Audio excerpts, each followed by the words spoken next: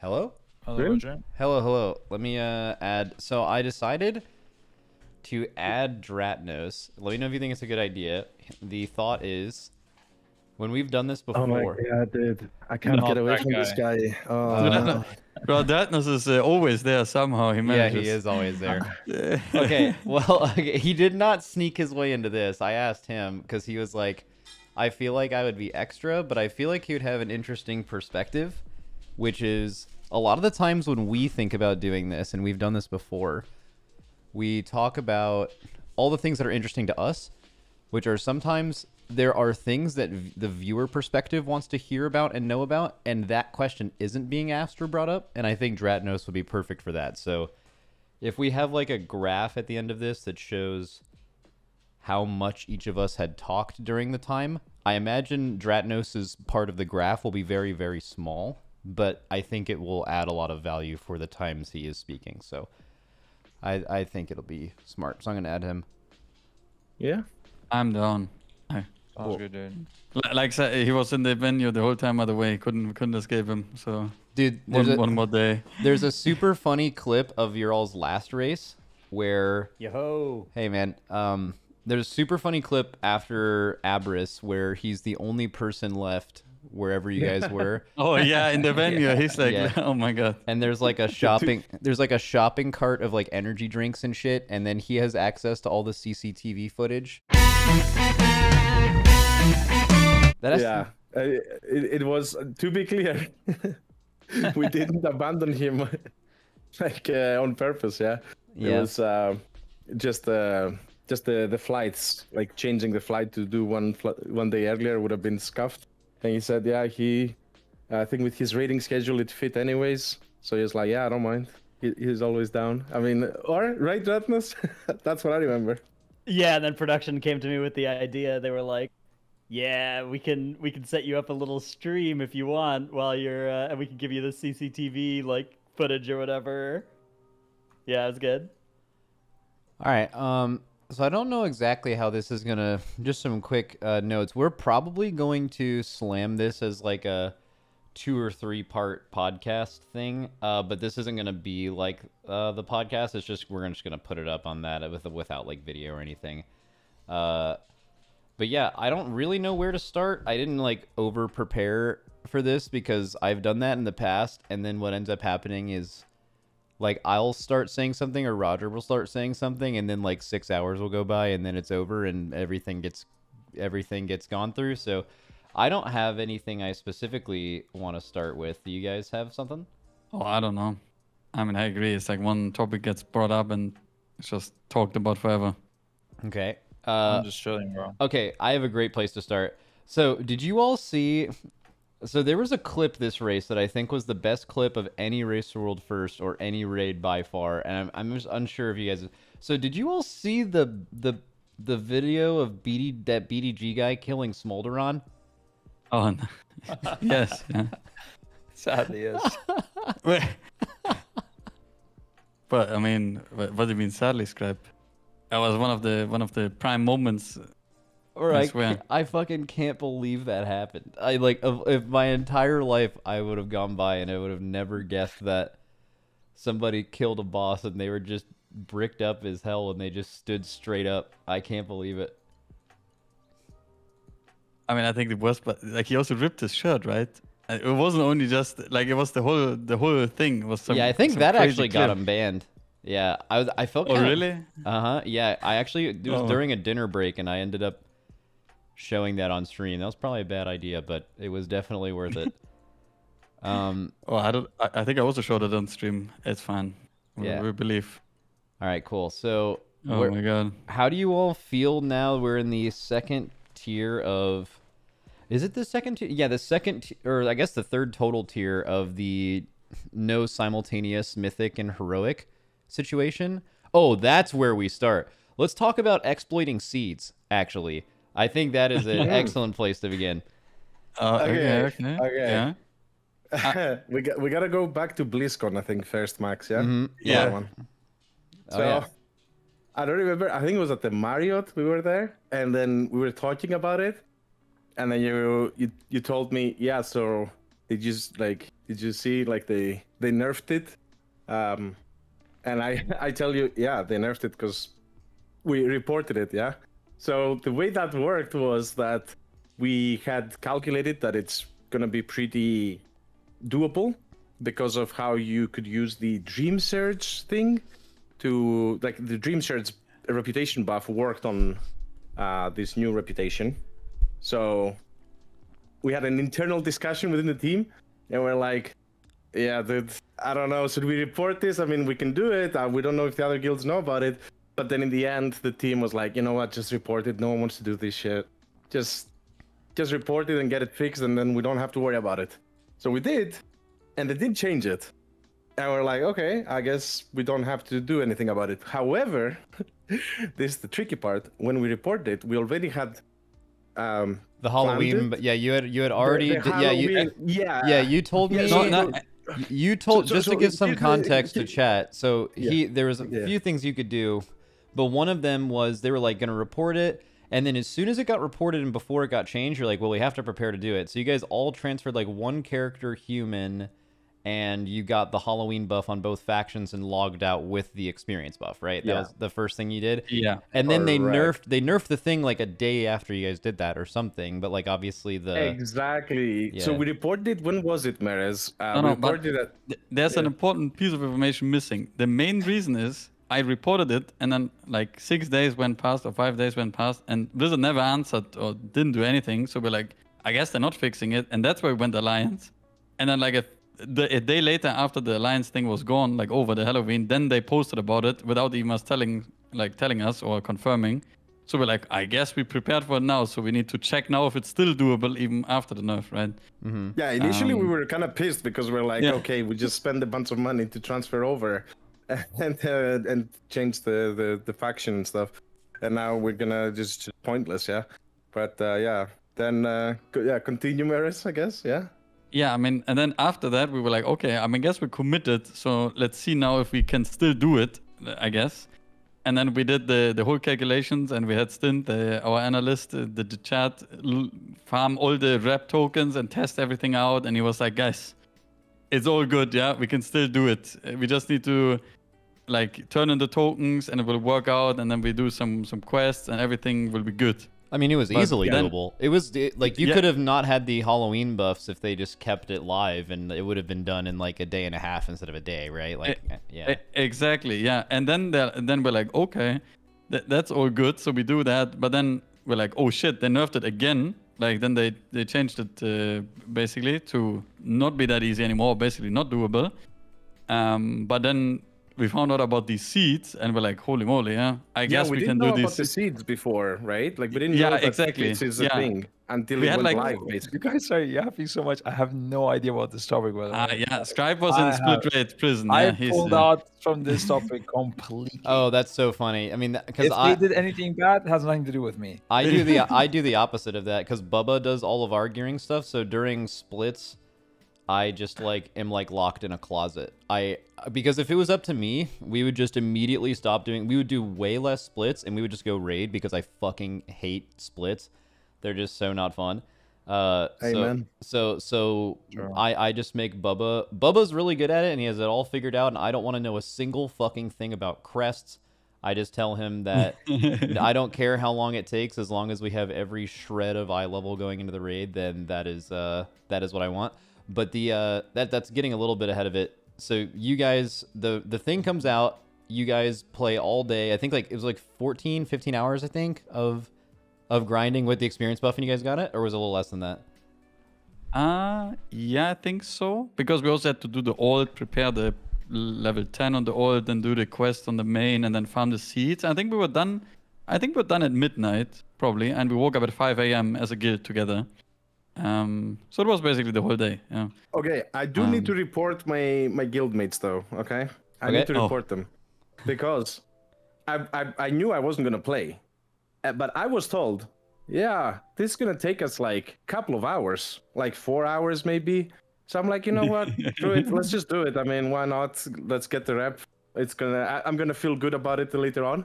So I joined them, and I did not know what I joined for. But Oh you my did the whole day.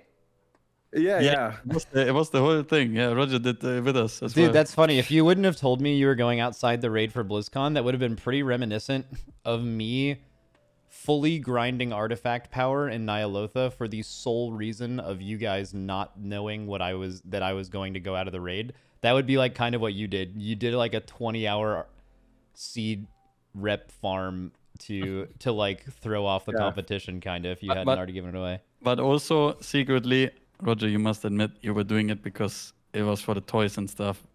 And you're like, oh I mean, shit. a, li- I- a I little bit it. on that, and a little bit. I, I must admit, I was in the back of my mind. I was like, man, you, you never know, yeah. Like I'm on the outside, but Well, wait, you did you never know know- because BM, if BM didn't get those nerves after they like random buffed it from the AUG log Yeah. hooks thing, like you would have run more BM hunters, that's for sure. So, uh, you would have probably played. Would you have played if they didn't nerf BM? You had to have, right? uh, I mean, Bro, it I was know, so actually. insane. It was like way better than the next thing. Like it was better than Rogue. yeah, we. I did. was I was telling him like Roger, this is looking really bad right now. like, I really, I really want you outside, but bro, look at the DPS. and yeah, dude, we this. we thought something must be wrong. we thought yeah. all of our prep was bad because we were like preparing for the raid and we were looking at these heroic runs and we're like, guys, THD's like fucking rat hunter in these runs is doing like 20% more boss damage than like James's main. Like something is fucking wrong.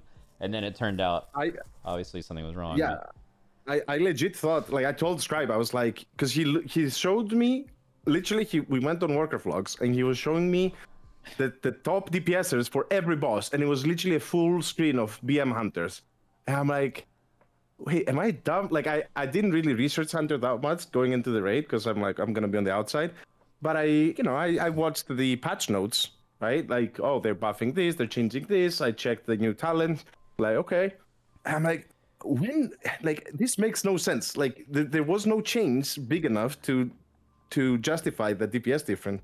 So I told him, like, man, this cannabis is something wrong. Yeah, there's uh, there's some bug.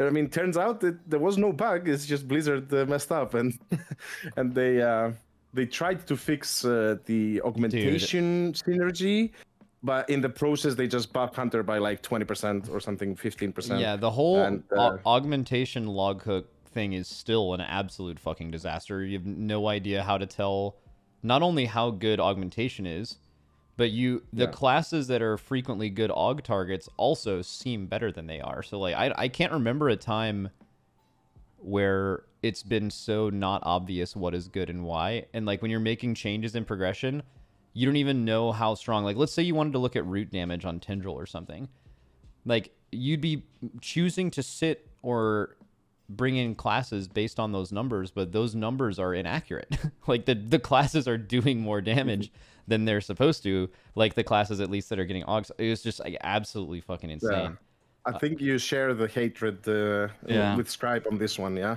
I, Scripe literally was like, I don't know, what your feelings on augmentation, Scripe?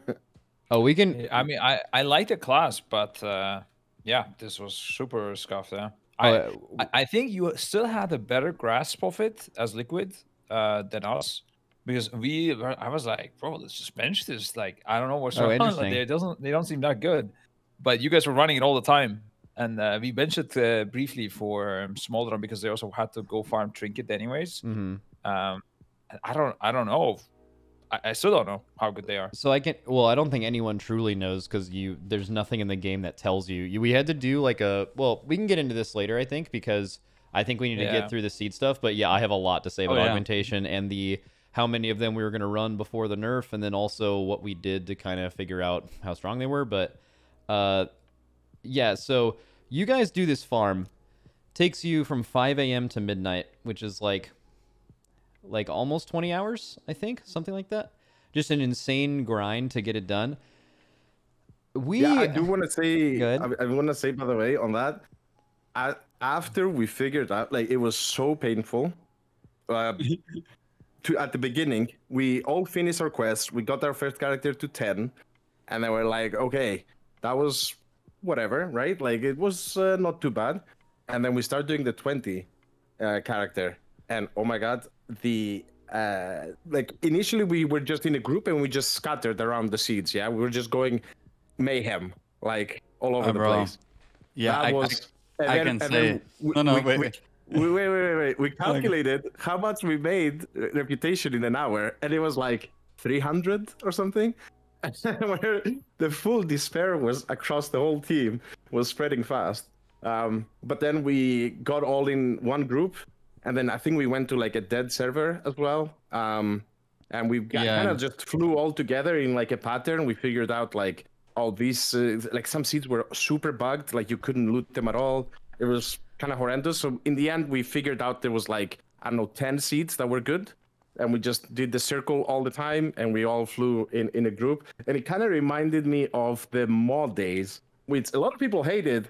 And yes, it was boring. This as well was boring, but it kind of felt fun to go with the whole squad, you know, like uh, as a as a unit. Oh So, yeah. um, Even yeah. in our case, you know, when people were running around going and doing seeds, there was everyone was just in one Discord channel and you were having fun, right? So like I mean, those are there's always this weird through artifact power farming and island spamming and all of those eras of like the grind before the race, there's always been a lot of camaraderie and like it's like it's not fun. Like these things are all pretty annoying to farm, but like you do find fun in all being in the channel at the same time and being excited for new content and stuff. Okay, and last thing I say, because sorry, I need to mention this. I need to throw Gingy under the bus. He was a Oh. betrayer. He. So what happened was some people were done earlier than others. Okay, and Yeah, but- uh, then yeah. people started leaving the group. But then once you have less people, you can't even bloom the seeds, right? uh, so it was really struggle. We're like down to ten people, and then we're running out of the little whatever berries. Yeah, Um, the the the dewdrops, I think they were called. and, and- like, and, and then we um we, we make a call of like yo guys everyone come back to the group to help the last remaining people because for example evokers couldn't go alliance so frago i think was a bit behind oh, human. and- they couldn't, yeah, uh, yeah. yeah uh, sorry not alliance human um so he didn't have the 10% and a couple of people were still remaining and then gingy says the classic yeah guys i'm coming in five minutes I, I think i think it took him probably 45 minutes or how long was it to join us eventually Bro, I don't know. He didn't. No, no, he didn't join us. Yeah, he said, "Guys, I'm fin- I, I need to finish this. Give me. I will test something." Yeah. Then he finished it. We also He never finished. joined- he never joined us. And then on the next day, we're like, "Yo, Mike, what did you find out?" Nothing really. and then other people found out about what he could have found out. Yeah? Like whether you need to relog after you redeem your tokens and stuff. And I don't know. It was crazy. But I, I think one thing that I need. oh, No. go ahead Yeah, one thing I need to add to the seats was also that because it was so shambles, Stint made a WeakAura and I was basically raid leading the seats where we're going. And I was clicking for like eight hours straight. I was clicking a waypoint WeakAura per the next seed we're going to. So everyone had an arrow on their screen Dude. what seat we're flying to next, yeah. And at one point I stopped using the WeakAura and then Roger was like, Hey Marius, why did you stop? I'm like, bro, it's too too much, yeah. So I was clicking for eight hours uh, a, True, a yeah. WeakAura to put an arrow on everyone's screen where we're flying next with the seat. It was um, it was crazy. So the way that this information got let me let me uh let me explain to you how the beginning of our patch went. So our realms came up at 8 p.m. after a full day of maintenance, and our bedtime to prepare for the race start is 11 p.m. So we're up for like three or four hours at the end of our day.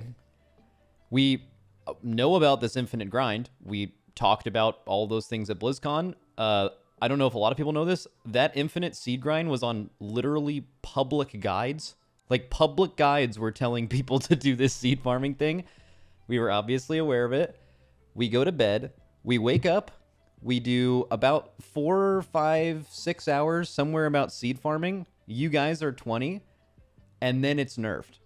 So if you can put this in your all's perspective, this is actually pretty close to how this would work time wise if you can look by the fact that it would have been kind of insane for us to assume they were going to nerf it. In which, if we knew they were going to nerf it when they did, we would have stayed up all night, I guess. But then, like, inting your sleep like that before a race is kind of bad. So, imagine the seed farm is up for 20 hours on NA servers. We stay up and finish the seed farm in a 20 hour raid, just like you all do. And then EU comes out and you guys have four or five hours to do it, and then they nerf it insane, and it is now a five day grind, or in some of our players' cases, literally impossible to do in the amount of time leading up to the race. So you're either losing a ton of prep time or it's not doable at all before the week goes around. This is this is the situation we were in. And we were unbelievably fucking mad at them. We were we were like as you can probably imagine, like it I, I've I've just transported myself to the alternate reality where this happens to you all, and I think you're gonna go fucking crazy at them for nerfing it after one guild is able to do it and another isn't. So we got real fucking mad. Go ahead. I, yeah, it, Yeah, it, it I, was. I, I, I don't know personally. First of all, why they Nerfed it. initially even had this in. No, like, but why have this in at all? Like, infinite rep grinds is a thing of the past, kinda. Um, unless it's a rep that doesn't matter. I think like the Furbolgs thing they did on this expansion, like that doesn't matter. But I, I can't think of any reputation that you can just infinitely grind anymore. So I don't know what the logic was behind making the seeds just give you reputation forever. Um, I think what they should have done to begin with was just do what they have now without the five rep at the end. Like just have it like I don't know the first four or five seeds, whatever it is, gives you a good chunk of uh, rep, and then it's it's over. Like see you next week. Yeah. So I don't know. I think that's like a design flaw. I do think I would be super tilted, like you said, if they changed it after. It makes makes it super unfair. Um, at the same time, I will say that it is a bit of a sticky situation. I'm guessing from their side because essentially, uh, if they do not nerf it, it makes this very bad for the general population because I guess everyone then is gonna just do it, uh, or a lot of people, and it kind of loses its value. So I think the the reason was for the general population. I don't know. It's uh, Uh, I, I do kinda. think it's messed up.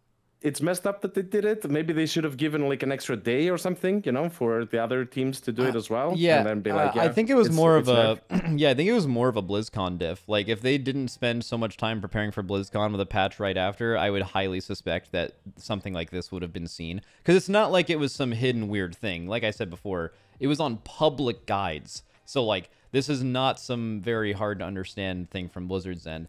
So yeah, you leave it in there. The thing is though, is they nerfed it and then the infinite grind was still possible. So a lot of people just ended up doing it. It just took infinitely longer. So like that was kind of a weird thing. Uh, but I guess a lot of people probably were detracted from doing the grind because of it. But I just want to get around to the seed thing. So we started doing this and we're like, all right, so like what is there possible to do? The way the thing that like our players got reverted for, I don't know if you guys are familiar with how it worked, but you weren't spawning experience out of nowhere. You had to still pay the dewdrops or whatever for every shred of rep you got from those seeds every time you multi looted it or whatever.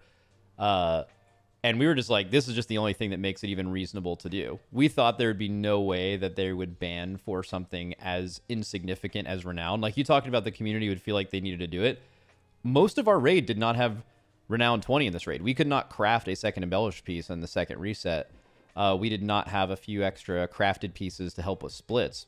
That didn't matter at all. Our eye level was identical. I'm pretty sure on uh, Yeah. on the last Yeah, boss, right? was, yeah. So like so like this this uh you know overall was not and you could definitely say like was it a bad decision to do something that's even remotely possible to be banned uh like for something so insignificant? The answer to that is definitely yes, but also we were like astro tilted. Like I I mean like we didn't say anything publicly about this, but we were absolutely letting them have it in that in that race to world first discord because it was just like I we just felt so bad about it. And you could tell that like they knew the effect that it had um because like we didn't want to do the method route right? We're like i think method well also method had more time in their week at that point. Like we had half of our players that literally could not have gotten 20 if they played for 20 hours a day.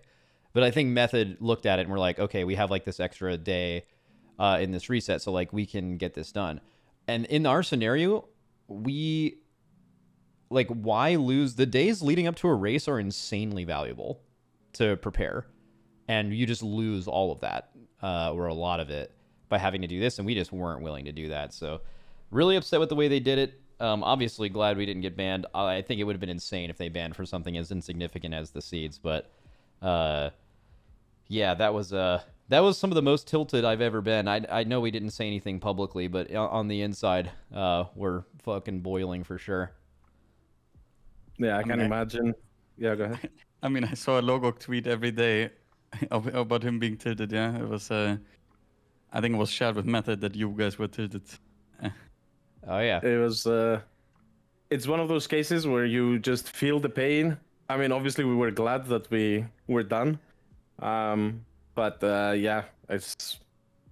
I don't know. I don't, I don't know why they decided to do it so quickly. I think leaving it for another day or two would have been completely fine. Like, what's the what's the harm? And then it's uh, it's over. Uh, yeah. But it was for sure an oversight from Blizzard because I think before that there was like unlimited rep grind on the Super Bloom that he could do every hour, and you could have gotten Renown 20 as well. And they changed it, and then the seats were left over, and then they just didn't see it or didn't oh, know yeah, the about it or super, whatever. The super bloom would have been the shit. That that was the the insane value one. Yeah. Um, yeah, yeah, yeah. I I do want to say for the record, by the way, because we had two of our players also reverted. I mean, Oh, I didn't know that. We, yeah, we had Ken and Saltad, right? But we do not know why that happened because they were just like like I said, right? Like we're all flying in one pack, doing the exact same thing. So I don't know, like if the if they did something that uh, they don't want to say, but I doubt it because it makes no sense. They finished at the same time as the rest.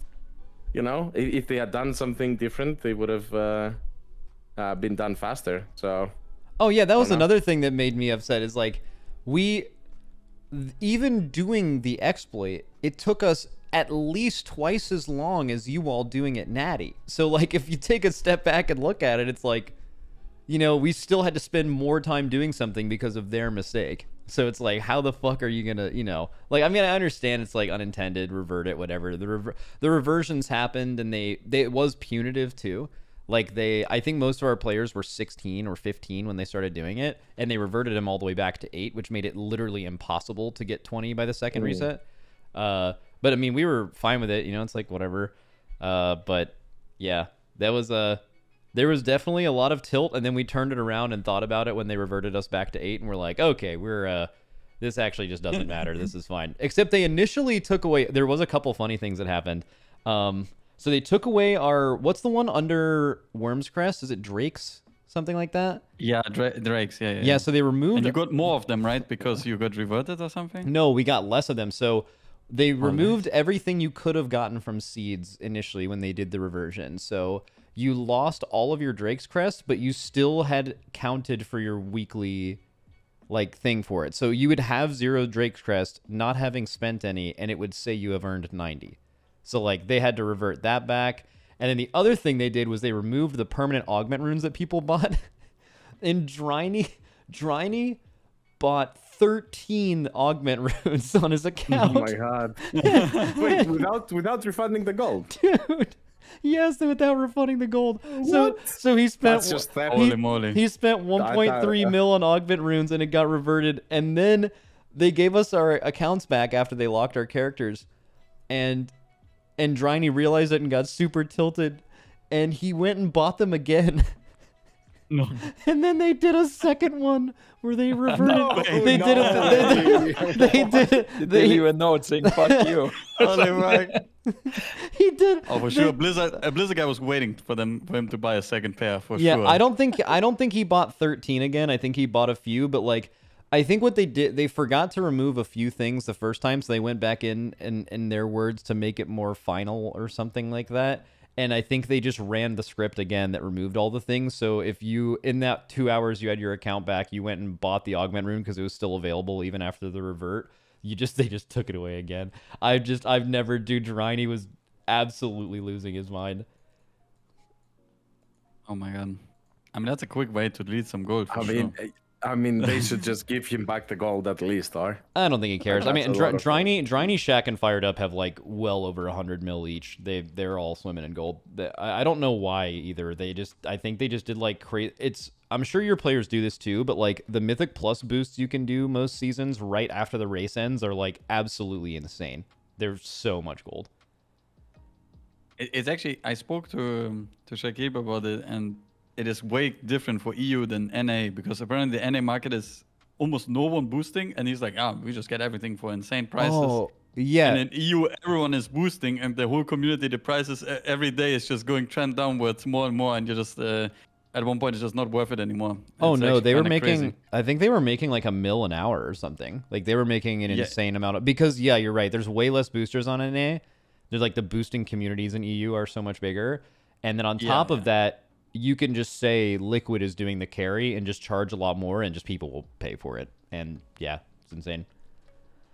Yeah, actually, it's- key boosting on EU is crazy. Like, it's way too many people play that. It's uh, Oh, it's still a good market, I think. But uh, yeah, Oh no, Lorgak has a really good point. It's it's because the uh, there are countries literally making a living off of boosting, where like the the the like average wage in the country is low enough in some European or Middle East countries where you actually make more money or reasonable money doing that than you would by doing something else. So they're way more likely to do that. I think that's true in Yeah. uh, South America too for NA servers, but yeah.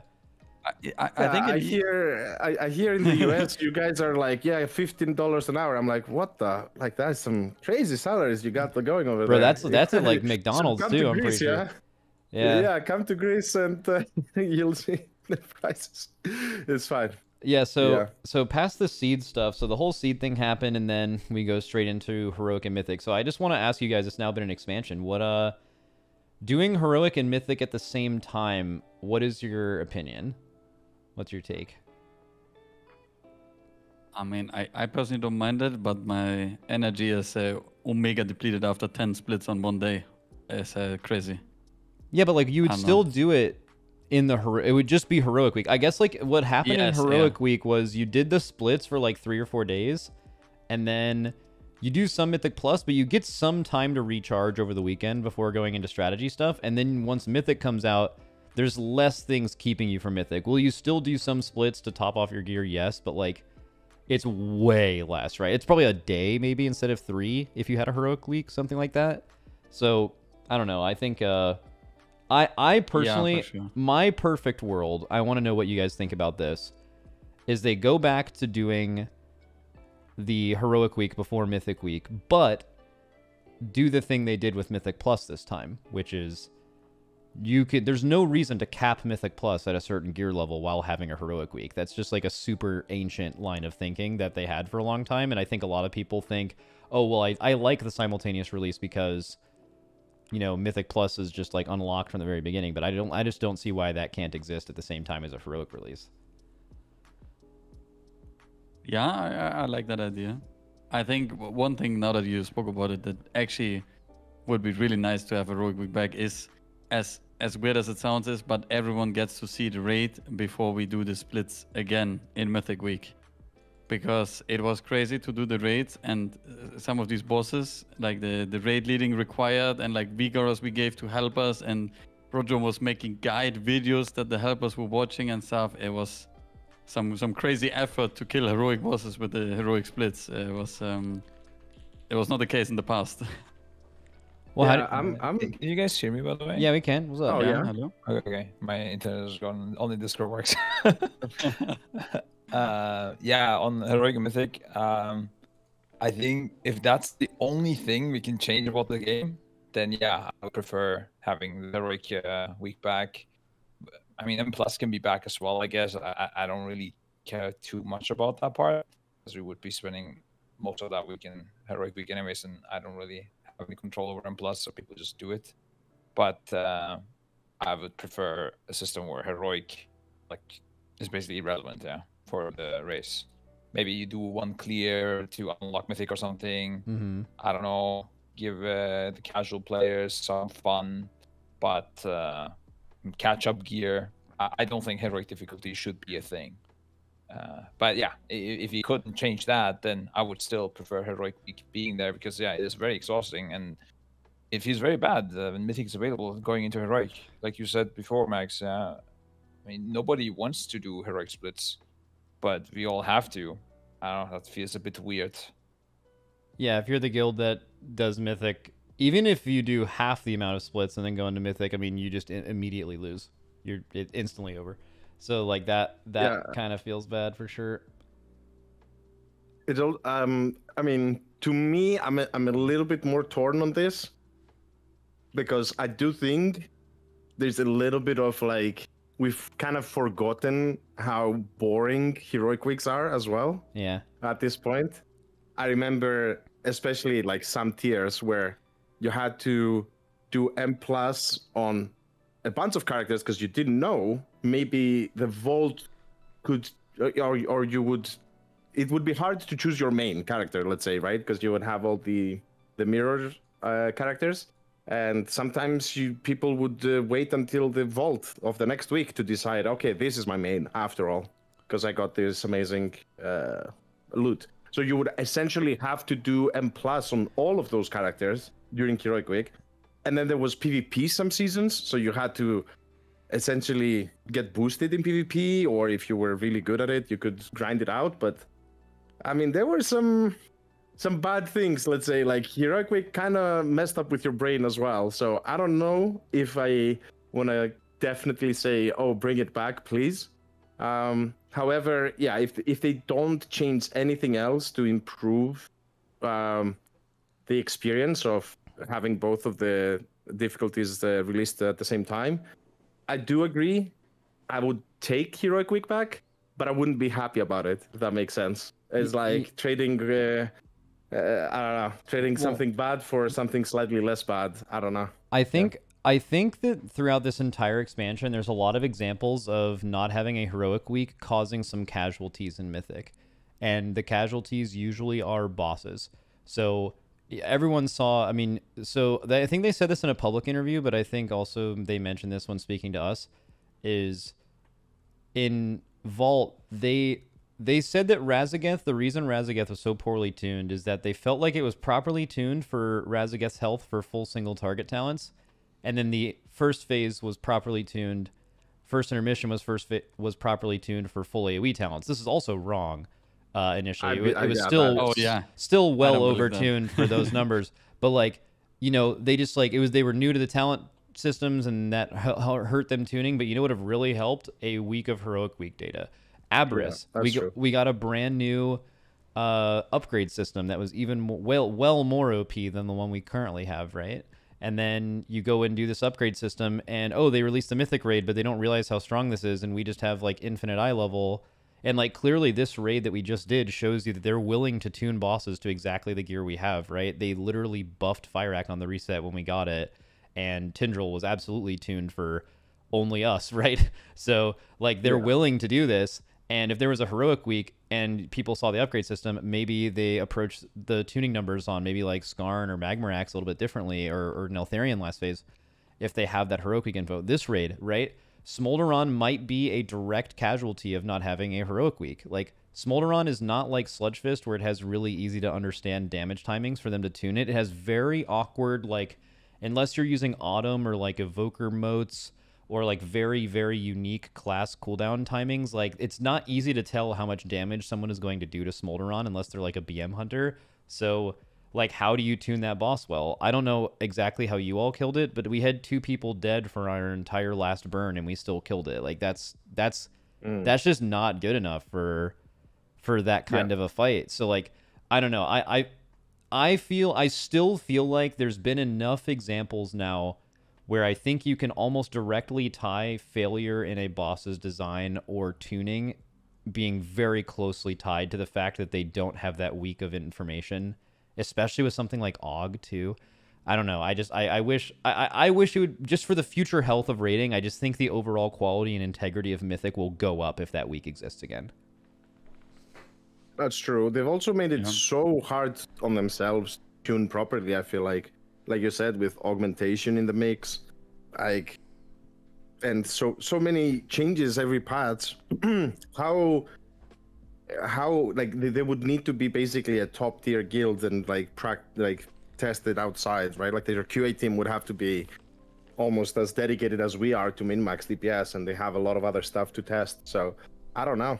Uh, I think they've made it too hard for themselves. Too many classes, specs, uh, DPS timings, and that meshing with boss, um, the bosses, because I always in my mind I'm I'm thinking, okay, how how does Final Fantasy do such a better job?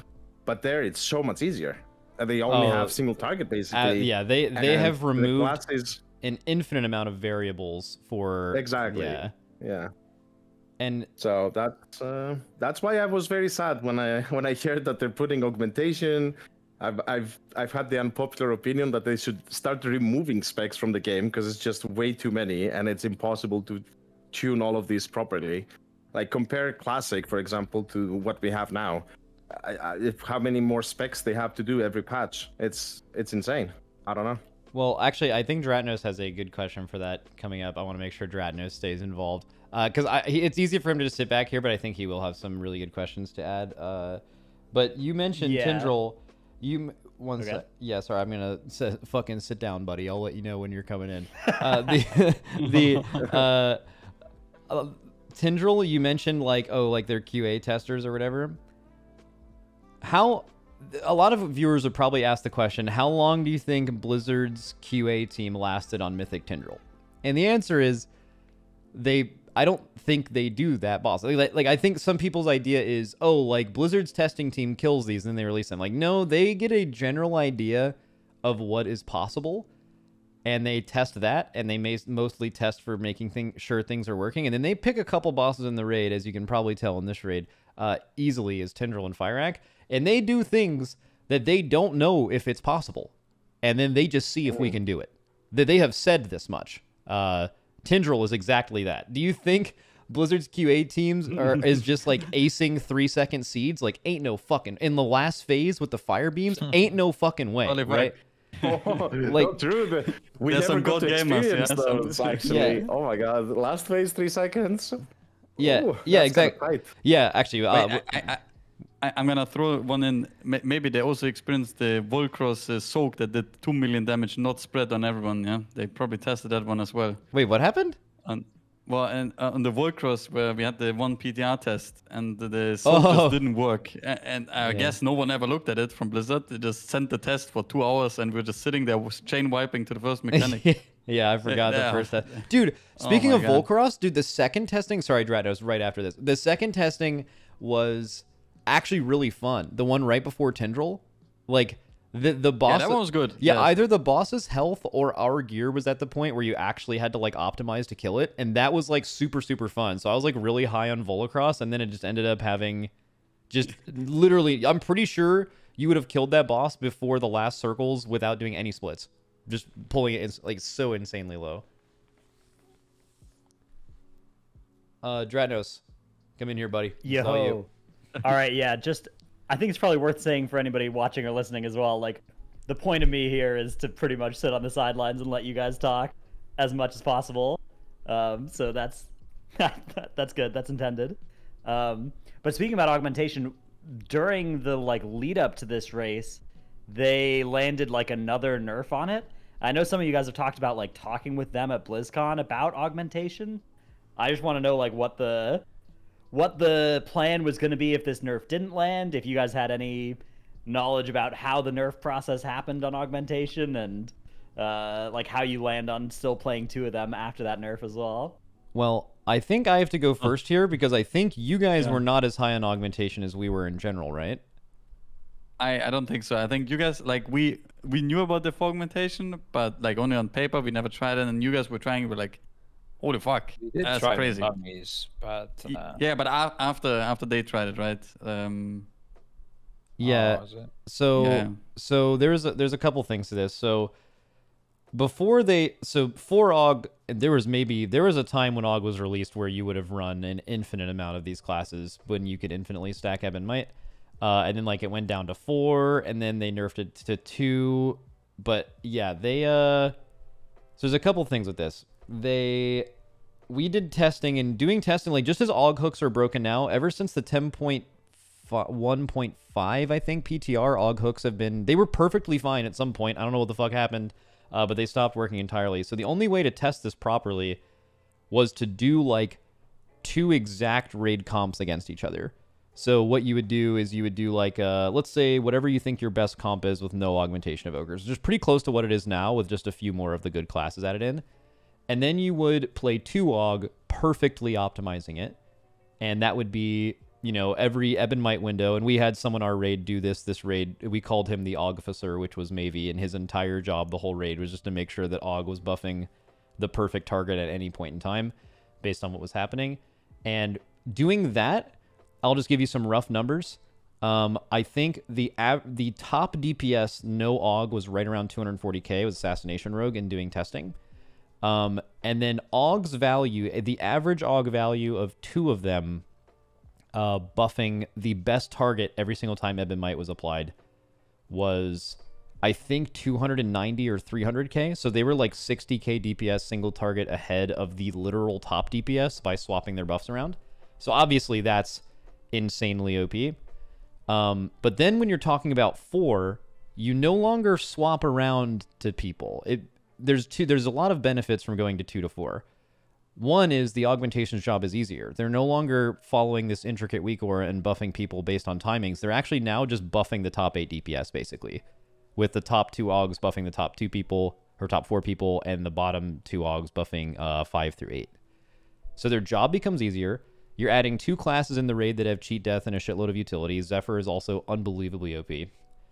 Um, and then uh, we looked at the damage value for that. So the average, before they nerfed it, the average damage value for an AUG, again, top DPS without AUG at all is 240k ish, and then it goes down from there, was around 250k, the average between all four augmentation evokers when they are just buffing the top eight people. So no swapping, nothing like that. So you're talking either equal or slightly above the best DPS you could possibly bring.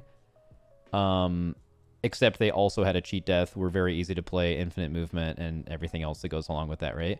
So that's what we were. Can I can I can Yeah. I ask like these these numbers that you're saying are these from dummies or is it do you, do you test this on bosses? Uh, so you we did a lot of 4AUG testing for bosses and saw similar numbers, but we treated most of our boss testing. Most of this was done on dummies with a lot of sample size, and usually, like, what was the comp this raid? Right, it was like double Aug, double Rogue, double DH, double Hunter, and then we ran that with two AUG, and then we just sat whatever you would sit and brought in the four AUGs and you know had an optimal scenario for Ebon Might, and then we literally just tested the raid DPS between the two things with a lot of sample size because log hooks were so broken. Uh, Yeah. and it was always four before they nerfed it. Four Aug just straight up beat two Aug, or it was very close, and two Aug was like monumentally better than than zero. I mean, it was they were like by far the most valuable things in the raid. So four Aug was like a minor optimization, but like the classes were just so unkillable and great that it ended up being the case. But then it ended up being a. I think four Aug is still good now. It's kind of cringe, but you know, if you're running four augs, the average aug is now lower than whatever the best class you could bring in. Like a rogue, if you were to bring in a rogue instead of a third aug, that rogue is going to do more damage than the aug. But you know, the aug has cheat. Maybe rogue's a bad exam- example, but the aug has cheat death. The aug has other utility. If you wanted to be super super safe, you could take you could make an argument that a small damage loss for aug utility is worth it. So Yeah, I, I Yeah. think that was the big the big thing for me was I mean we we had the mindset judging like I did not I mean I guess we'll get into this later but uh, we did not expect the tuning to be this tight. Um so we were in the mindset that okay DPS that's one thing. Maybe it's worth it maybe it's not uh, after the nerf. Um the biggest thing though for me at least personally was the defensive part of um, the evokers. Like being able to just make your whole raid uh, more durable and then they are also unkillable. That's just so let's say overpowered. So i i was expecting that they were actually going to nerf also the defensive parts let's say like the utility defensives of uh, of augmentation but they only touched the damage so i was a little bit still worried that uh, we're gonna still have to play four um, and yeah what you said is true i remember our augmentations were like oh oh my god let's just play four it's so much easier like they really wanted to go four because yeah, two uh, two is like yeah. the brain capacity to do two is like very Yeah. involved, but as soon as you play four, they're doing something very easy. So that that has a lot of value too. Uh, but yeah, Yeah. on the nerf. So you were you guys? So after the nerf, were you guys p- planning on running? Were you guys considering sitting them? Well, all of them or the four? Uh, Um, no, all of them. Like, what was your like? Okay, so like, I can tell you what our comp was before that nerf. It was like, I think it was we were still gonna run two demon hunters, but you sat the BM hunter, uh, and then you sat second enhance on most fights, and you still ran two DHs and two rogues. Um, and then you, the enhance was like we only ever ran enhance really for like P2 of Fyrakk, obviously. Um, and then that is what you would sit for the two Augs. But that was immediately like not a thought. Like when they made that nerf, it was like you would never play four, in my opinion. Uh, unless like the raid was super easy. Obviously it was not. So uh I don't know, like what was your all's thought when you guys saw that nerf, or did that not change that for you? Uh, I mean, I I can say that we saw the nerf and we're like, hmm, i- i- is still fine or not? I guess. And then our augmentations did the calculations, and they were like, I mean, technically, it's not looking too bad.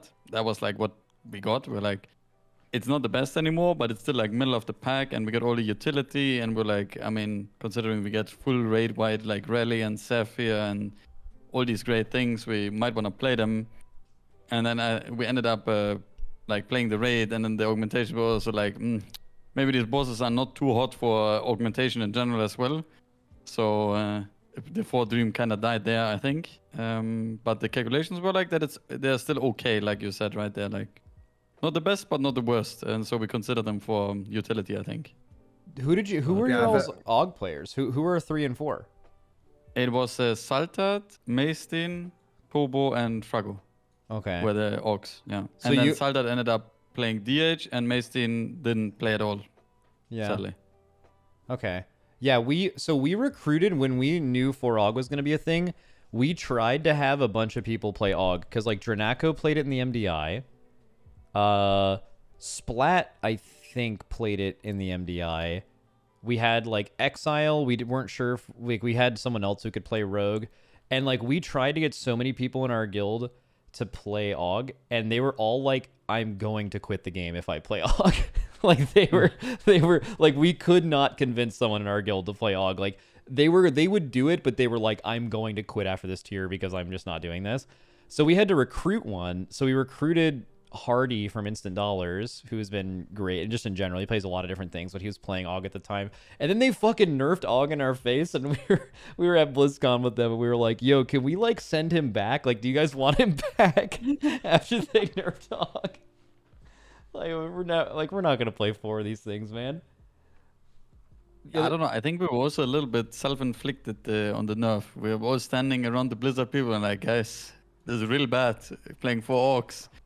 And they're like, yeah, can you give us feedback? Can is it really bad? And Ian was like, I mean, guys, the the alarm has already gone off for the four orcs, and somehow uh, we kind of nerfed them ourselves. I think at BlizzCon as well, or maybe it was already Uh, pre-planned, but. Uh, a- a- at least uh, they they got like the reinsurance that it's gonna be four orcs if they don't Maybe. nerf it, right? Well, I don't know if I ever talked to him directly. The, the only conversation I remember is all everyone here in this call, except for Dratnos, was standing in a circle around Ian.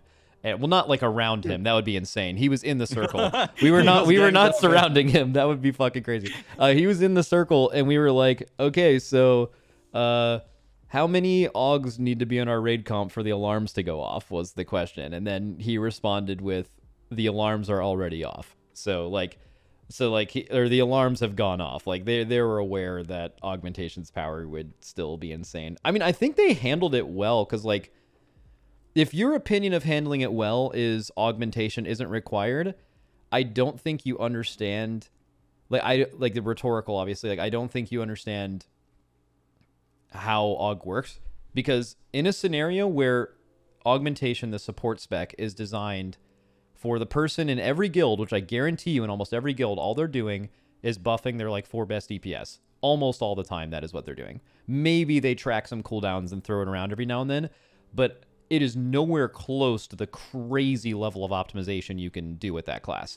So because of that, that class has to be good for who it is designed for, and if that is the case, it will always be extremely powerful if we are making sure that exactly the best four people every 30 seconds have this buff. I mean, it'll it'll be BIS for the rest of time. There's never a world where 2 Aug will not be BIS, right? That's that's what I told him as well, dude. I told him it's either gonna be really OP for us and average for the normal player, or really shit for the normal player and average for us. Like the class design is just flawed. Uh, they have to. I think the only outplay to that is you have to cap how much damage you can contribute. Uh, like set a hard cap or maybe um, a soft cap where after a certain point you get very low benefit from Ebon Might, like the stat falls off or something. Yeah. Uh, but uh, they did not seem to agree with that when I told that to a class designer at BlizzCon. They were just like, no. thanks." like no, no. Well, I I, think I, I think I think they should uh, like I, I said this as well. I think that, that the balance between how much damage the orc does himself and how much they give to others, I think is way off. Um, and to have any reasonable balance um, tuning of the, the spec, they should just flip that on its head, kind of. Uh, so orc does I don't know sixty percent, maybe even seventy of the damage, and then they buff only thirty percent. So it's a way smaller thing and then maybe they can do also a thing that you can't just because i don't know i mean yes for us it's a little bit interesting that you can change who you're buffing all the time but i don't think the general population that plays augmentation are going through all of the hoops of figuring out exactly who to buff so it's it's a thing only for the top uh, uh, players and it causes also i guess a lot of uh, stress so I don't know, maybe maybe just doing something similar to how Dance Partner is with um, in um, in Final Fantasy, where you basically just lock yourself with a person, so they can just attack, like they just put a buff on four people, and then it's kind of like Beacon, let's say, right? But you can't just uh, you don't have to refresh it all the time. I don't know. I, I think that spec just needs a rework, uh, just to maybe simplify it a little bit uh, because when when when it, when it is so skewed of how like I understand the whole aspect of oh easy to get into, hard to master, but when it's so big of a difference, it means that like uh, Scripe and you said earlier that uh, uh, it will be impossible to tune these. That it's not OP for us and still good for the average player. So I think they need to dumb it down a bit. I don't know. Yeah. So, as far as I can tell, the one last thing about augmentation is so I think Blizzard got a little unlucky. So they had one guy who was kind of masterminding Evoker. Like this guy was the person behind it. You guys probably saw him in a few interviews. His name was Graham Berger. Um, he, from what I can tell from people who worked with him, is the absolute shit. Was really, really good at his job and was like majorly handling a lot of this stuff. And then I think he stopped working there. Uh, and I think he works. I, it's either in Ghostcrawler's company or Riot, one of those two places. Yeah, I, got, I think Ghostcrawler. I, I've been told that he Yeah. went to, to that company. Yeah, so I think they were kind of left picking up the pieces of that with him leaving. so I think Aug would have been like a bit better had he stayed. I know like the log hooks were almost directly attributed to that. It, that happens a lot of times in WoW where like you don't really realize it from the player's perspective, but like there are people with jobs and sometimes they leave. Like I think it's like priests have kind of felt out of place this whole expansion, but I think like priest talent trees got released and then the priest developer the person who like mainly did the priest thing left like immediately after posting those and then like the rest of the class design team has been picking up the pieces of shadow priest for the rest of the expansion so like i don't know sometimes stuff like that is the reason behind those things but yeah i, I definitely agree with you that augmentation kind of seems like this unsolvable problem because of its design and it'll be interesting to see how they kind of tackle that in the expansion but let's uh I think I kind of want to get into the raid. So, uh, do you, do you want to start with splits? Oh no. we can start with splits, but before actually, yeah, let's start with splits. Uh, is Smolderon 1515 with helpers the hardest heroic boss you've ever done? oh Oof. guys, soak your Oof. balls. Yeah. Oh my god. I think the amount of times I said the word balls was uh, unhealthy. Um, but I will say that Tindral also was a big eye opener for me. Um, generally, it was, I would say Smolderon was a bit harder than Tindral, but the despair I had from seeing that people could not fly from platform A to platform B. Oh my god. It Oh my it kind- God. it- Oh it my made God. me lose faith in humanity overall. Uh, Uh, I- I we, must did, say- we did. We tried everything. Yeah, listen, we tried everything. we tried marking a person, and I was like, "Yeah, follow this guy." You know, easy, smooth sailing. I tried saying, "Just ignore all the balls. Just go like you're flying to the next world quest. Just avoid the balls on the sky." Uh, yeah, we we even tried telling, "Okay, who is not comfortable of uh, of doing it?" And we had a Uber service basically, like people picking up the players and driving them there. We tried it everything. Oh my god, I don't know. It's it's. I don't know how people can do the other mechanics and not fly when the expansion has been out for like a, a year plus at this point. I don't know. I was uh, I was in shock actually. Uh, but yeah, Smolderon definitely very spicy on heroic, and I think that's where um, that's where you guys also uh, like we realized when heroics are so hard the fact that you guys have uh, like five or so extra players than us Yeah. in your roster played a big role because any uh, like we had a lot of wipes on Smolderon that were let's say five percent or less. hmm That's the difference of two or three players from your team versus uh, helpers, right? So um, that really like we were struggling hard, uh, especially at the start uh, Well, on those two bosses. So how many? So this is probably a Scripe question. How many people down your roster this raid did you actually make sure had like bis as fuck gear? Like usually in a raid for us, I feel like it's close to 25 ish people. There's always like a second or third lock. There's a second mage. There's like all these classes. In this raid, I feel like the comp was so omega locked in, and you had really no way of playing other things. And we geared just less people in total, so we didn't do as many. Like, how did you guys handle that, or did you guys still like spend time gearing options? we we gear in general the options as well. I don't know if it's a good thing or a bad thing. It was probably bad in this raid.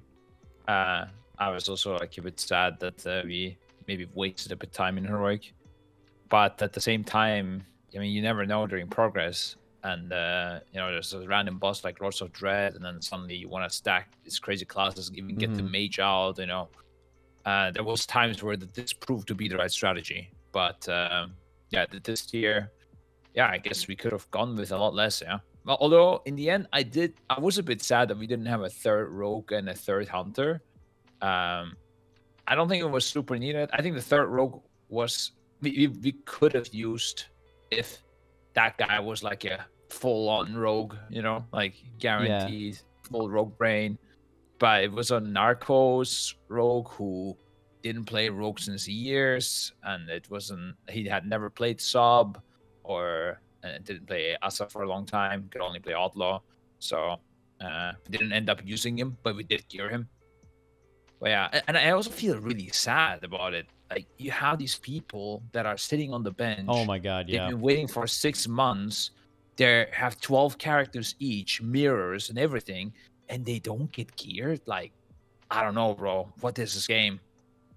Yeah, I mean, we, we geared all like all of them got runs. It's just like I think the amount of Fyrakks we did was the exact amount to make sure that we had full heroic tier on the top like 23 people, and those were the only people that ever killed a mythic boss.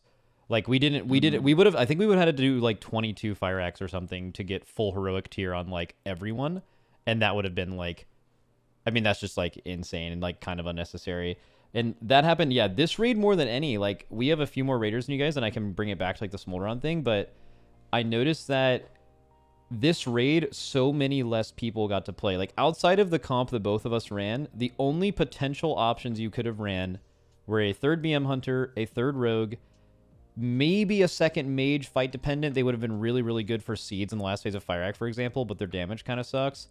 Uh, maybe a shadow priest if like the if you needed mass dispels in P1, but they made the dispels really easy, and maybe arms warrior for two target cleave in uh P2 of Fyrakk, and then like execute at the end if that ended up being great. But like that's there was maybe no chance. Maybe maybe second warlock for Tindral, although I think we tried it and it wasn't that good. But uh, Yeah, we Yeah. thought about that. Yeah, because obviously they're the best root damage, but they they uh I don't know. We were really down on Warlock this tier. We we thought if you didn't need Gate, you could like easily sit Warlock. Like that class was just fucking trash. But it it ended up being pretty good for P2 Fyrakk and really really good for seeds. Actually, we can. So you guys ran sub on uh on Tindral, I think we ran assassination, and that is how we like solved the the like root problem because like Spatter just absolutely soloed all of the hard sets. But then we on our kill we ended up even taking off Spatter. But I know did you guys end up killing with two locks or did you just try it for a bit? No, we we tried it for a bit, and then we had the issue that we got a melee out uh, for the warlock, and then we had not full melee squad. to the like the, the go up was a little bit scuffed, and Andy went up as a tank, and we had like it was a little bit uh, scuffed angle, and people were signing uh, like swapping position on where to go up and with what feather, and that's what we when we had the second warlock in, and then we changed it to a second warrior afterwards. You guys had augmentation going up. We had What- only melee squad. So that was Exactly, yeah. difference. Yeah. Uh, Our augmentation people just didn't want to go up, and uh, like I said, it's really bad. And also, when you get to dispel, it was bad. I don't know if you had some secret tech there to bait the dispel on the augmentation or something. N- No, I don't know. It's a good question actually. We we so we had a priority system for the dispels, and the evokers would always be like either two. I think they had to be two or three if they both got picked. But basically, uh, Sang, our first evoker, was assigned to go up, and if he got the dispel, Goop would go up, and if if Goop got it, Mark would go up. One of our hunters. So it was a three way rotation. They always got the same feather, and they were always pre-positioned there, and they got something that told them whether they were going up or not, and which one to take. And it was just like a rotation thing and it ended up working out. Also Aug going up randomly it sounds really bad because like Aug is technically your best for like root damage right? So then being in the air is bad but that specific timing was insane.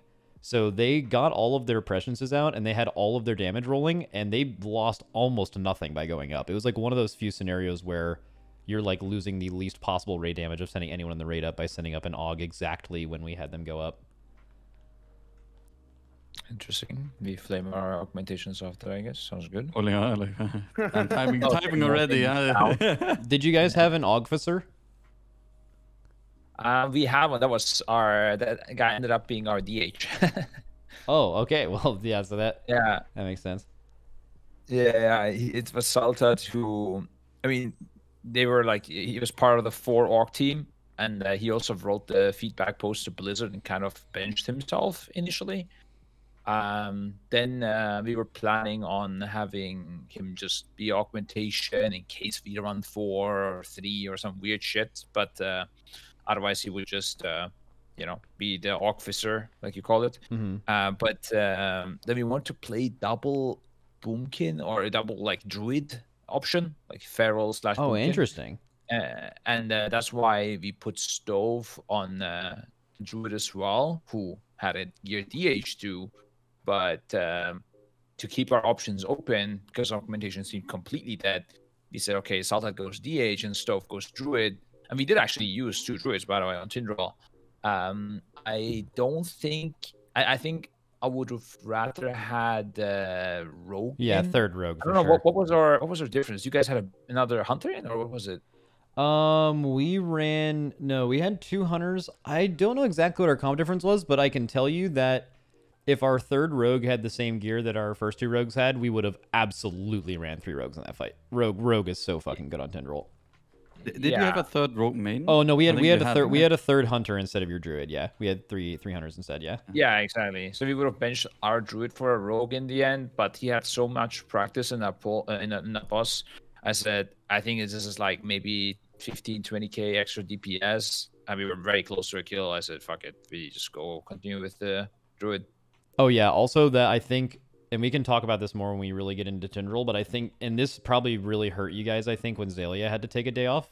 But I hmm. think, I think that Tindral is one of the hardest bosses to make mid progression swaps on in the history of WoW, with three second seeds.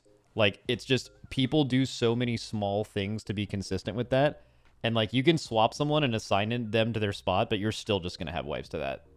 Yeah, swapping healer is even worse, uh, and the Oh, yeah. priest even worse. Um, yeah, that's the that's the extra thing. Like um, we had Sol, and you know, big thanks to him for stepping up and uh, jumping into Tindral prog as a healer. Um, but uh, we, uh, he, the plan was that he would generally only play Holy because the idea was okay if we, uh, like we didn't plan that Ken would get sick, obviously, right? Yeah. Like that's you, ca- you can't plan uh, about everyone getting sick and replacing them. Um, so the the thought process, I think, I mean, Ryzen can probably say more on this, but uh, was uh, if we need an extra priest, it's not going to be a third disc. Like, there's no way. So he just focused on just um, playing good holy, and he did a good job. But uh, yeah, that that boss disc is definitely better. Yeah. Um. So yeah, we we had to shift actually during that day. We shifted the augmentations, buffing the healers, just to get by. You Oh, know, just to make sure the healing. Yeah, just to make sure that the healing is okay. Did you guys not Um, have root damage problems? I feel like roots would have been like really difficult if you moved the Augs off of it. I mean, we, Um, we had a lot of problems, I think, overall that Yeah. day, but we managed. yeah. I mean, we had a lot of problems, but the roots were fine. I think the rogues were just sending the, the AoE at that uh, time. I mean, Yeah. yeah, we just Yeah. took single target damage away. It was just a full scuff day, and I remember people. I, I think we were. Some people were still comparing our DPS to yours.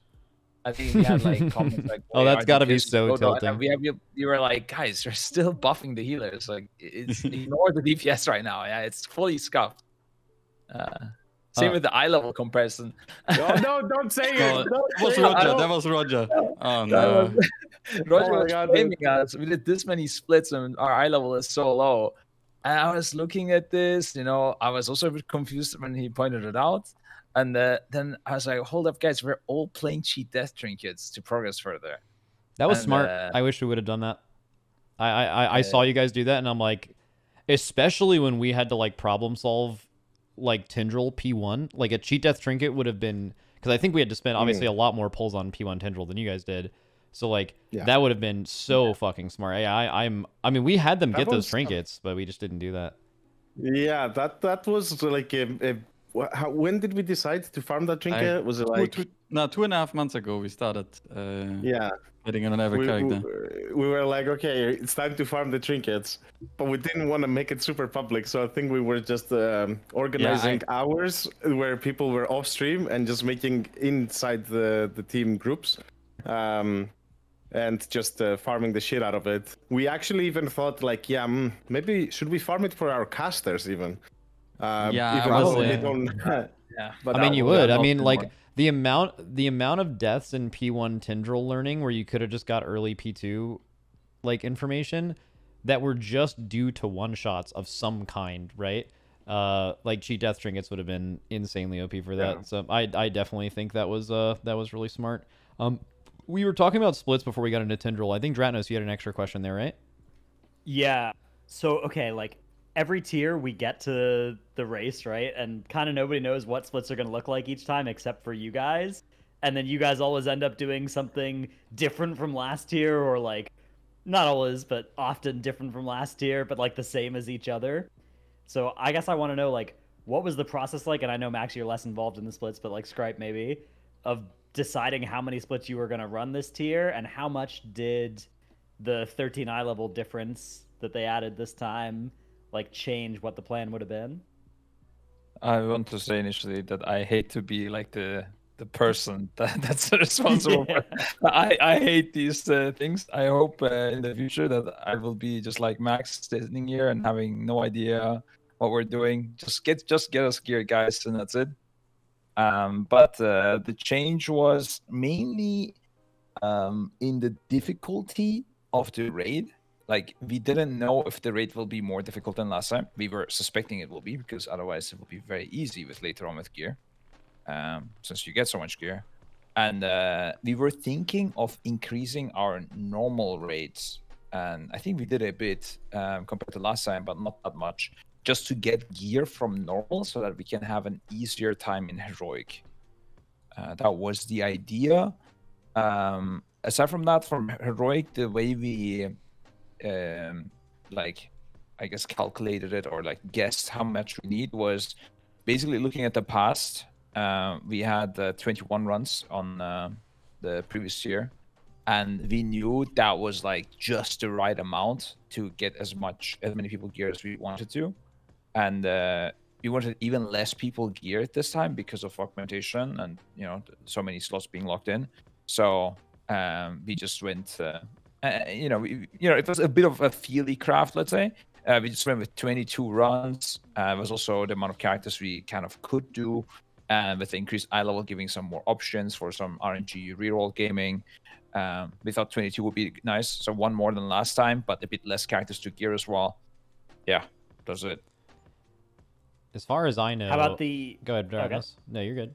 Oh, I just so okay. How about the? um You remember when they changed in Vault how the eye level or how item distribution changes, and you Mhm. can't uh you can't like log off characters anymore. Obviously, that ca- change came in with Aberrus as well. But how many more splits do you think that led to you guys doing than if you could still like bank on an offline character? That's a good question. Holy shit. I I don't- don't, know the difference between don't- uh, vault splits and this, how much we would have done. I think we would have done probably the same amount on. it would have um, just been more optimal. y- yeah. We would have just not wasted as much loot i guess. But the idea was to uh, it wasn't that we distributed that that wrongly. I, I guess i guess technically we could have done less with that. Yeah you're right. But i, don't- I don't think because it was so easy on Aberrus with uh, the bosses being so easy and you could triple core and stuff it felt really efficient to just bang uh, uh, bang out the runs I don't think it would have changed much. It would have changed more maybe in this tier, because we would be like more ready for it, and but but also having done more runs allowed for easier Fyrakk splits as well, because we had so more uh, so many more Mm. characters, and Fyrakk was like super worth right splitting as much as you can, kind of. Uh, so I, I don't know if it would have changed much. We could have geared more like random characters, I think, but we would have still wanted to re-roll our chances a few times to get a more optimal splits. Because I remember even on uh, Aberrus, we had, for example, Revis who didn't have a trinket, even though he had so many runs. I mean, he, he had a run with a trinket, but then he didn't have a weapon there, and he just chose the weapon over trinket. But like these reroll chances, you still want to have. You just wouldn't waste the gear on the other characters. You would just gear some more, uh, like maybe another warrior or another something else, whatever you know. I I think the main difference between what it was in Vault versus now. So in Vault, you basically do all these split runs, right? And then you have information on what dropped in every run, and you have tech and spreadsheets that can assign all the loot to the best people, and then it's like handled, right? The difference now is instead of waiting with all the runs being over and then putting making sure that maybe your mage is going to be in on every boss gets the exact best run that he gets. You now have to like prioritize certain people as you go on. So if you think fired up or teach D is going to be on every boss you would make sure that like the first really good cloth run their character is set and then you move on. Maybe 10 runs later they get an even better run but you can't take that chance you Yeah. know? Like you have to like prioritize down the line and gear people in order rather than like looking at all of them at once and then just making it perfect so i, I think we would do the same amount of runs we would just be more geared if the four hour thing didn't exist because you wouldn't hmm. have that limitation I hate Cool. these all of these things. I just want to say yeah, it again. it's so bad So- it's so bad. It's so bad. And and also it takes all the fun away from getting geared. Like when you log on your character and you go through a heroic raid, you see things drop and you're like, "Oh, I just got this cool trinket." And then you're getting things traded to you one by one and you can feel your character being stronger. None of our players actually experience that anymore. What happens is they do a run, they have no idea if that loot is going to them they and then and then two hours later they log on in an instance and they open up a trade window and some add-on just puts fucking 15 items in their bag and they're like okay well i guess this is my main and then you and then you just keep going and doing raids on shittier versions of your main character and then, i don't know it's it's fucking strange I, I need to add here. I was losing my mind. I think Scrab as well when we were giving out the mythic loot and the rings Oh. dropped. I, I must say, it's nice that mythic loot is in the game and whatnot, but rings and this upgrade system together, I actually wanted to just delete the ring and not deal with it instead of giving it to someone. Yeah, I think we spent 20 minutes on one ring trying to find out who to give it to. Ah, it's horrible experience. I don't want to do it again.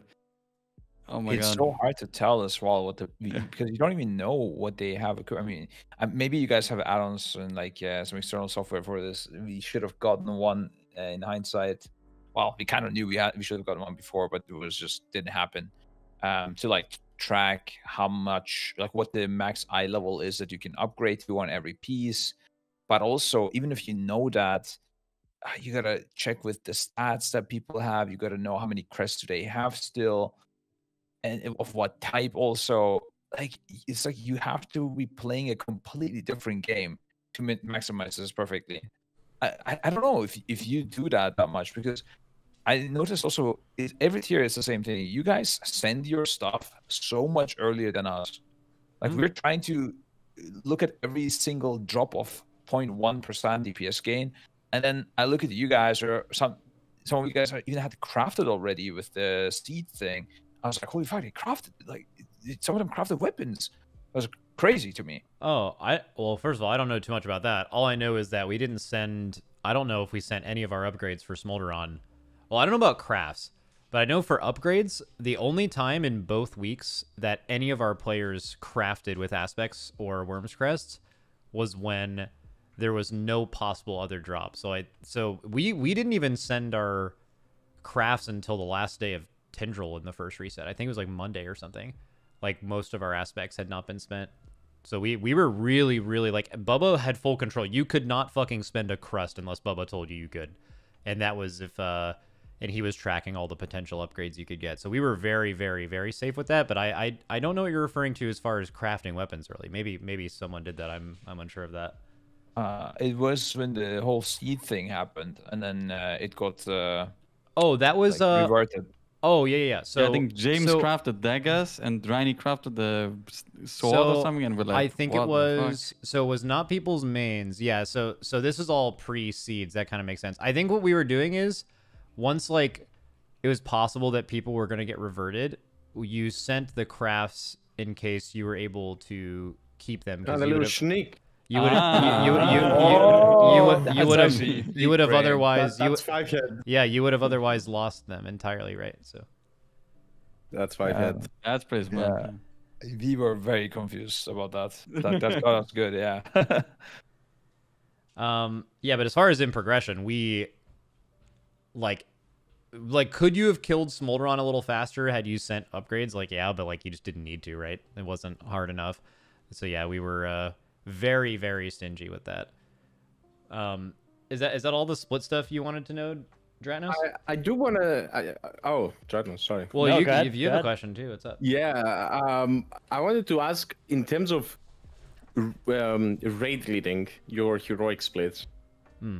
Um, who was doing it for you guys? Because I, I guess you were you were doing two at the same time, right? Yes. Well, Like we, we did? did. Yeah. So we did two versions of splits. I'll, I'll kind of explain how we did that. So for one, I I raid led one group, uh, and then the other group was done by Lummel, I think, uh, Peace's old raid leader. Um, Mhm. and then what I do a, f- a few runs into heroic is I'll start taking the runs off uh, to go look at like heroic Fyrakk and uh, you know some early mythic bosses, which actually got done this tier. ID went into the raid like super early, so I'm able to like prepare for that then because the early heroic stuff doesn't need me. But I always did Smolderon and Tindral for obvious reasons. So like Mhm. that that's how we did it. Yeah. Yeah, because we we did something kind of natural. It happened, right? Um, where we had two runs and we had our two tanks, Meeres and Andy. They were raid leading the first bosses up until like Nymue, uh, or maybe sometimes also Nymue. Um, and then me and Scripe would jump in for the last two bosses, and I think that kind of saved That's our pretty much sanity because yeah. That's exactly what we did. Yeah. because I cannot imagine someone having to raid lead 11 raids back to back all, the time, non-stop talking to the helpers. That is some cooked things, yeah. Like, um, so I thought that was uh, uh, nice to also give a bit of a break to the people raid leading. Well, I was just wondering if you did the same. Yeah. Yeah, we do the same, and then also, so and, and this has actually hurt us in the past, but we also like create a little competition in guild, like for the two teams against each other. So whenever I'm taking the early bosses off, Atlas or Shakib or someone will be in my group. We have efficiency officers, we have trash officers, we have people who are assigned to like check all the like helpers and lockouts and all that stuff. Some of it's handled by WeakAuras, but a lot of it is like double checked by people. And then we have people who are like raid leading bosses, raid leading trash, and they like get really into it, like because they want to go faster than the other group. And we've noticed that hmm. this has increased efficiency. They have a lot of fun with it. Um, but also in one raid it went really bad. So we were doing like three runs and because like this raid we did two for everyone who's listening we do we usually do like triple splits at the same time and like most of the previous raids. And like one of the groups got really unlucky and like had their run held up for reasons that they weren't supposed to have happen. And one of the other groups was supposed to pick up one of their runs to make up for it because they like didn't wipe or anything and that group like flamed the other group about it who was already really down for like having this stuff happen against their will and then like th- you could tell that people took it too far and like absolutely tilted the fuck out of some people but so i think you have to be careful with it but i think the friendly competition Yeah. uh like definitely adds a little bit of like spice to those otherwise really really shitty days and i think that helps a lot I think we had that a bit. I think the, the peak of that was in Sepulchre. yeah that's when, we it were was doing, Oh. like, that's when people got Oh, tilted yeah. Oh, like guy- uh, Max, because I- you were, we were doing in, individual bosses, yeah. And I remember we had like let's do nine Halondruses, and then you would uh, really see it there that people were like go go go. Uh, this time I think it was a bit more chill uh, Yeah, overall. it, it was more chill. But on Sepulchre, some people got really flamed because one group I think got overtook tw- two times or three times, and they just like they- they were just getting f- flamed down bad. Yeah, for, uh, for and they're the- already them down being, bad. Like getting they're left, yeah. they're already Yeah. sad. Like they can see that they're going slower than other groups, and then like getting flamed on top of it. Like I remember Mavy specifically was in that group, and he wanted to fucking kill Atlas or someone. Like he was so mad. Yeah. So so th- and yeah oh, that and let me let me just say one more thing. By the way, we realized at some point getting augmentation helpers that was not it. Yeah, let me just say, I don't know if you guys ha- had the the filtering process, but I think uh, augmentations, whew, that was. Uh, we might as well just uh, have uh, a second character on the floor. I think. Yeah. Uh, I don't know. Then again, Like, the uh, lock hooks were also scuffed, right? So Yeah. Yeah, but maybe I think it's just it too wasn't hard. So yeah, I don't know. I So mean, we that's- had, yeah, we so Aug we didn't really notice that much. Uh, we didn't like like they were looking bad on logs, but that's just how the class is right now. But then they like they typically they would die a lot. Yeah, dude, we was disc priests. Like if you were inviting healers to your raid, like one out of ten times you would get a disc priest that knew how to heal really well, and nine out of ten times they're just doing absolutely nothing and just can't play the game. And that was uh that was one that we we hard avoided disc priest. Yeah, we our- our- any healer except Holy Priest, basically. yeah, yeah. I think we had our MVP, and I, I I'll, I'll end uh, this with the splits. We had an MVP. Still remember his name to this day. Oh, we did too. His His name name was was- Pickle. We had a guy named Pickle. He's a goddamn beast. Pickle, nice. We had a guy called Lizard Wizard. Oh, that guy did. so we were on Tindral, and then we we decided to just replace people if we saw that they're just, you know, holding us back a little bit. And then we decided to remove him, but then we couldn't invite the other person or something happened, and we're like, okay, we can't wait any longer. You're back, Lizard Wizard. Let's go, dude. Even though he didn't make the flight the first uh, try or whatever, I don't remember Oh, you how many tries bring he him did, back, but he yeah. yeah, we brought him back. We're like, here you go, another chance. Prove to us uh, your worth.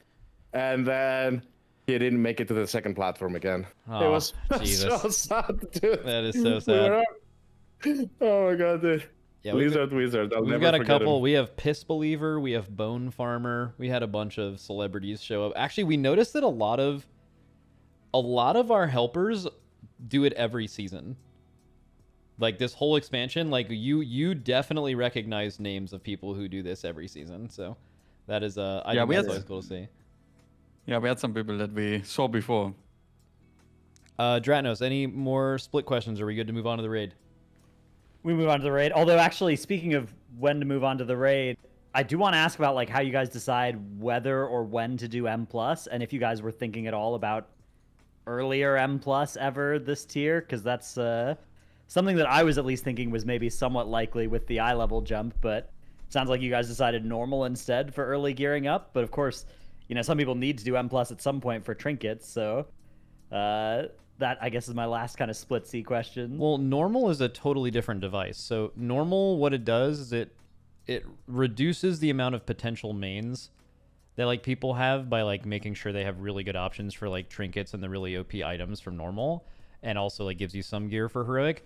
But all of normal is done before you have any idea what your main is, and doing Mythic Plus is impossible until you know what your main is. So uh, Mythic Plus always has to happen after heroic. But I think we did do that slightly differently. Um, so I can at least say how we approach Mythic Plus, which is a lot of times you can't do all of your Mythic Plus before going into Mythic because there's inevitably going to be time where Blizzard forces you to leave the raid. And that happened to us two times this year. We had uh, Smolderon's bug, uh, orbs were bugged. I don't know exactly what it was, but I would say like maybe 1 in 25 or 1 in 30 orbs, which was like every other attempt. You would soak an orb and then it would just double pop and instantly kill everyone. Uh, so we had to go AFK for it took them like two or three hours to fix this. So we had to do Mythic Plus during this time. Like, could we have killed Smolderon without it? Yes, but like you're just wasting one in three wipes to, or I mean, it's just a complete waste of time, right? Uh, so we did that, and then on Tindral, I don't know if you guys ran into this at all on Tindral. This was the last like bug thing we ran into.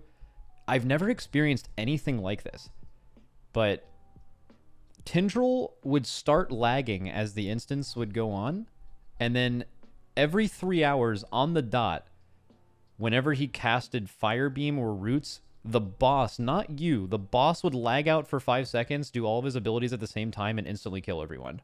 And we had no idea what caused this. The only way we told Blizzard about it, they didn't know how to fix it. The only way we could fix it was by soft resetting the instance. And this, and then we, so we had to take a 30 minute break outside of lunch and dinner three times that day uh, to let it let the instance fully reset with us out of the raid.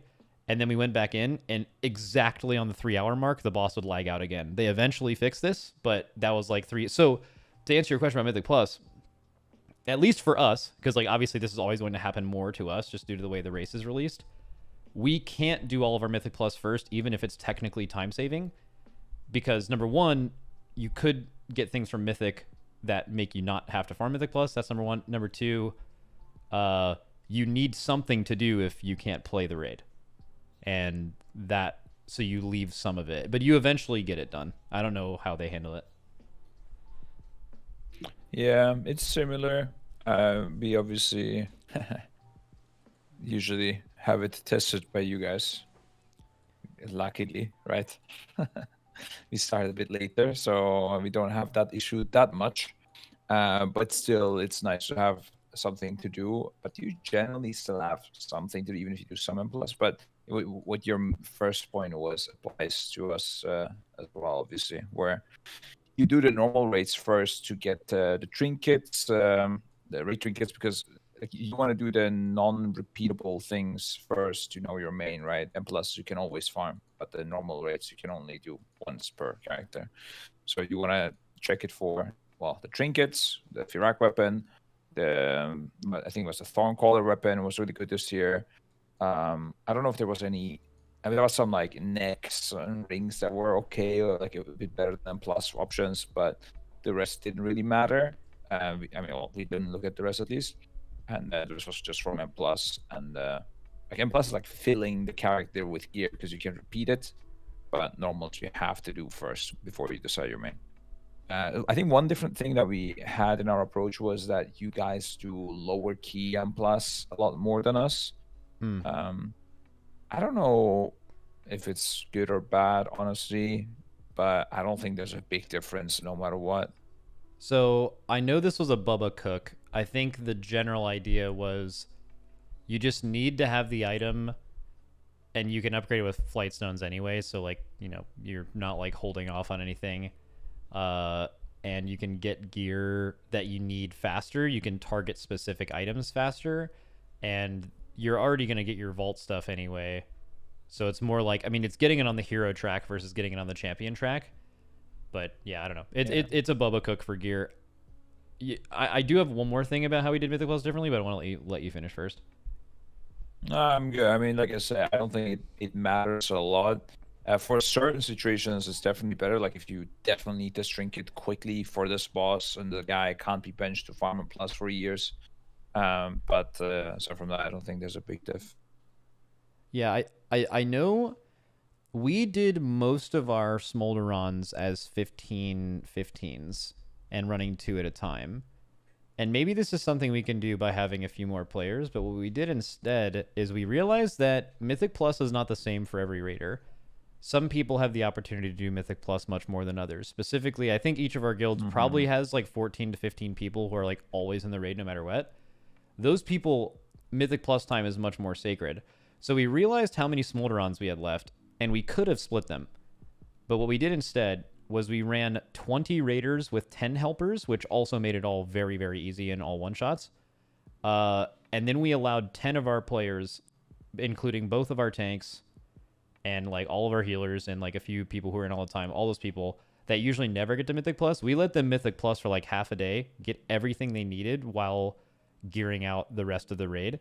Like basically the first 10 people to get geared or so just got to get all of their Mythic Plus done so you didn't have to do an organized guild Mythic Plus. And it was like kind of mixing the efficiency of finishing off your heroic runs before Fyrakk and finishing raiders in Mythic Plus so you don't have to take that break during progression.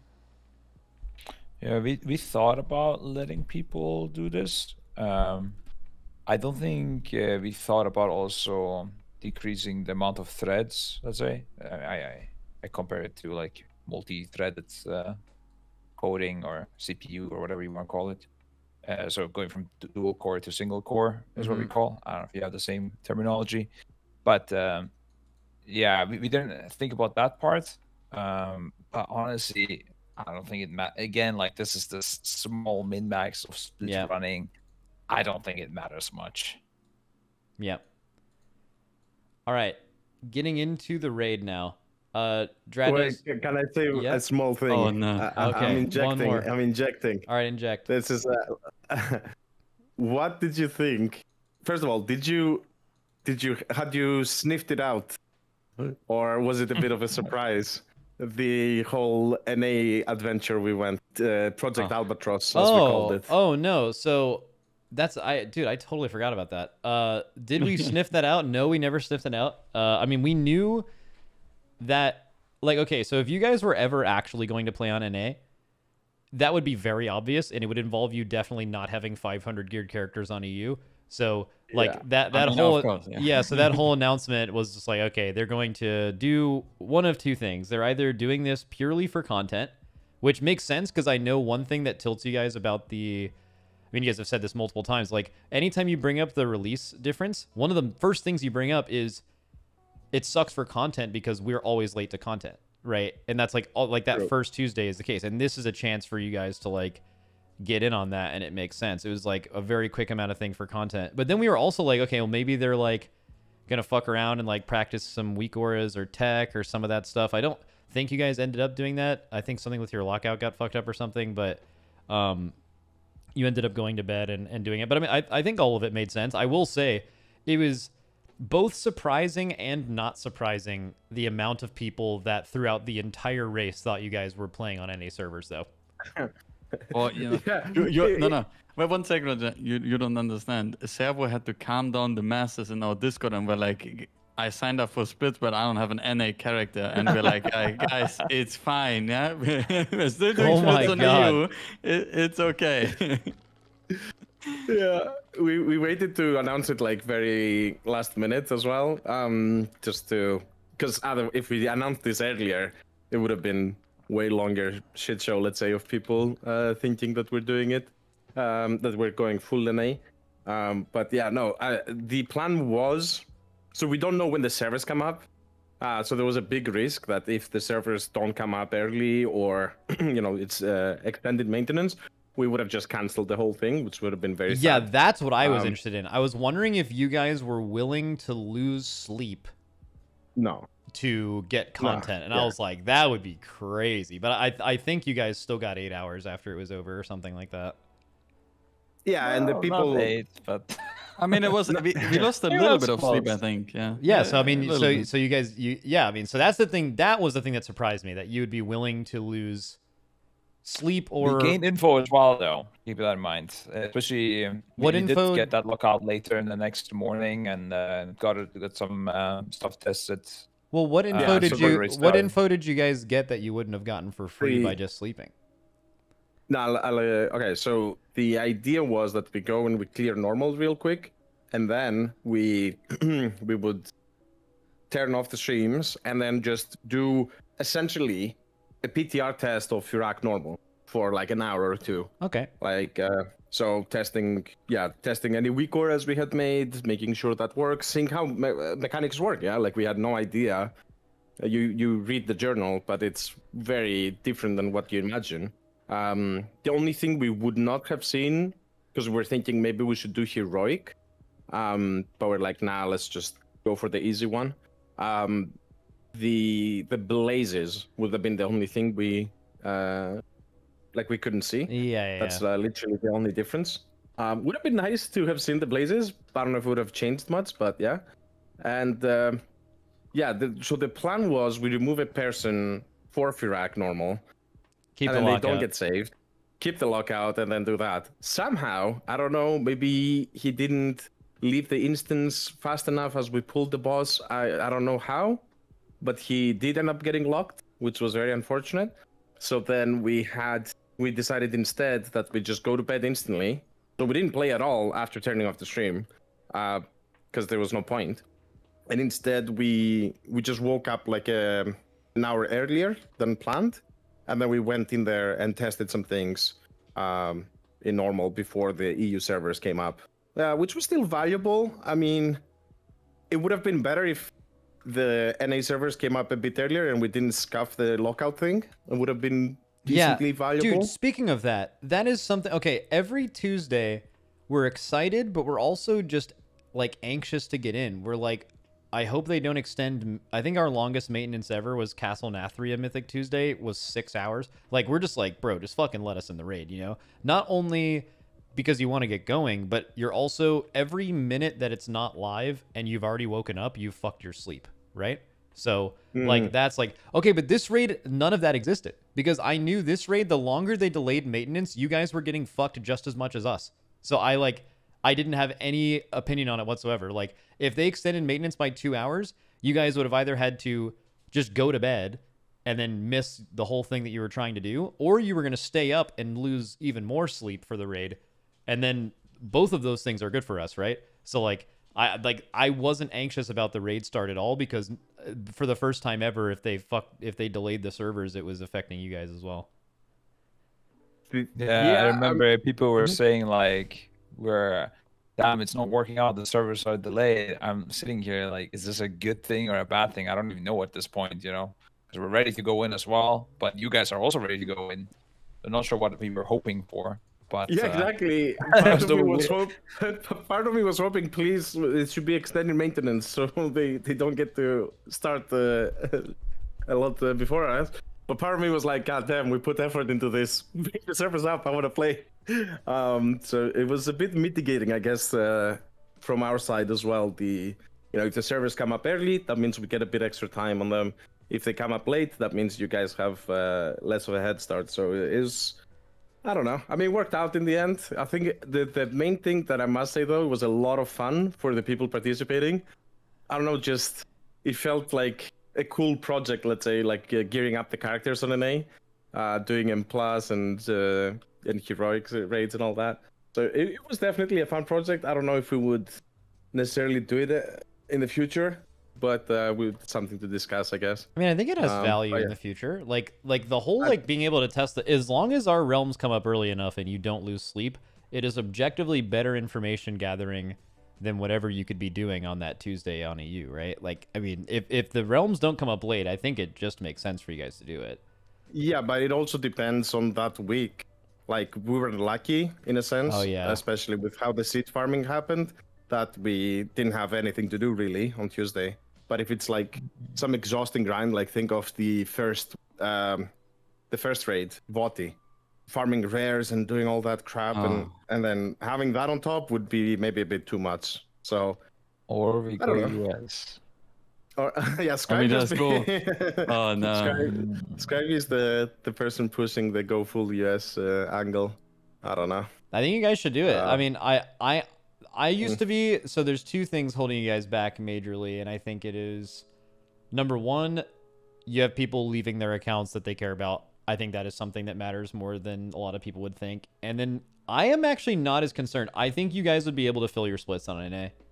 Like I know that's been the concern in the past is like what if we go there and we can't do as many runs because we don't get as many favorable helpers or whatever because you're in a different region. I actually think there's there are so many helpers. There's easily twice as many as we need. Yeah, I'm not mm, sure. yeah, about the maybe. helpers. guys. We- is it a, is it a bait? Yeah, yeah, come on over, guys. well, I could totally see we get, we go there. People are like, "Yeah, I'll help with your split," and then they come Yeah, in, sure. and it's like, You guys are gonna "Yeah, get let's go, you guys yeah, you're gonna get go yeah, you're gonna get some go liquid guys for sure.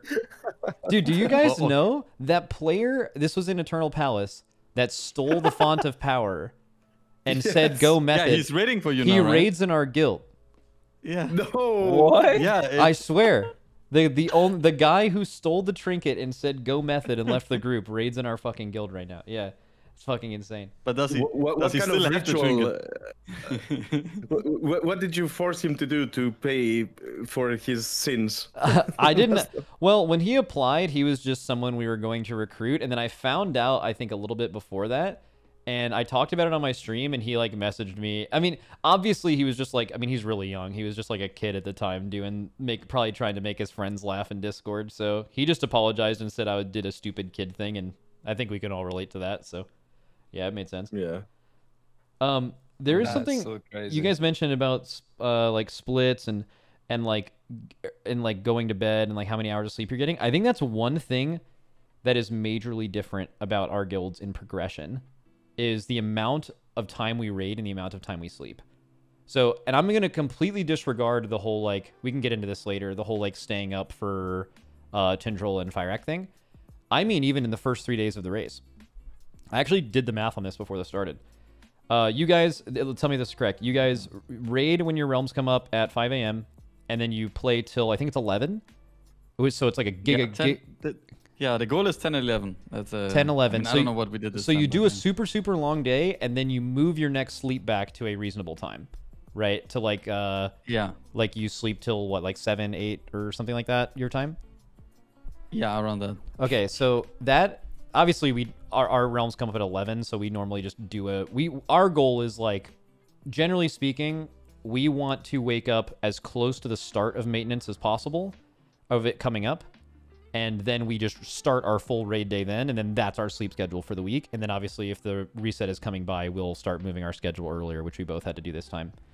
But you guys actually by the end of your third day raid I think five more hours than we raid in our first three days. Might be six. And the only thing you guys lose to do that is sleep.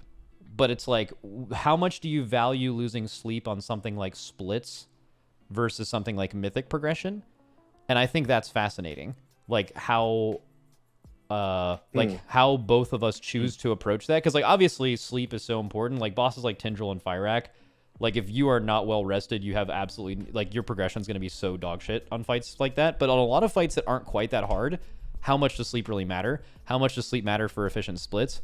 And then also like No. and, and, and then and then you guys specifically and i'm sure you have a lot to say about this but like you know i think our our things start like generally 12 hours apart the the release difference. And then you guys in the i feel like the community doesn't know this enough you guys make up half of that in the first three days just by going ham and like Well, have you Yeah. what is your all's mm-hmm. thoughts about that I do think if you, because I didn't calculate this, but if you're saying it was like five or so hours, like two to three hours of that is generally always going to happen because let me tell you, it's not fun waking up every day at 4 a.m. So by default, the first day, we're always going to essentially play a bit more just to shift the sleeping schedule a bit forward so that we wake up at a time that, let's say, the hotel serves breakfast at least, yeah. Um, so it's uh, it's always going to be a couple of hours. I don't know the other two or three hours, I, I, I guess yeah, maybe Scripe can or Meeres uh, elaborate on those. I mean, I, I mean maybe Scripe has more data data, but I was just like I went to Scripe. I was like, "Bro, we need to finish this. I'm just gonna put less hours now, and I just put it into Discord, and then we had less hours, and that's fine, yeah." Uh, my my take on sleep is that uh, that it's just an illusion. I don't know. I don't think it matters that much, Oh, especially in wow. the early days. I mean, that makes complete sense Just- because, like, I, I mean, I, that, I mean, that makes a lot of sense to me because, like, we definitely feel differently about that, and we had like if we if our realms came up at 5 a.m. There is absolute. We might start at 5 a.m., but there's absolutely no way we would play all the way until 11. Like that just just full stop. Like that just sounds crazy. But like I I think you guys feel more compelled to make up that time, right? So like I mean I would probably feel mm-hmm. differently starting from behind. So like I just I just think the psychology behind that is is insane. And hearing sleep is an illusion that that makes so much sense. And I also I- I- it is i- to to add on this by the way i think we have a little bit the the, the bad rules Scripe says sleep is an illusion and the break officers like in the game that are handling break is servo and me and servo's at home and it's like guys we don't need to sleep and i'm like sleeping five to six hours on average on progress so i'm like guys we don't need to sleep that much yeah? And then we have like some raiders are like guys we need like eight hours nine hours of sleep and we're like nah it's all okay right and I think if you have longer than eight hours sleep, you're just wasting. Uh, I mean, sorry, eight hours of sleep, eight hours of break.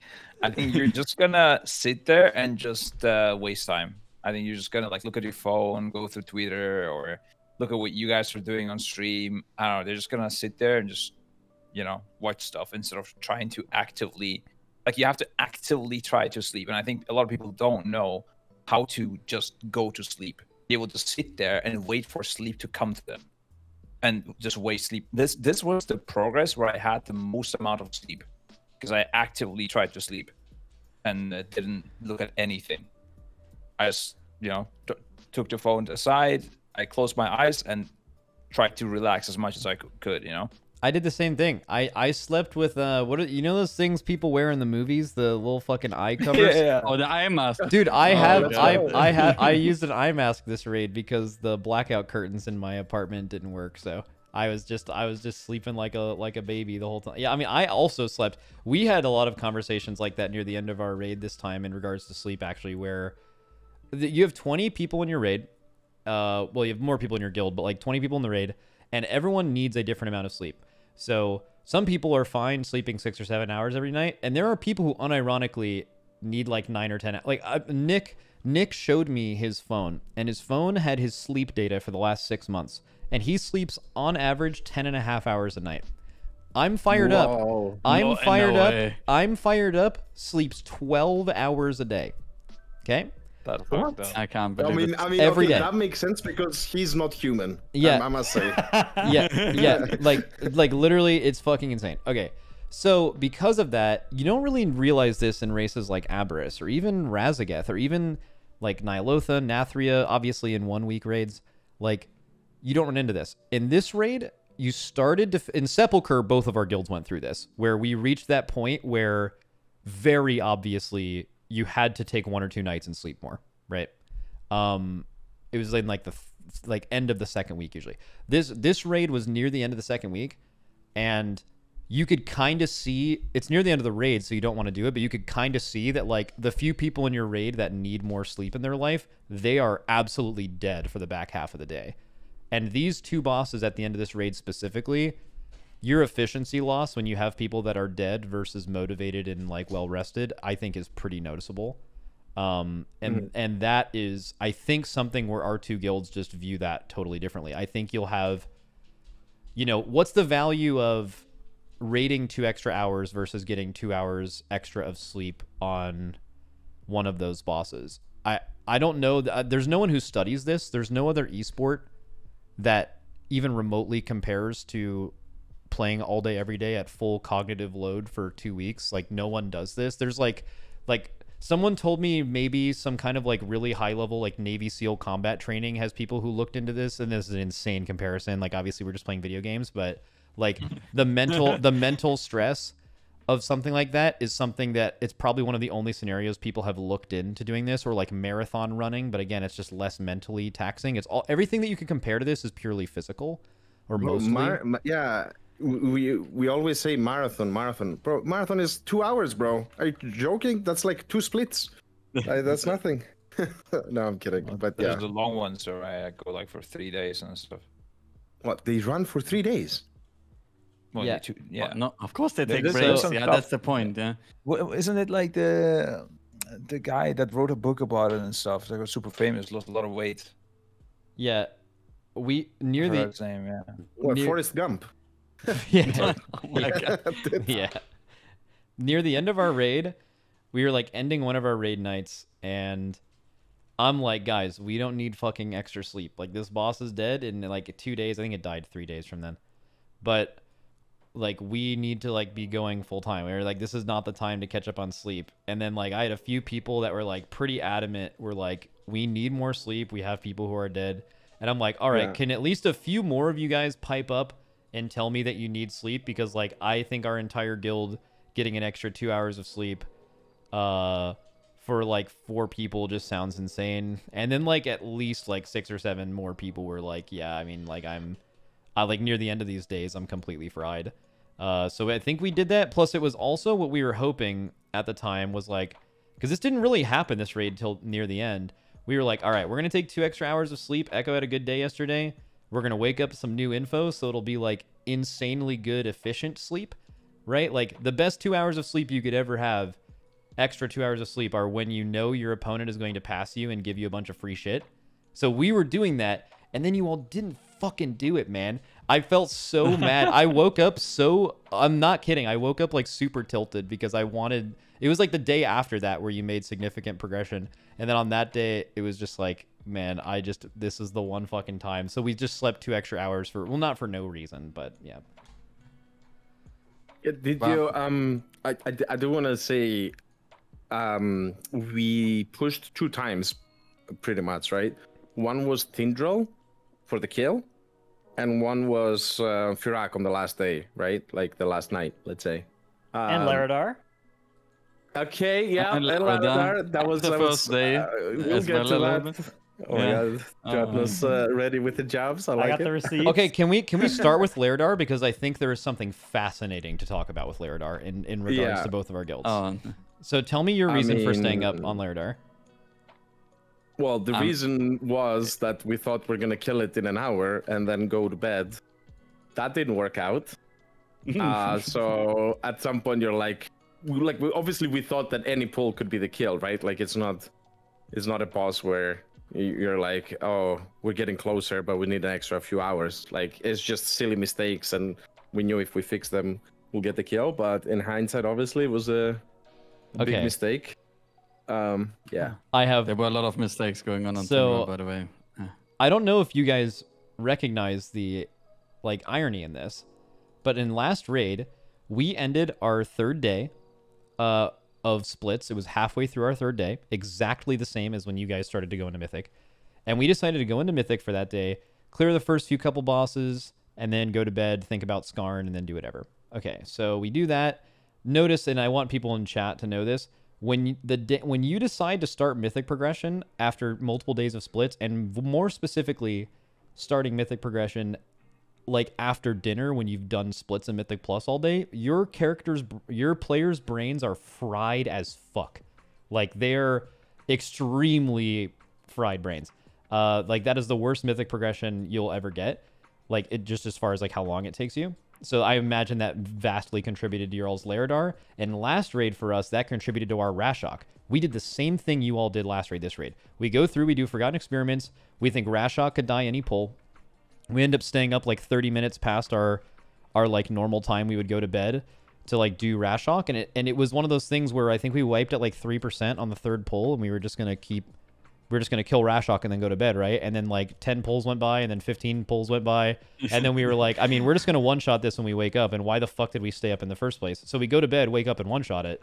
Uh but like in hindsight after the tier, we looked back on this and we were like, that is a total fucking mistake. Like this doesn't matter when you kill this boss. you always just go to sleep because you're going to kill a boss like that and not fry it in the morning instantly, and you're just going to inevitably save time. So in this raid, I saw you guys do exactly what we did on Rashok on Larodar, almost to the exact same thing. It was the end of your third day. It was a wing end boss, and one of the wings just the exact same fucking thing.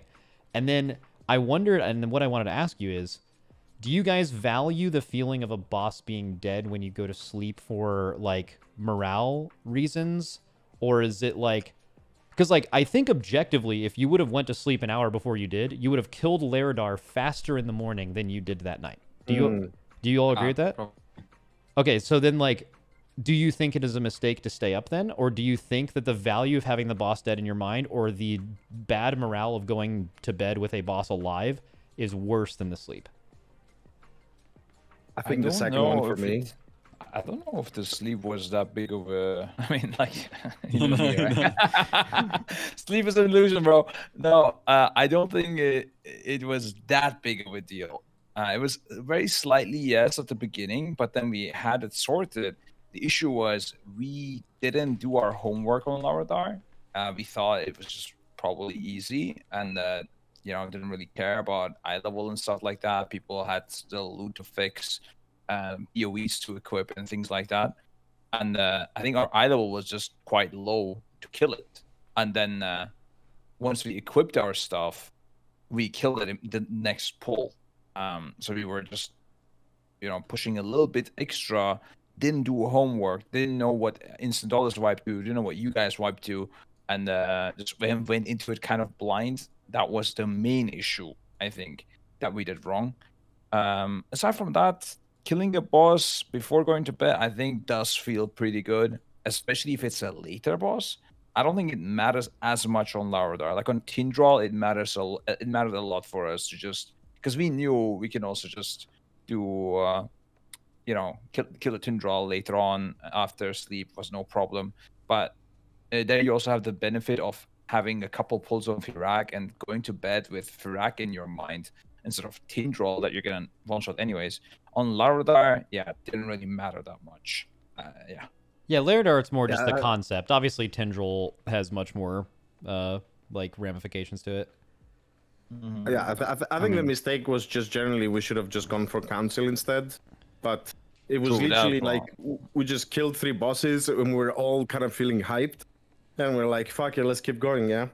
Because Yeah, we also didn't- uh, we, we, we, I mean, we assumed that it's going to take roughly the same time as it did for you guys, which was about an hour, and that would have been fine with our sleeping schedule. So we're like, yeah, let's just kill this. Like, it's fine. I mean, uh, and yeah, just didn't work out at all. Um, we just, uh, yeah, a lot of uh, small mistakes, especially with the the firefighter thing, went uh, a lot of times badly and uh, not prepared for the boss properly just led to uh also i must okay maybe i'll, I'll just wait if we're going to talk about the boss later Yeah, we're gonna Uh, kind of go through every boss and briefly. There's not a lot to say about the early ones, but I I do have some thoughts on Larodar. Like we had a nice uh like CC plan for the last phase that we thought was gonna be pretty fun, and then it ended up just being something that instantly dies and didn't matter at all.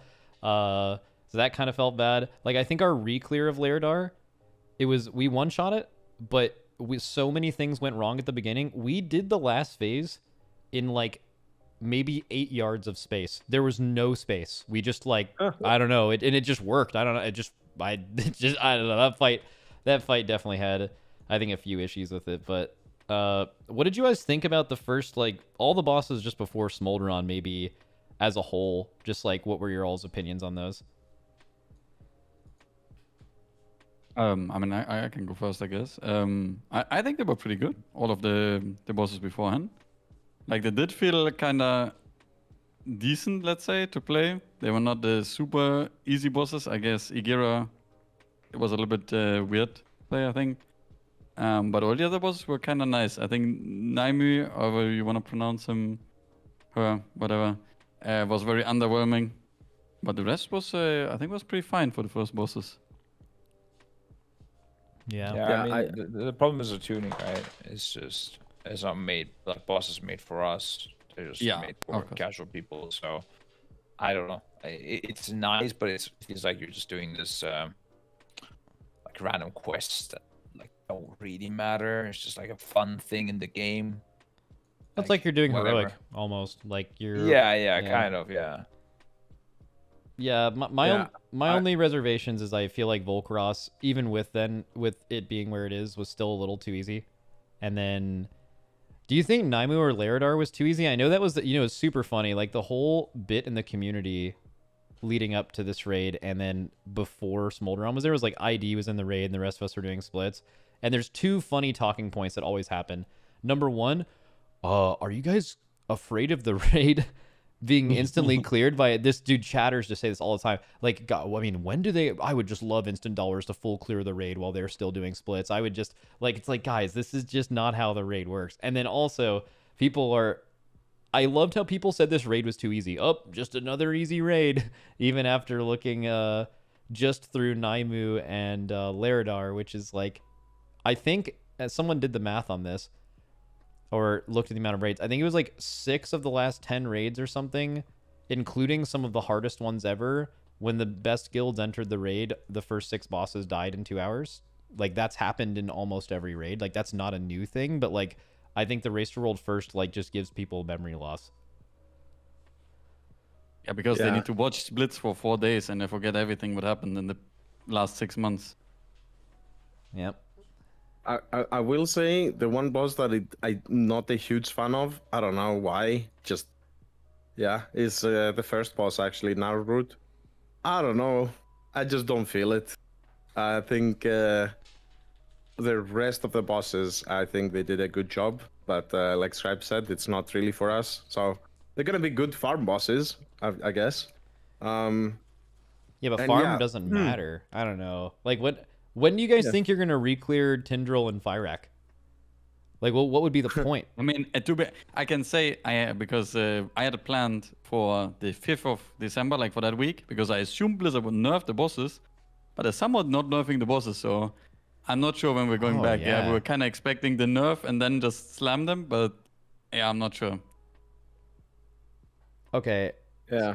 seems like we're kind of done with the first couple bosses, so maybe we can talk about the last three because that's like kind of the important thing. And I, I have Oh, one thing for Larodar, I need to okay. ask. Yeah.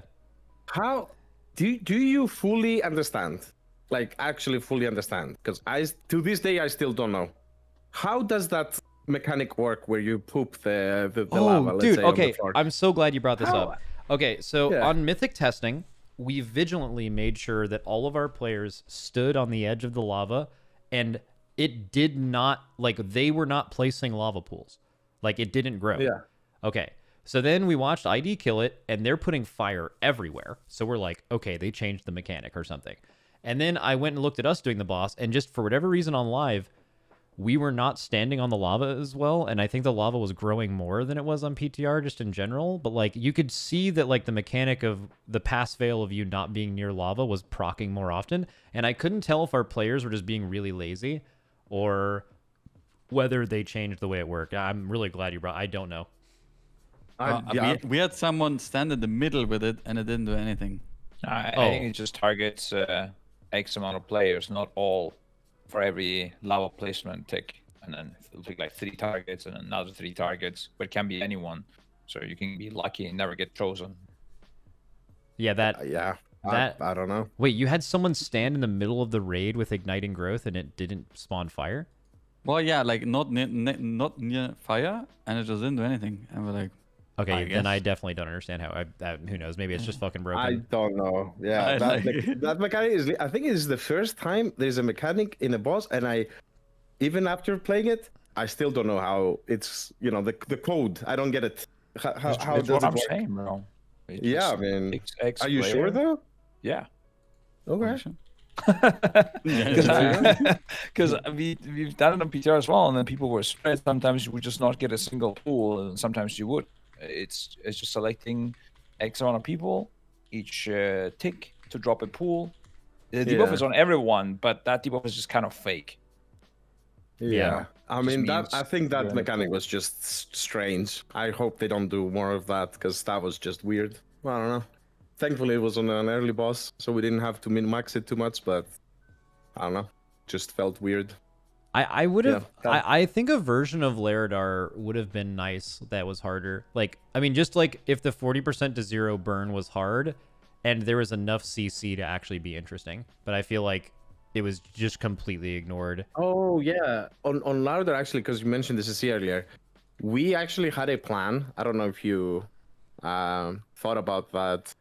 We were planning on having a DH tank in the last phase.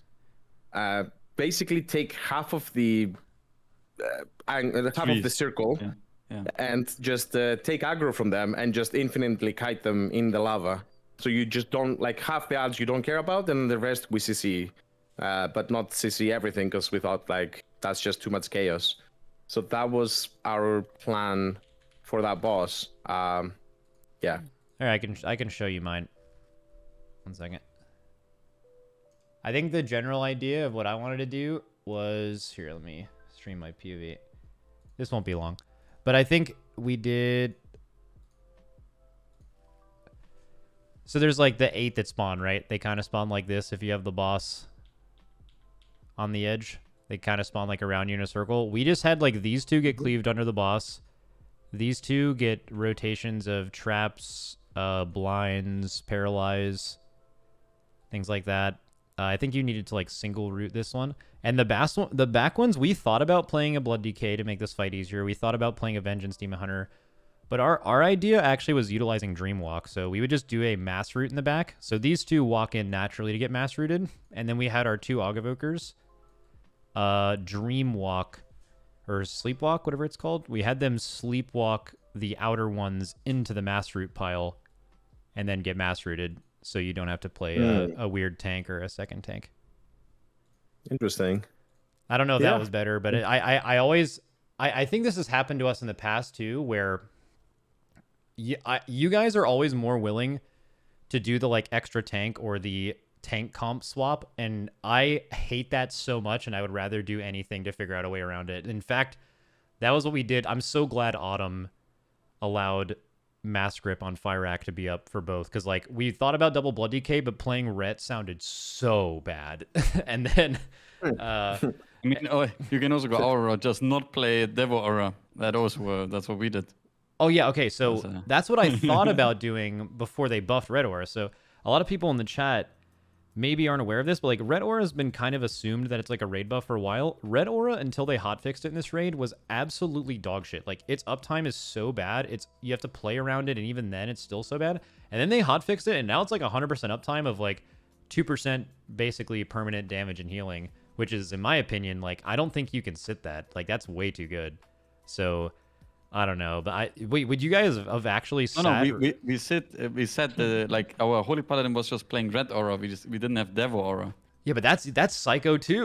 like that's Yeah, I, mean it was it was a little bit. Yeah, at the same time, we swapped the healer from holy to disc, and we were just Yeah. dying left, right, center. It was horrible. Yeah, and then We- we we swapped took- everything back. yeah, that yeah we yeah we we did that. That was actually what we did off stream uh, on Fyrakk the previous day. Was we messed around with a lot of that stuff in our CC. But the uh, let's go back to uh, Tindral. So I want to ask you guys a Tindral question. Um, I want two questions. First one is, how many pulls does it take to kill Tindral with uh 20% more health in the last phase and three second seeds? I don't. I mm, is it even doable with the gear we had? I don't think so. Maybe So 1,000. I think you could have maybe. I think you you maybe could have beaten it because like the enrage was kind of a joke. Like you never came anywhere close to the enrage where we killed it. Uh, but like maybe you could have the damage, but like, bro, I think the hardest seed set would have been the very first one, right? Like the three second seeds in those Mm, fire with beams would have been like fucking insane. Holy shit! I think you would have wiped to that lineup hundreds of times alone. I don't Yeah. know when, when we got ripped in the Blizzard Discord, you guys, it would have been killable, but we're still nothing about twenty percent. We were like, holy moly, that must be some crazy crazy gamers to kill it uh, with three second seats and twenty percent more HP. I'm I'm curious actually. Has anyone? Because we did have a try where we saw deeper than uh, I think you guys uh, did. Um, I think we reached like eight minutes or something in the fight. I, I I'm curious if anyone has ever seen Enrage actually, because So- I, I don't think so. So BDG, someone told me BDG saw it in nine minutes. I didn't watch the VOD, but I heard someone say that they had some shamble pull that they didn't wipe to that seed set, but they like lived with a bunch of people for a while. Like you know the fire beam that you usually kill the boss during? Like they Yeah. lived like Yeah. 45 seconds or something after that is what someone said. What? Yeah, so like I I don't know, but I mean I'm assuming he's gonna do what he did on PTR, which is he's going to like do the enrage cast with the ramping damage, Yeah. right? And then like he did, yeah, but I don't think No, anyone's that's, seen that. uh, that. That is fine, but we saw a little bit deeper um, after the part where we both of our guilds killed it, and we saw essentially, let's say, the next set of mechanic. That is brutal as fuck, dude. I Wait, can what tell is, what you. is the Like next that- what is the next combo? um, let me let me pull it up.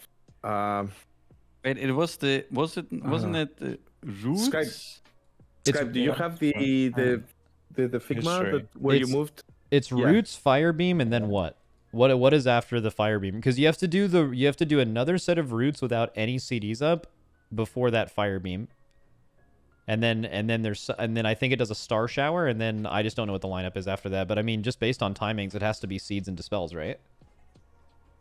Uh, I'm trying to see because I noted it down. Um, the exact timings. I'm, I'm also trying to find. Yeah, our now. plan. I- So, so this is maybe where we differed a little bit early on Tindral. I know you guys were going for like more consistent seed damage. You're like playing a second lock. I think you made another swap too for seed damage, and we were like, our seed damage or our root root damage, not seed damage. Our our root damage works. We we even thought about bringing in like either another rogue or another enhance because enhance also has insane boss damage on that fight, but literally the worst root damage ever. Because our plan was let's just kill the boss faster than ever learning more mechanic sets, and that was uh that was the strat. We did not want to see farther into that phase. It was fucking psycho. Yeah, I don't know. Tindral was. Uh, I mean, these three. If we would have actually had a three second seeds in the last phase, this boss would have been a quick Oh. 1,000 pulse boss. I don't know. Yeah, well, I think well more than that. but also they Yeah, yeah, but they uh so this is while they're looking up the Figma for how the end of that fight works.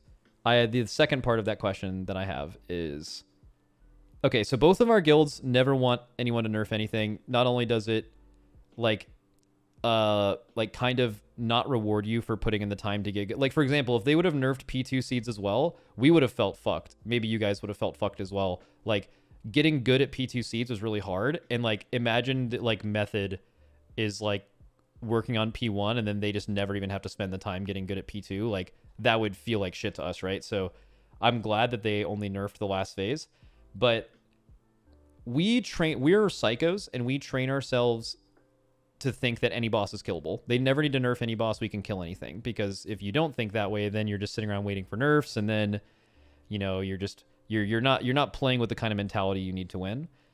But I want to ask you guys is Fyrakk a better boss with the nerf they did than if they would have left it unnerved? So is because like hard harder doesn't necessarily equal better, right? Like which one do you think is a better version of the boss?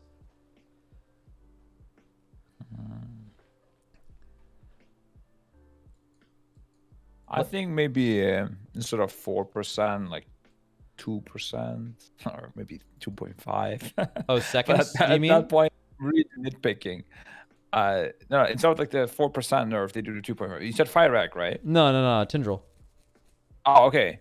Oh, I also understood Fyrakk. Okay, okay. Oh, Yeah, sorry. No, I meant I meant the f- I meant the Tindral nerfs Oh, from sorry. five second Yeah. seeds in the last phase. So like, like is the version of that fight with three second seeds in the last phase and twenty more? Oh, I said Fyrakk. Sorry, I must have misspoke. Uh, yeah, the uh, is that version of the boss with twenty percent more health and three second seeds in the last phase? Is that a better version of the boss, even though it's harder, or do you think it is a better, or would the fight have been better even if they had it like four second seeds in both phases from the start, for example? I mean, I.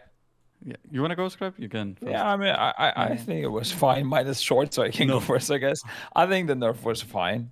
Five uh, seconds. I don't think. I think three seconds and twenty percent more health. That sounds a bit uh, cracked. Uh, yeah.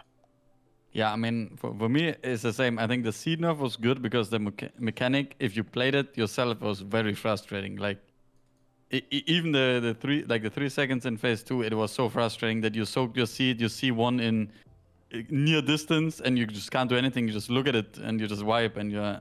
It was a very frustrating mechanic. And if this would have been the case as well in every last phase set, oh my god, I think it would have been pretty horrible to play. But maybe the HP would have been cool. Like maybe we could have uh, played the boss for one and a half minutes longer. Yeah, I agree. That's I Um, that I think you're um, right with. Like the I wish yeah. Tindral, no matter what, I don't care how long the last phase is. I wish Tindral died in the Enrage cast for sure. yeah, That would have been a lot more epic. I agree. Like, I, I did link. Oh, sorry. Yeah, no, no, yeah. Go ahead, go ahead. You can. Yeah, I linked the picture. You can show it if you want. But uh, those are the mechanics that we never even like did anything with them. Let's say, yeah. And just look at that lineup in within 20 seconds. That is some. Wait, so this is this so this is after the root fire beam Yeah. after the seeds. This so that feathers roots is after the fire beam. Yeah. Oh, interesting. Yeah, I I, I can link the No. previous ones. I love Well, death. So- I like the death call. There's a death timer. You're Well, just that was- fucking dead. I mean, The- I, This Roger, was the Roger had previous two ones, yeah? So, so, so you, you you have you deal with the, uh, the fire beam. You're like chilling for ten seconds, and then the boss literally pops bloodlust and starts casting within twenty seconds. Feathers, roots, fire beam, oh my these god. spells, seeds, and stars. The stars is just to finish you off. Yeah, if you made it that far, you just clap, get clapped. Oh yeah, I mean yeah? you would need for seeds plus stars. Keep in mind the dispel buff is rolling, so you're gonna be soaking seeds with a dispel dot and a star AoE during. I mean that is actually death. Like you're just dead. Like that, that is an insane combo. Holy shit, Yeah, I don't know. psycho But, boss. that, but that boss, I, I must say, that boss with 20% more, or like 15, 10, 15, whatever, that he would have died in Enrage, I think would have been cool. And I also wouldn't have minded if the seats in phase 2 would have been longer, so we can play the boss longer, like progress the boss better, just to see Enrage and play the boss the whole way. I think that would have probably been nicer, I guess.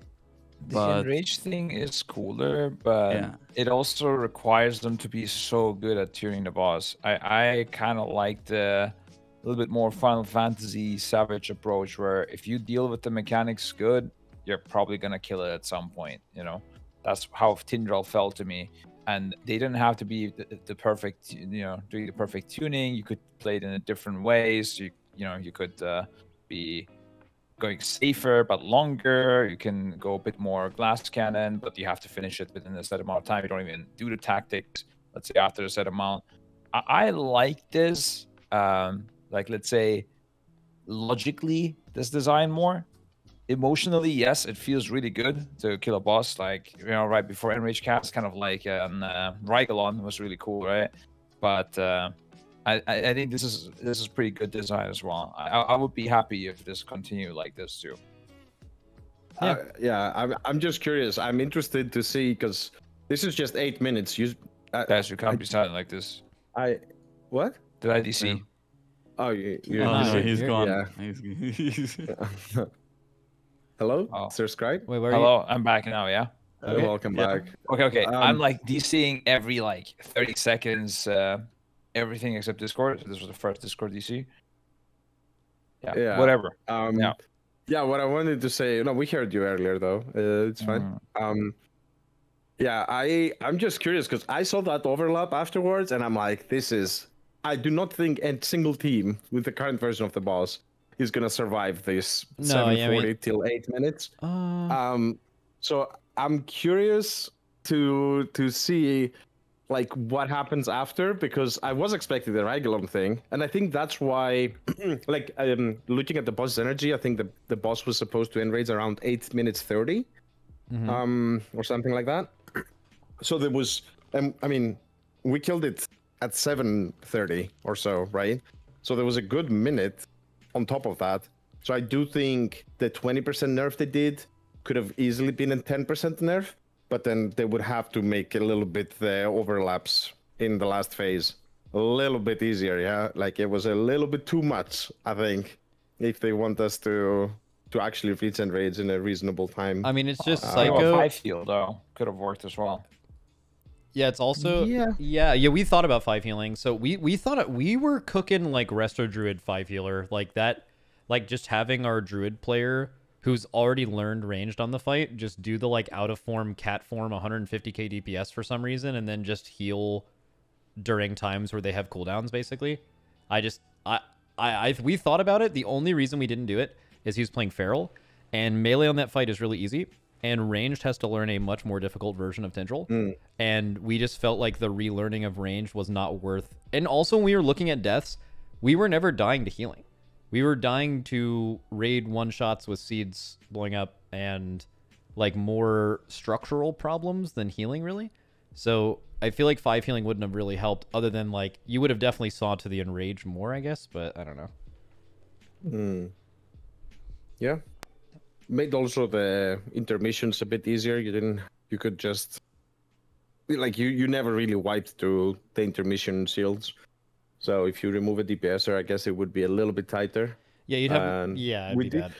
We we did have some deaths actually to that. I don't know if you as well. Uh, like maybe like usually like maybe the last tick or two of the the intermissions, let's say, uh, would uh, just kill one or two players randomly. Uh, I don't know. we did. We did when it was the first week. So when we were getting uh eight stacks of the damage tick in the intermission, we sometimes would lose someone on seven or eight. But when we got the reset of gear, you never saw anything past a seventh tick. Uh, so Mhm. that like just made it super easy usually. But yeah, the uh, I think that was how it was in, uh, initially. My my question is, I guess it's weird when talking about difficulty curve because we want bosses like this, but I always wonder if this is Blizzard's ideal thing because like when I think of this boss, Blizzard is going to have to like do the Halondrus 30 second bomb nerf but just to Tindral in some way, right? Like I I don't know how many people want to fight versions of bosses like these, but I guess they do live in a world where you can make these bosses for us and then and then nerf them afterwards. Yeah, I mean that's a big discussion, right? I I do think what they did in this raid, to me, this is the perfect uh, thing, um, because I, I get the whole idea of like, well, Sepulchre was way too hard, but I think there the problem was also that way too early it got too hard. Um, so it wasn't just Rygelon and Jailer. It was also Anduin. Like Lords of Dread was no joke. Like we killed him in Enrage, deep into Enrage. There was Halondrus, obviously. Like there's a lot of bosses for people to feel like, hey, what's going on here? Um, but I think if you just make the last couple of bosses like quite hard, you get the best of both worlds. And yeah, I mean, you. I don't think fundamentally there's something wrong in terms of the uh, you know, nerfing the the bosses after afterwards. Um, but yeah, I mean that's a, a huge discussion, I guess. I don't know. I, I think this time they, they did it as good as I've ever seen them do it. Let's put it like this. Uh, while still having bosses that take uh, like how, how many pulls? Like 300, 400 pulls. Um, yeah. yeah. So, before we move on to Fyrakk, on Tindral, I wasn't paying full attention to this because we were progressing Fyrakk at the time.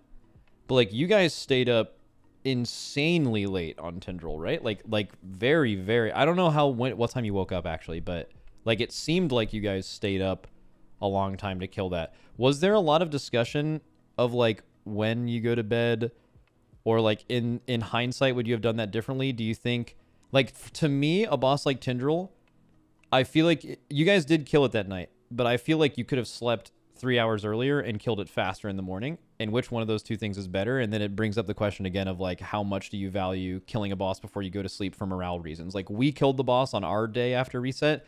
Did you guys feel like, like mentally to keep up, you had to do that too? Like, was that part of it? Like, explain that thought process. yeah, Meeres, how I did mean- you feel? Sleep is an illusion. That's I stand by this, and uh, I do think it was good that we killed it in the end. If we had not killed it, I guess it wouldn't have been that good, but uh, we did. So uh, I guess I was right once again, right, Mers? yeah, I mean, I can say, I mean, I didn't say, I, I was just dying. I was getting ill. I was uh, sitting there. I was just, I couldn't even read it anymore. I was like, holy shit, get me out of here. But I was still playing. It was all okay. Um, but I think it was a big morale boost to kill the boss. Um, same same day as you guys, and it was good to Fyrakk. And Okay, so that's so you guys do think about that. Like that sleep matters. with it. Yeah. Like like if you're mean, I think it. Go ahead. Yeah, go ahead. Yeah. No, I'm at, you're, you're good. Yeah, yeah. I think it was kind of the same with Broodkeeper in uh, in Yeah. Vault, Oh, yeah, where yeah, we yeah. stayed up and and pushed as well to kill like right after you, I think it was like maybe an hour or two. I'm not even sure anymore. But it was kind of the same. We killed it, we extended a little bit, but it felt really good to just go to bed and be like, holy fuck, we are basically on the same boss as you guys now. We caught up the time and everything is nice. And now we're just progressing the same boss at the same time, kind of. That was, uh, I think it's a big morale boost for sure. It did. It, we did push the thing until like what was it, one or two a.m. on that day. Well, that's not that bad. The the Fyrakk push was four a.m. Uh, in Yeah, the- comparison, yeah. okay, Just to put it in. so let me move but, it- but we had started at 5 a.m., right, Roger? On that day. Yeah, we started at 5 a.m. on Uh, Tindral Day. So Yeah, yeah. Tindral day was long. so just to be clear. Tindral was 5 a.m. to 2 a.m. Yes, it was See that's see that's just Day. fucking. I just think that's insane. Like that's actually insane. Like I know, I, Scripe just like- like do, do you guys all three agree with that? Like Yes, like is this is this is this a Scripe diff or do you actually think that like you have the same chance of killing Tindral in five pulls when you are 20 hours into a raid versus Okay, when you just woke yeah. up? Like I I just think let me it's say, crazy. le- yeah, let me say, I like similar to how, let's say, without okay, similar to how off you were with how many tries Tindral would uh, take to kill uh, before the race. Yeah. I was very off in terms of when we would kill that boss because I thought we were gonna kill it before dinner. Okay. Yeah. um, which was around. Uh, we, we usually have dinner at six, so I vastly thought like uh, like I underestimated how many pulls we would need for this boss, and I think I don't know. This is something definitely to look into. Why once because the strats were kind of done, it was just some minor fine tunings, right? Like very very minor. So in terms of any pull could be the kill, I think we had that right before dinner. So in my mind, there was no chance that this boss survives the day. Um, Okay, that makes sense. I don't know. I, I don't know if everyone felt the same. I do think um, we had like really good pulls around dinner. So I don't know. Yeah, It just took us so long. debuff. Yeah, you would just get into a streak with uh, one seed popping uh, all the time, and it just brings the mood down in general, right? Like there's nothing more tilting than uh, one seed uh, going off. Um, I don't know. I don't know. Definitely actually- something to look why we struggled so much because we shouldn't have on that No, boss. Roger, I, I told you, I, I'm pretty sure this is my gut feeling and how it felt playing the boss was that we had a really close attempt towards dinner and we were like killing it. And I think then people started to play a very slightly different on the seeds because it, my melee soak, like where I was tanking the boss and I was just backpedaling into a seed, disappeared a lot of pulls. And I was Oh, like, guys, something is sus here, yeah? Dude. Like someone is taking different seats than they were taking the previous 200 pulls, and then we were wiping to seats uh, quite more often. And I was like, hmm, something is something feels very sus, guys. My seat Is- is getting stolen a lot. Dude, yeah. that is that is, a that, boss. uh, yeah. that is a boss where if someone makes a change that isn't discussed, it can just absolutely throw off everything. Like you you that is a boss where you cannot change anything you are doing about seed soaking at all unless like it is discussed or else you just start wiping insane. If one person starts going to a different spot or even soaks a slightly closer seed in the same spot, you can just chain wipe for 30 pulls. I do, I do yeah, I, I do think this is a good point though. I'm wondering what you think on this, Max, actually. When you get a good pull, like a close pull, and then your the raid can feel like, okay, we can kill this boss now. Uh any pull. Do you notice at all like people not necessarily going full crazy, like because that, that would be ridiculous, but just slightly playing a bit more greedy or a bit more min maxy and then Yeah. that yeah. leading into wipes. I think course. that might have been a severe case of that with us, or it combined with some unluck because you need. Like I think both the last bosses needed a bit of luck to get a good pull. Just you, you just Yeah. sometimes got unlucky. I mean, what can you do, right? Like the seeds might have been messed up one try, or fire beam caught someone while flying and towards the end. Um, so yeah, I don't know. I, I think that might have been a case with us. So I think this happens in a lot of guilds at all skill levels. But what can happen on bosses, especially RNG type bosses like Tindral and Fyrakk, is very early on in progression you can have a very low pull, and you can trick yourself into thinking that that's the point of progression you're at. When in reality, what got you that pull is like insane RNG. Like for example, what could happen the first or second time you get into P3 Fyrakk, no one with a seed gets a blaze at all for like the first three sets of uh or like the 1st three like seed placements. And then like now everyone's mind, okay, we're progressing from 10% to 0 now, but in reality they're still progressing from 30 to 10%. They just got an insanely lucky try where none of the things that can wipe you actually happened. And then now you're focusing on optimization and less about like good strategic learning. And then now you're just feeding for three hours because you think you're farther in the fight than you actually are. I think that happens a lot. It happened to us this raid, and I it happens a lot with other guilds too, where then they get like tilted and then they're mad that they're like in quotes regressing, but they just tricked themselves into thinking that they progressed farther than they did. Oh, but then it's mm. cha- time to change Bloodlust immediately when you have 10% pull. That's a topic for Scripe. Mm. well, so that was some okay. So that boss in particular, I think there's a few things that are really interesting. So we were in P3 and we were lusting P2 to see P3 more often, and then we got to a point where we were both awake and both doing that. So we think, okay, the best thing to do is to kill this boss. You're going to lust in P3. You could have actually killed it with lusting in P2. The boss's damage check wasn't actually that hard, but although I think there's a lot of value in killing it before you see those extra last blaze sets, right? Because you just did just mm-hmm. less wipe conditions. But we're like, okay, you're lusting P3. So what better time to learn P3 lust and obviously regress in P2 a little bit, getting your damage cooldown timings right, than while you guys are doing deep P3 pulls, isn't this the best time for us to like learn P2, have you guys learn P3 as much as you can for us, and then like we have the P3 lust online sooner? Because like the way it played out was we ended up not getting a lower pull while you guys were still awake. I think we got that 6% wipe right after you went to bed, but it's because the time we spent while you were up was like progressing something that you guys were going to have to do eventually. And then I think when you guys woke up, you guys spent that entire time learning P2 lust. Uh, and then we woke up and we were basically just at the same point. I think we were like a few percent lower or something. So like you guys just chose to learn the P2 lust later, but by doing that, you like gave us a lot of info by allowing us to do it first because that's not something you can copy really. That's like the thing you need to work on yourself. I mean, yeah, I have my opinions on this. Uh, I guess I can say.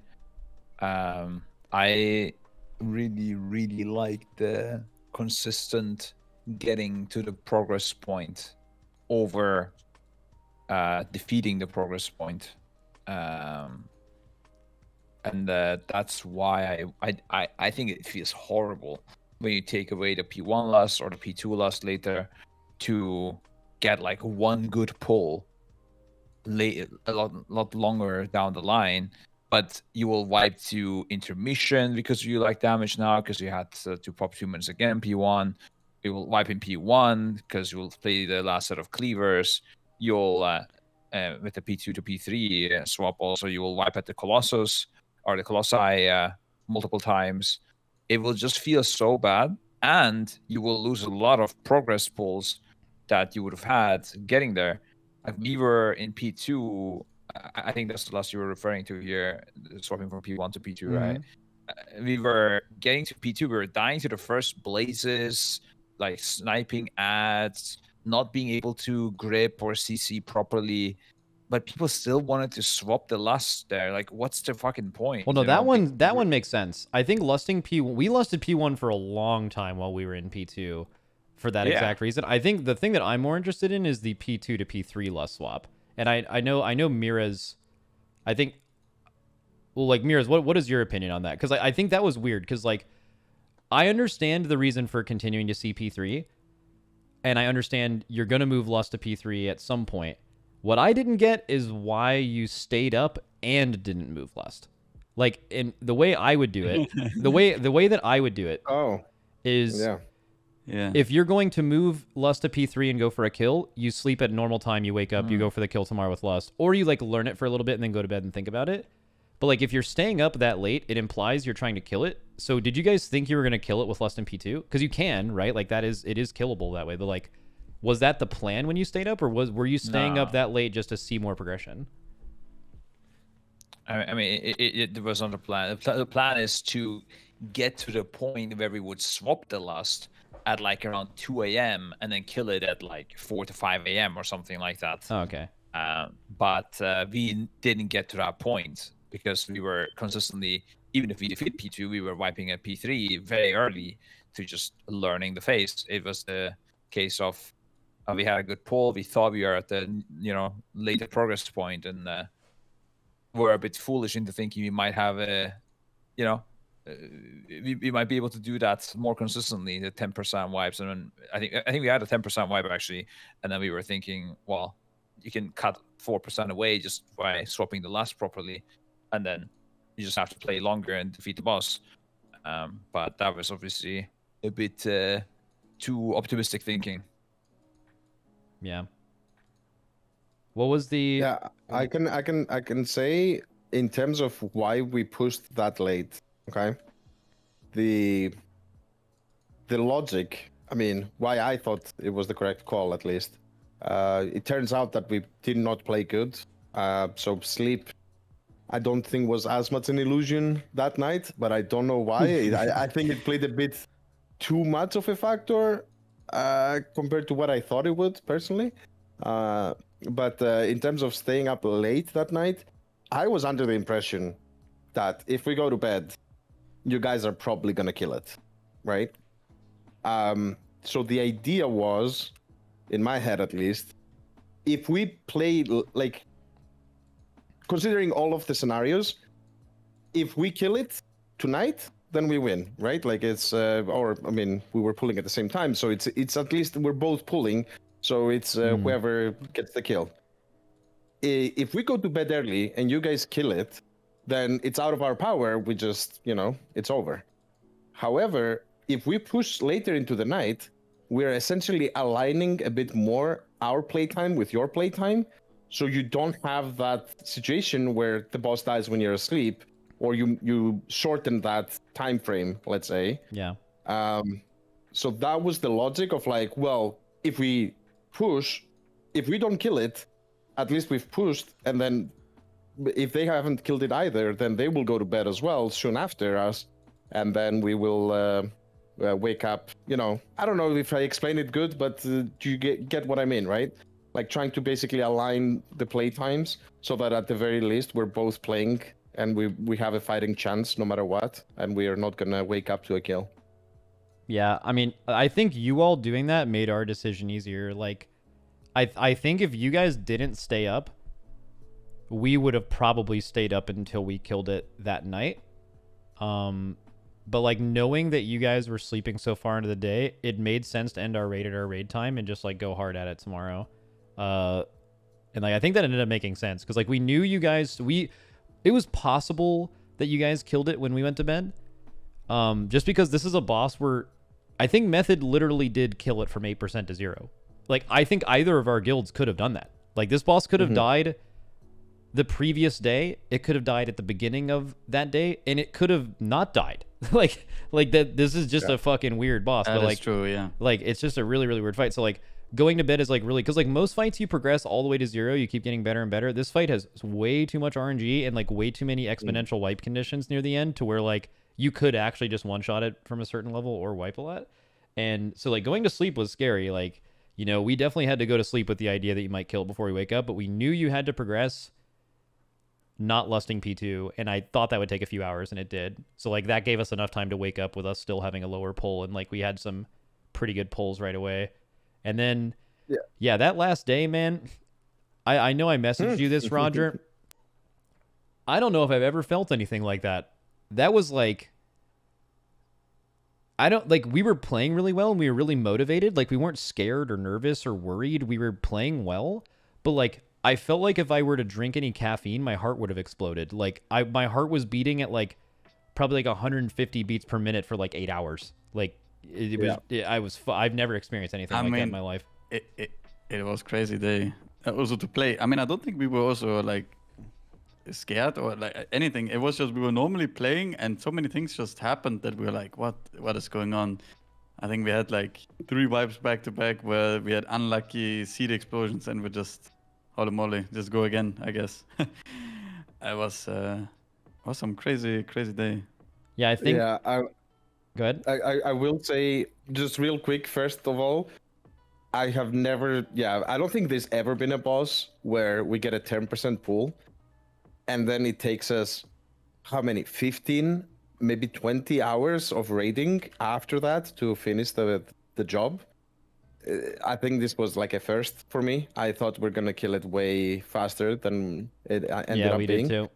and, and the 10% pool that we had uh, like the day before that was without bloodlust and i think it was before the nerf if i'm not mistaken. So in my head i was calculating okay 10% remove about 4% because of bloodlust. Remove another 2% maybe 3 i don't know. Let's say that was basically like a 5% pool uh, at least if we shifted bloodlust and then min maxing a bit the intermissions as well. Like could have been like a 4% wipe so in my head i'm thinking okay this boss is gonna die. And then it took I, I didn't calculate but it must have been at least 15 hours of pulls more to to actually get the kill. So that was that was the first. Um very crazy. Um in terms of that last day though i swear being on the outside was i i think i lost uh, like 10 years of my life like i told you yeah. It was it was crazy. The the the it wasn't necessarily a mistake i think because on the outside you kind of i kind of had to also watch what you guys were doing in case you were doing something uh, a bit different and maybe it was good and we can uh, make some small adjustment here and there. I don't think any uh, any big adjustments at that point were gonna happen but just watching those pulls man oh my god. Like that that was the most nerve-wracking thing i've ever felt in uh, at I, least fe- world of warcraft. I felt like either of our guilds could have killed it for like basically that entire day once we woke up. And then Yeah. And I think when you guys killed it, we had the exact same amount of sub five percent tries. And then also when you're watching that boss, it seems like every pull this is an underrated part of the Fyrakk viewing experience. Every pull seems like it's gonna be a kill, right? Because you hmm. usually have resin in the uh-huh. last phase. You usually are watching someone with everyone alive with the boss's health like rocketing down from fi- from like five percent, and then it's just like, all right, is the boss gonna die, or is the entire raid gonna instantly die before that point? It's not like you're watching someone limp to the finish line or whatever, or you like it's just like it's just like you can just fucking blink and it's over, and and that is uh that was like so like we would watch pull or I would watch pulls from you all. Although I did that very briefly, it was like mainly over lunch. I I, I don't do even outside the raid. I don't do what you're doing. I, that would that would like psych me the fuck out. I think, but I like just I'm just assuming you guys are wiping low at the same time, and that is exactly what was happening. And then like as as you're saying, you're watching us with everyone alive at five percent, and you're just like, oh my fucking god. oh god, my god dude. exactly. Yeah, And then I, and I told Roger as well. I couldn't do what you're doing. Like this is just pain. Yeah. it's yeah, it's If painful. you have a good pull, Well, I, I don't know. I didn't watch a single progress, or like a single pull of you ever. And then in the lunch break or something was, or when we took a quick break, someone was like, holy fuck, they wiped on 1.6 and we were were on 1.7. I was like, holy moly, yeah. not, not looking good. Yeah, dude we dude the 1.7 was actually a really bad pull like our damage was like i think 2% the boss was 2% higher going into the last phase than it was on a good pull and we had like a 5% one of our 5 percenters we had the it was like our best p3 pull ever and we pushed at 45.7 i think and we wiped to something really stupid. I don't remember what it is, but I'm pretty sure it was someone with a seed being hit by a bad firestorm placement. Like they actually just got hit by the tornado with their seed. And like that was like I'm pretty sure the boss would have died as the first blazes were happening in that phase. Like it was getting absolutely shit on. Um and that was the one that turbo feels bad. But yeah, do you remember the thing I said to you, Roger? The last thing I said to you before you left after that uh, dinner when you came to our facility? uh, that uh, you hope that uh, either we or you uh, or destroy the tier. Is that what you mean? Yeah, I Like- said Yeah. I hope we destroy you guys, or I hope, or I hope we either demolish you or get demolished because, like the Yeah. the feeling of like any singular thing could have gone different, especially too because this is a race where like, and I mean I want to hear your all's opinion on this, but like obviously this release difference shit is bullshit for everybody, but no matter how much you want to argue that mattered in a normal race, that could not possibly matter less than how it mattered this raid, right? It's deep into the second reset, nowhere near another week. Uh, there was a decent amount of like bugs and stuff that we encountered. Like th- it was just like a straight up fucking like brawl at the end of this race, which is like pretty rare that we actually get that when things are normally happening around the reset timer. And that was I don't know, just that that last day made me uh 10 years of your life is probably an understatement.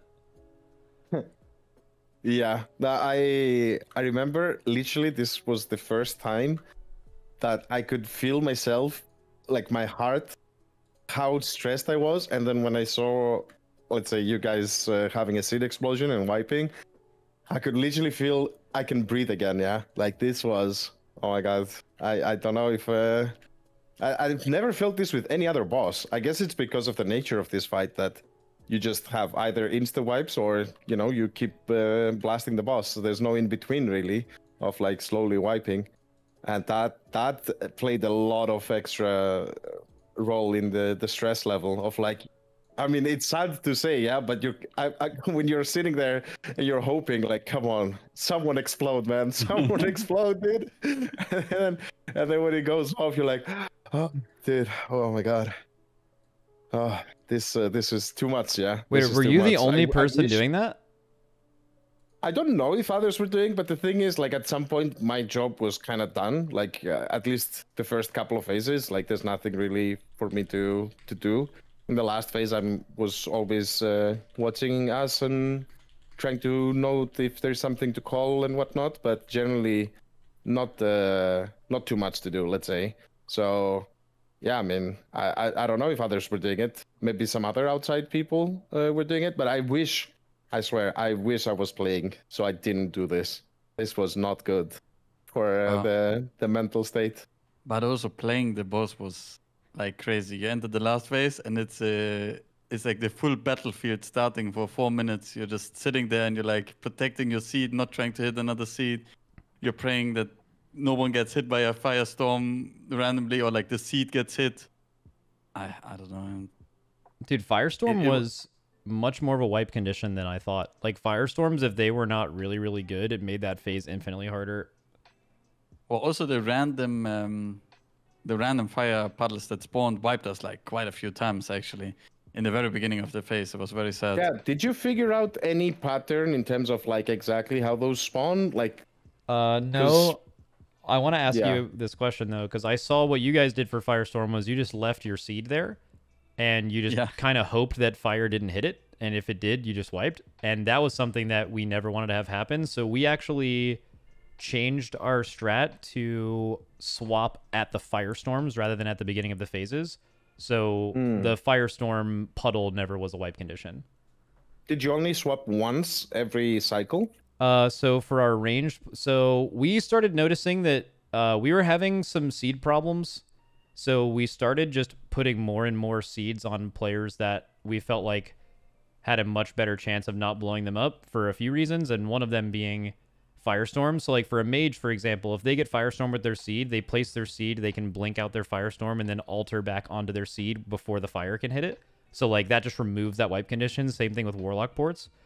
So for our uh mage for warlock and mage uh they did like a little bit of a good seed bad seed swap and then fired up held it to the end of the fight and then took a soul stone and picked it up again so he held a corrupted seed for like a minute and a half or something or maybe oh, interesting. um, and then THD did something similar. Uh, so we had them having it just the full time and took it away from other people. And then our melee did a three person rotation because we were having a lot of. If healers got Firestorm, we were wiping to like Yes. corrupted seed people dying. Uh, so what we did was we had we had two very very good enhanced players and they weren't holding the seeds at all. So what we did was we added a enhanced shaman to our rogue group and added an enhanced shaman to our demon hunter group. They never wiped us with the seed one time each, which was great. We did this in like probably the last 10 P3 pulls and they did a three-way swap. So the basically between the three people, they would swap at the beginning of the phase and they would swap on Firestorm, eliminating the Firestorm wipes and also spreading out the dots amongst those three and then they stopped dying forever. Yeah, what's up with enhancers and vaping it, dude? We also Yeah, had the enhancers vaping. Yeah, they didn't do uh, anything. They, they were they- like, Like I never Killing the heard clicks They're- they're just so word in this squishy. entire progress on that fight. Yeah, he was just like, "Yeah, I do boss damage. That's it. That's my job here." Uh, leave me alone.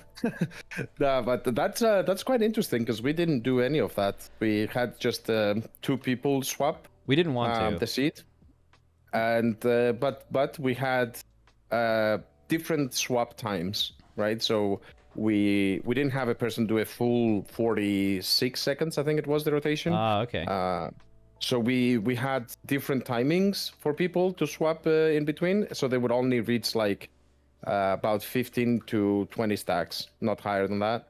Um, and uh, yeah, I mean that was a bit of a yeah, we yeah angle, we yeah we so basically we came to the we both came to the same conclusion, which is having players hold it for a whole phase and going to 40 stacks or whatever. That is like way too much damage and causing too many deaths. Mm. And the two solutions were swapping on the debuff timer and finding different rotations with your partner, or just adding a third person. I I kind of like the swapping at different timers because like having more people have to learn seeds in general uh sounds bad.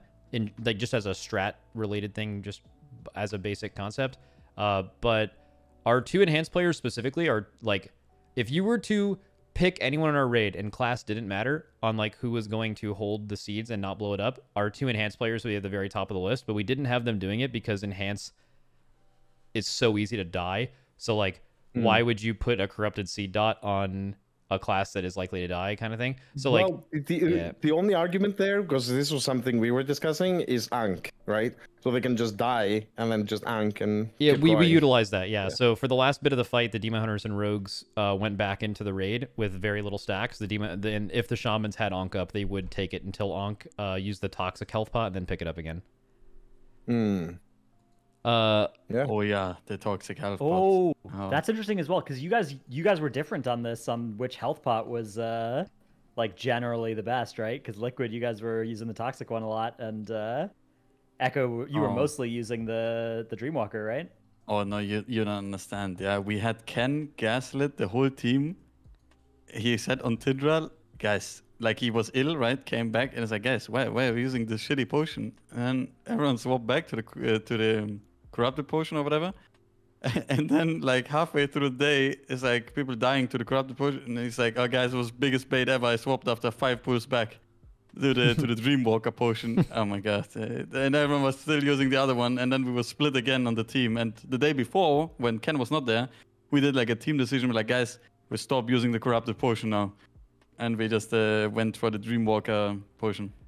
I think in a if you were a perfect player and you could have two health pot binds and in the split decision in the split second decision that it takes to choose to use a health potion, I think there are a variety of mechanics that make sense for each. Like there are certainly mechanics where the toxic health pot is better and most mechanics I think the other one is better. I think we use toxic on Fyrakk specifically because P1 consistency. So like in P1 you would get if you got like cleaved by an extra blaze or a frontal with your personal up and the boss was about to cast wildfire, you would die if you regular health potted. Like it just hit hard enough that you would die with it. So they toxicked that and that kept a lot of deaths from happening because like you weren't worried about the dot for the rest of P1 uh, after the like last wildfire cast. At least we weren't. Uh, so that's why they used it there. I, I think we used a mix of them. I don't think it was through both. I just think there's scenarios where toxic is good and the other one is good. Did you guys mainly just use the other one though? Nah, nah, we used a mix as well. Some people still use the toxic one, even though we said not to use it, and other people were just dream only, and then they died to having the dream only, and they were like, "Fuck this shit!" I go back to the cor- corrupted, and died like 20 pulls later to the corrupted, and I don't know. There, I think there was a big, uh, big war going on in the potion department. uh, Who's using what? I, I'm not even sure what people used in the end. Um, did you guys ever consider doing a 10 head uh, seed stack strategy in the last phase? Or were you fully committed to spreading it out and gaming it from the beginning? Uh, you mean just everyone with a seed being on top of each other and just moving out with blazes, or? I'm talking every single person in the raid stacked on top of each other, and Yeah. if you get blaze, you drop your seed and move out. Yeah. So, you, you know what's funny about this? I think this was a strat. I mean, I don't know if we strongly considered it, but we actually had this strat suggested, at least, um, from uh, I think it was Alex like the caster. Yeah. Yeah, I think so. Uh, I think it was Alex. Yeah, so Alex was like, "Hey guys, why don't you just stack up and move as a unit, and then you just move out of the place?" Or I don't know. I mean, I, I think he suggested it. Um, maybe it was someone else, but uh, I don't know. It seemed like way too risky to lose progression time to try a completely different strategy. And also, how do you regulate who picks up the seed? Do you, you just YOLO the stacks basically at that point, or you have you need to have two groups or something? It did not seem worth to be like if you guys were the first ones to try it and we saw okay this is working then we could have swapped Yeah. but being the first team to ch- completely change your strategy seemed like a very bad idea uh, i don't know Yeah. It, uh, Yeah, I, w- I feel the exact same way as you. We we we gave it like I think one try in the last phase, but we didn't do it with the whole raid. We just did it with the seed people, so pe new people weren't learning extra action button stuff. Uh, and they didn't like it, but it was only well, it might have just been bad anyway. But they didn't like it because they were already like 15 pulls deep into doing seeds natty, right? So like it's it's unintuitive to do it as well. It's one of those things where it would have been very interesting to see one of our guilds completely abandon the idea of doing it natty, committing to this unintuitive blaze stack thing, and it probably would have met with immediate regression. But I could see a world where the team that committed to that and actually gets good at it just one shots the last phase as soon as they're good at it. Like instantly, it instantly dies, right? Because it just repeats, and healing is easy because everyone's pixel stacked, and the only people who are at risk of dying is the two people moving out in each direction. So Evade made a weak aura for this, and Evade is the person who kind of strategized it for us. Uh, and he figured out the way that blazes spawn. So looking at the at the tree, they spawn in the exact same angles every single time. And you, he figured out a way where like you could attach a sound to the multiple different spell IDs for the different uh, blaze sections that spawn in the different angles. And like this, you could attach a like private aura, a weak aura to. You don't have to press a macro or anything, but it would just tell you to go up or go to the right or go to the left or go down hey and you Oh. and you could just hear up and then you have two and a half seconds to press your extraction button if you have it and then just go forward with like the horizontal beams. You would go to the right with the vertical beams and then none of them would ever touch the group. But there's there's more issues with this which is what happens when two people with a seed get blaze they both drop their seed and then move forward. Do they pick up the other person's seed as they're moving out? Mm. true. That's Yeah, like I think we had yeah. this happen uh, once that Servo, or like with Mike and yeah Servo. and, we had it once And, yeah. and and Mike dropped the seat, went out with Firestorm. Then Servo drop had got Blaze, walked over to Mike's seat to drop his close to Mike's one, and picked up Mike's one while walking past basically, and dropping his own, and then he blew up. I think that was Because the there's, a, there's scenario. also a yeah. cooldown. You cannot drop. Yeah, there is like a one second cooldown, I think. So you cannot instantly drop the seed after you pick it up, if I'm not mistaken. So uh, he literally, yeah, got it. Like it was, yeah. What you're saying, I think would have hap- would happen for sure. Like just randomly, would have been. Uh, Yeah. So that case. That was the know. main Yeah. thing that did that uh stopped us from doing this because it did seem like Hmm. something that would completely trivialize the last phase, but we thought that that could happen and that would make it bad and then gaming ended up being the the right way to do it. How did you all I mean- feel about the private auras in general on that boss? I don't know. I, th- I think I think you go ahead, I- Roger. You yeah, I think the, it's a little bit like uh, an attempt by Blizzard, but I don't see it. I don't, I don't see it working out as they would have hoped it would have. And I don't see necessarily a solution apart from just ripping the whole thing, you know, like I, I don't know. I think it's a little bit of a failed project if you ask me. But at the same time, I also hate uh, going to super weak aura mode and uh, everything is uh, needs uh, you need like a whole coding squad just to fight the bosses. I don't know what's the solution, honestly. I I, I don't know. Uh, it's it's a little bit of an unsolvable uh, situation. I, I, I'm afraid. The actually the one thing I will say that could. Oh, Oh, Oh, Did Scri- just- That's Scripe is going. He, he said he was out of here. Yeah. Oh, Scripe is Uh, going to bed, guys. alright. Oh, Even yeah. though sleep is an illusion. Yeah. Yeah. I, I'm not so sure about this one. Ah, yeah. Well, also he said he wasn't sure how long he's gonna be able to stay. I th- this was two hours earlier just for him. I think he's got like dad stuff, but yeah, the uh, shout out to him for being here. But I yeah, private Um, wars. Yeah, what, what, what I wanted to say is that what the one thing I could see working is if they essentially make the weak aura for you, so then it's standardized. What I mean by this is if you get, let's say, the cleavers, right? That's like a. Um, uh, uh, it was private, the, uh, the, the cleavers in P1. If then you get a mark over your head of like one, two, and three, and that's it. Do you know what I mean? Or Yeah. like this is just an example. Well, like, and I mean, you, you can say it, Roger. You what? like Final Fantasy. Yeah. Like Final Fantasy a little bit, yeah. like something or like an icon. Like imagine the icon of the private aura is just something that indicates that kind of makes some sense of how you you're going to deal with this mechanic without requiring um, the some macro or whatever to deal with this.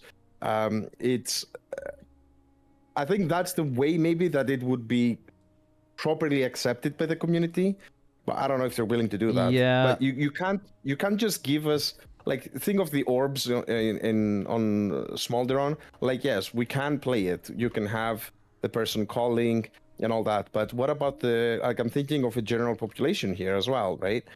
Uh, we can find workarounds of dealing with these mechanics, even if they removed all add-ons. Let's say we'll find a way, but then they would have to make the mechanics a lot simpler.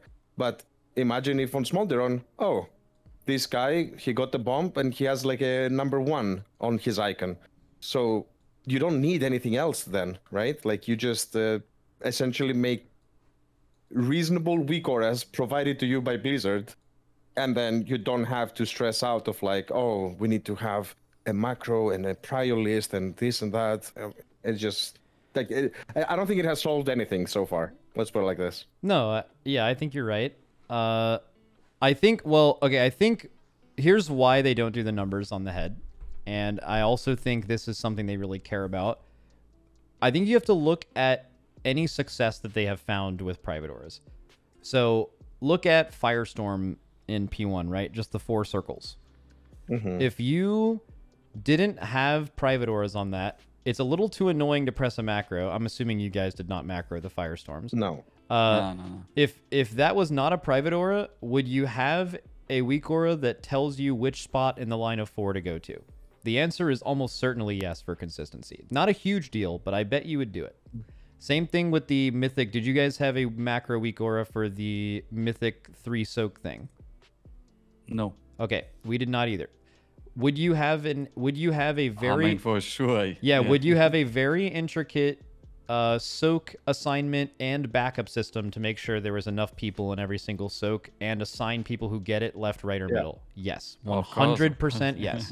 so, what Blizzard wants is they want you to get mechanics like that, and they want you to YOLO it like we did, and that is why private auras exist. And in my opinion, a success case of it, which is they do save you from yourselves on some mechanics by doing that.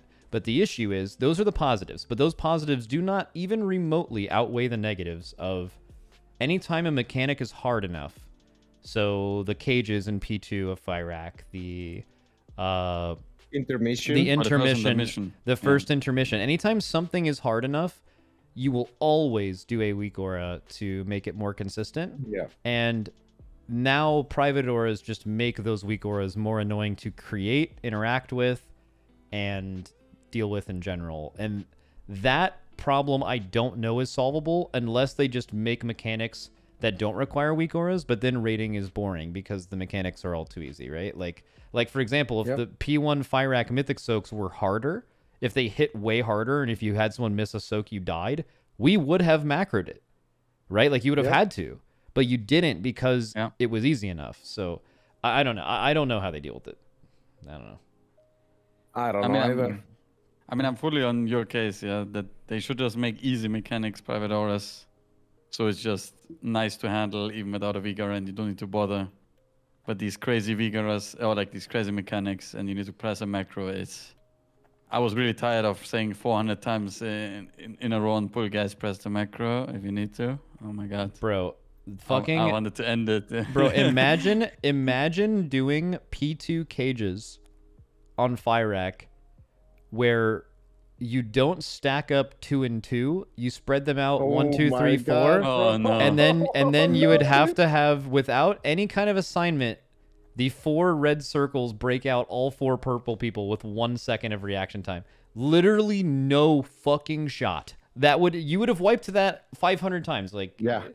Like yeah. Did What do you, mean? The- did you the did testing team did it, yeah. The- Did you do anything for the cages actually themselves? Like or were you just not the two stacker? Uh, we did. Okay, so we had the red debuffs press a macro to get assigned to break them out, Yeah. which I think we both did. We did not assign the the two and Mm, three stackers intentionally. We just if it triple happened, it was okay. Uh, we never had a quadruple one time in all of progression. We only ever had like triples. Sometimes I'd say like maybe one in three pulls there would be a triple. We also did twice the amount of uh cages as you guys. We did two sets of cages every time instead of one. Yeah, I yeah. do want to get to that, but just as to say before, man, uh, we were prepared to, with like having two different macros, one for like if you get the cage and one if you get the other one, right? Like the what's it called erupt fiery eruption, Well, and thinking when I saw that you guys did the double stacker and that it's fine. Oh my god, that was another sigh of relief. I was like, because I was so scared about that mechanic. I Oh, thought we're gonna have to do four and four, and it's gonna be tragic. Spreading Yeah. all four out would have even with a weak aura would have been insane insanely hard. Yeah, the uh yeah, yeah, so th- that cages thing was pretty good. I also think just in general, I think P2 I really like Fyrakk. I guess I didn't actually ask you guys your opinion on this. What what was your all's opinion of Tindral as a boss just in general? Like all things considered. Like do you like the fight? Do you think it's great? Do you think it's one of the best? Do you think it is problematic? Like how do you guys feel about that fight? I think if you add one second to the seeds in P2, make it four instead of three, and if they made um and, and if they you actually reach 10 rates like i, I kind of like going back to the conversation i do i did not like that they slapped a 20% nerf that and basically just cut out the last minute of the fight. Um but um overall i would give that boss like a nine and a half out of ten. Like i think it brought back uh, a lot of let's say good uh, memories where you just have to play really fucking good and there is it's like a constant um dance around. It uh, like a little bit like okay big throwback here but like Siegecrafter where it was like it wasn't oh these are the three mechanics or whatever five mechanics and this is how we deal with each one of them. No you had to have like a plan throughout the entire phase of how you move and each time the mechanics came it was a little bit different and it was uh, i don't know it was a very it brought back uh, memories of previous uh, expansions let's say and bosses that i really enjoyed. So yeah very nice but yeah the, the seeds in p2 man i think a little bit too annoying the three seconds oh my god i, I, don't know I, I can I can say I do agree with most of the part. I think though the boss was not. It was fun to play, but uh, after some time it became uh, not so fun anymore. I think one of the main issues was the how's it called the seeds. Of course, were very very sad when you saw one go off and you couldn't do anything against it, right? But the other thing was as well the constant stress when you messed up one mechanic. It was kind of very uh, spir- like hard spiral out of control that something is not going right anymore. And you're like, holy moly, what, what is going on now? Like in phase one, someone flies up late, the roots die late, everyone is full panic. You're just legging it away from the beams. You're barely making it to the spot. Then half the people die to the beam, and you're just in full despair if uh, one thing doesn't go fully right. I don't know. Um, and I think the flying became really annoying after pull 300. I was really bored of flying alone on the left side. I don't know. That was really uh, boring. Uh, Everyone was just having so much fun. The whole raiders were like, "Oh, I chase you. Oh no, this guy is faster," and I'm just full resident sleeper on the left side alone as a tank. I'm like, guys, haven't seen anyone in 400 pulls. Oh my god. Yeah. uh, I think that was a tank issue though. I We think did have a couple of people that passionately hate the, the boss. By the way, I don't know if you had the same. Most people, I think, really liked it, but there were a couple of people that, overall, like not just after pool 300, just overall, just despised the boss. Oh, really? No, I we, think Ku- Kus Kus was one of them. I think he was like, "Bro, this boss sucks." I think I don't know if we have. I think I think pretty much everyone in our guild was. I, I did not hear. I mean, I'm sure there's we have a lot of players. I'm sure there's someone who isn't favorable, but when I asked, it was largely largely positive, which uh, I think maybe exile actually. Maybe it's a rogue thing. I Yeah. mean, don't, don't get me wrong. I think the boss was great, but it came like I think the pull amount made it uh, not so nice anymore. I guess at one point. Yeah. Okay, and then what is y'all's opinion on before we continue down the like cages thing? Like, what is your opinion on Fyrakk's quality of a boss? Like, mine is, I think P1 is good but not great. Like, I think Sarkareth's P1 is better than Fyrax P1. Um, I th- but I think its P1 is good for like in the history of end bosses. I think the last phase of Fyrakk is very unique and very cool. I, I think I'm a fan of the last phase of Fyrakk. I have some issues with the RNG of it, but I think it's a good phase. Bro, I think P2 is a very, very, very mid boss phase. I think they cooked too long on P2. I, I, I don't. It's like it's, it just directly repeats itself twice. Like it couldn't be any more interesting than that. And then I don't know. Like I feel like Private Auras kind of just like dominated the phase and healing ads you know like no no uh boss frames for healing ads and you have to like target i don't know i just i don't think that phase is very good at all Yeah, I mean, I can say from the ga- the gameplay POV at least from my side, I do agree. Phase two was it was better than Sarkareth, I think. Sarkareth oh was starcraft p2 is even worse yeah like like it repeated itself even more. It was even worse. But uh, in in that phase, it was really just also a a constant thing. Something was happening, and you're like, I know. It was just uh, bad things happening. Like it was also not fun mechanics. The whole phase two, like knocking, going out, CCing, getting stunned, getting people out of stun. And like dodging the healing ads, healing the ads. dude all the fucking all mechanics were not fun. I think Yeah. that was the main issue in phase two. if you had the cages not break out a purple person and the ads died they were just caged forever they just like the Yeah. ad like when the ad when the purple ad died at least the cages should have gone away and then also the healer ads if you didn't if i think if one of the mobs was 1% low at a certain point in the phase the tree would die unless you life gripped or rescued in one mob to like give yourself energy early and i think that's Oh, like yeah. ridiculously tight like uh, I, I, I, I'm, yeah. I, I must say, I think that was from my POV. I didn't, I really did not understand or think that that was actually a design choice that you need to grip the ads to the tree. I was really surprised that you actually had to do it. I was like, yes, I was sure that i this is don't not like some, think you do so something wrong. so if you if you have them all at exactly 100% health i think it doesn't happen but if you have one mob in the first like minute and a half of that phase at 99% you wipe at that point unless you mark of the I wild see. of course oh it's 99 Yeah, I heard about yeah. the mark of the wild after. That was crazy, by the way. Yeah, so basically for people in chat who want to understand how it works, when the ads go to this to the tree, they are literally healing the tree with the amount of health that they have. So if you give them buffs that increase their healing in some way, like Mark of the Wild gives them versatility, right? So it increases their healing by 3%. They those mobs would literally give the tree 3% more healing per mob. Uh same thing with Ret Aura. Same thing with I think there was a few other weird use cases where you could do that for like what about stam buff? No, no, no. It, that doesn't increase it. Anything that increases the healing on your character, uh, it it made them heal the tree more. So that was something we figured out uh, pretty early that helped with P2 consistency. But you still had to grip. All it did was make it so that like random wipe didn't happen where a mob was at 99%. yeah, that is crazy. I don't know. I think phase two was big, big disaster. So Not nothing was fun, like I said. Another thing about P2, Roger, I I think you were going to ask this about the Ye- cages. So we knew about the cages. We just didn't want to do the damage Yeah. loss. So I really? yeah. Okay. Oh. yeah. That is that that was okay. So we did clear, it. We we had need it happen to us on stream before you guys went dark. Like we after because they made the Mm. change because we kept complaining to them in the Discord. Like we would be killing the mobs, we would kill the red one just because we were lusting, right? So like you were doing a bunch of damage, and then we would have the purple people get caged and have no way to break them out. So Blizzard said they fixed it, and by doing that, we didn't know how they were going to fix it. I guess we they could have made the red thing still go off, but what they did is if the red one died, That's just nothing would did, happen. Gar.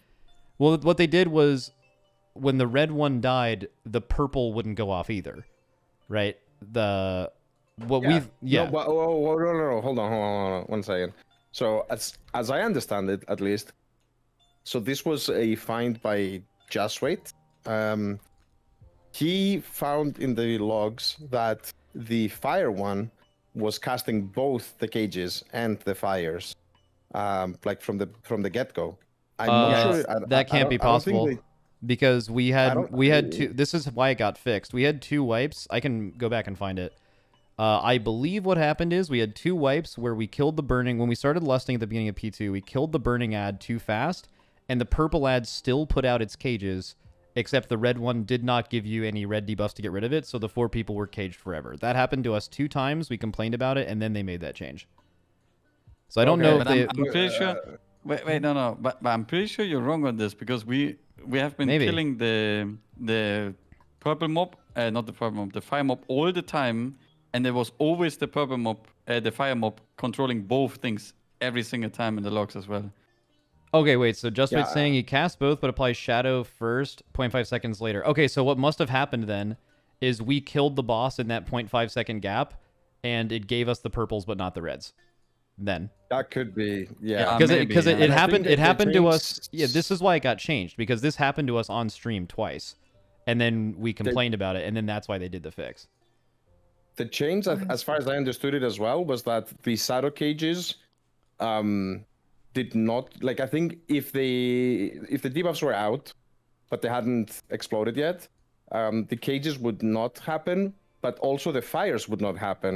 So I thought that the reason why they changed it to make the fires still go off was to make sure that if you had, let's say, maybe you had someone trapped from the first cages and you wanted to release them, that you don't uh, actually you, you get the chance to do it even if you have killed the mob so that the fires always go off but the shadow cages if you kill the mob while the debuffs are out in those five seconds that uh, they don't go off i thought that was the change i don't know honestly at this point but it was Oh, definitely that was the change. Yeah. That the, yeah Wait, I think I might have it it was- backwards. I might have it backwards. So I'm looking at the Blizzard channel to see what I reported to them.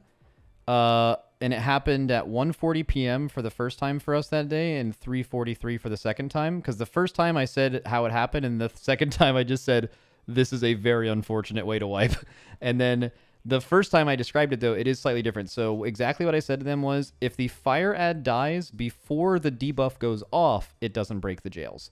So what was happening is it's putting out the purple and fire debuffs. So now uh, the eight people all have a purple and fire debuff on them. If the fire ad died before the red ones went off, they would do zero damage and not. They would still be on your character, but they wouldn't break the jails. That's what it was. Yeah, that is correct. Yeah, and that got fixed after you reported it. Correct. Um, but but we were surprised about that because we thought you reported it that the fire guy is casting both things at the same time, and you got it changed basically that the f- they're casting different things what they're supposed to do. But that was not the case. It was still the fire guy casting both things at the same time. So we just continued to kill the fire guy and skip the mechanic basically. Yeah, Uh, I, I must say I was definitely a bit, uh, let's say, confused why. Because I think you did it for some pulls that you were killing the fire guy um, to not get the second cages, if I'm not mistaken. But then We swapped. later We didn't like it. you swapped it back, and I was like, man, why? Like we were basically playing half the cages than you guys, Correct. and what was? So I mean, do you? Do I can think tell you why. a proper thing because it looked like uh, I guess maybe it, it looks like a little bit like the bloodlust thing for you, right? Like to us, it was like such an obvious thing. Like, yo, you just kill it and you remove a wipe factor, basically. Yeah, exactly. So it is a so we were still thinking about P3. So when we were doing both, let's just say we do two back-to-back pulls, no lust. Uh, on the first pull, except this is actually to make it more realistic. Let's say we do it for five pulls, where we burn the burning ad and then we kill the purple ad after. Uh, using the exact same cooldowns, we were like just barely killing the purple ad in time, and I think we wiped on it one time. Uh, we were not our cages were pretty consistent at that point, although it is a progression halter. Like we definitely wiped two second cages, like sometimes, very rare though, but like that did cause wipes. Uh, then we did the exact same pull after five, and we just tried going back and even cleaving them, because like the idea is it might even be a damage increase to uh, kill the thing early so the second jails don't even happen, right? That's eight people that don't have to move and do things. That's what we thought initially. But then we just did it uh, two tests in a row where we were like, okay, let's just go back to doing the second jails and just blasting these two ads. And we were using the exact same cooldowns. And with two pulls of sample size, obviously it can be a little bit different because certain people getting jailed can matter more than others. Those ads were dying almost a full like eight to ten seconds before their casts are going off. Hmm. Like just a massive DPS difference. And what this allowed us to do was it's just like the value of two target cleave is just insane, even with people getting jailed briefly. So we basically just took the damage thing. That allowed us to move, I think, like four two minutes off of the ads and put them onto the boss, and that allowed us to phase the boss a little bit lower. So we basically were taking a sacrifice in P2 uh, on a little bit of uh, jail progression to move more CDs onto the boss and kill the boss faster in the last phase to not deal with the blazes. I see. yeah, I mean it's an interesting approach. I mean different approaches. I guess uh, we we just valued the. Uh, No, I respect that. I mean, I was pushing for that to be honest with you. I was like, guys, even if it's harder, like you just straight up remove cage wipes, right? Um, Yeah. But I think the Yeah, I mean, general was- the general sentiment within the guild was like, and Bubba specifically, who was doing a lot of our damage optimization, was like, we can gain so much boss damage by by uh Mhm. by doing this. Yeah. I mean, I yeah, guess we did the exact opposite. I think. Yeah, we did the exact opposite. the, the thing is, we um, we also kind of saw that. I mean, of course, the last part of uh, phase four is the hardest one. So ideally, you just you know kill the boss in P two. Uh, but uh, uh, we we realized that enrage is not going to be that big of an issue. Um, so we yeah, I, I guess to us. Uh, we were like, yeah, let's just keep phase two as easy as possible uh, to just go into phase three more and more. And uh, yeah, Yeah, I mean, this is definitely if I were being in P3 matters more. Like, it is an RNG phase, but it, that doesn't mean that being in that phase more doesn't lessen the chance of RNG. Like, for example, will all the people holding seeds at the end of the fight, uh, five pulls in versus 20 pulls in be better at not blowing up the raid? Like, absolutely, yes. It's just that also what could happen is before they get good at it, you could just kill it because the right people got the Yeah. right things, you know? Yeah, yeah. Yeah, so. it's so crazy.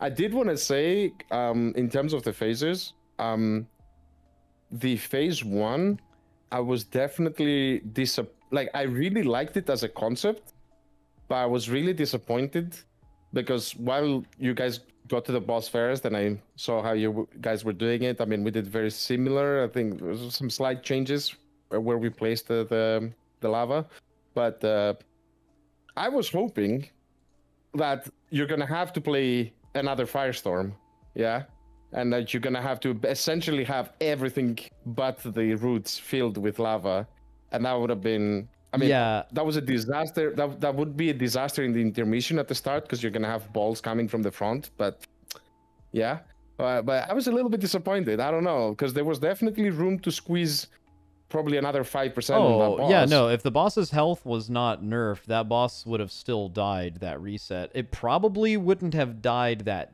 day, although it definitely could have. Like if you if you just look at again, it's just an RNG phase. If you, I I'm sure this is true with you all as well.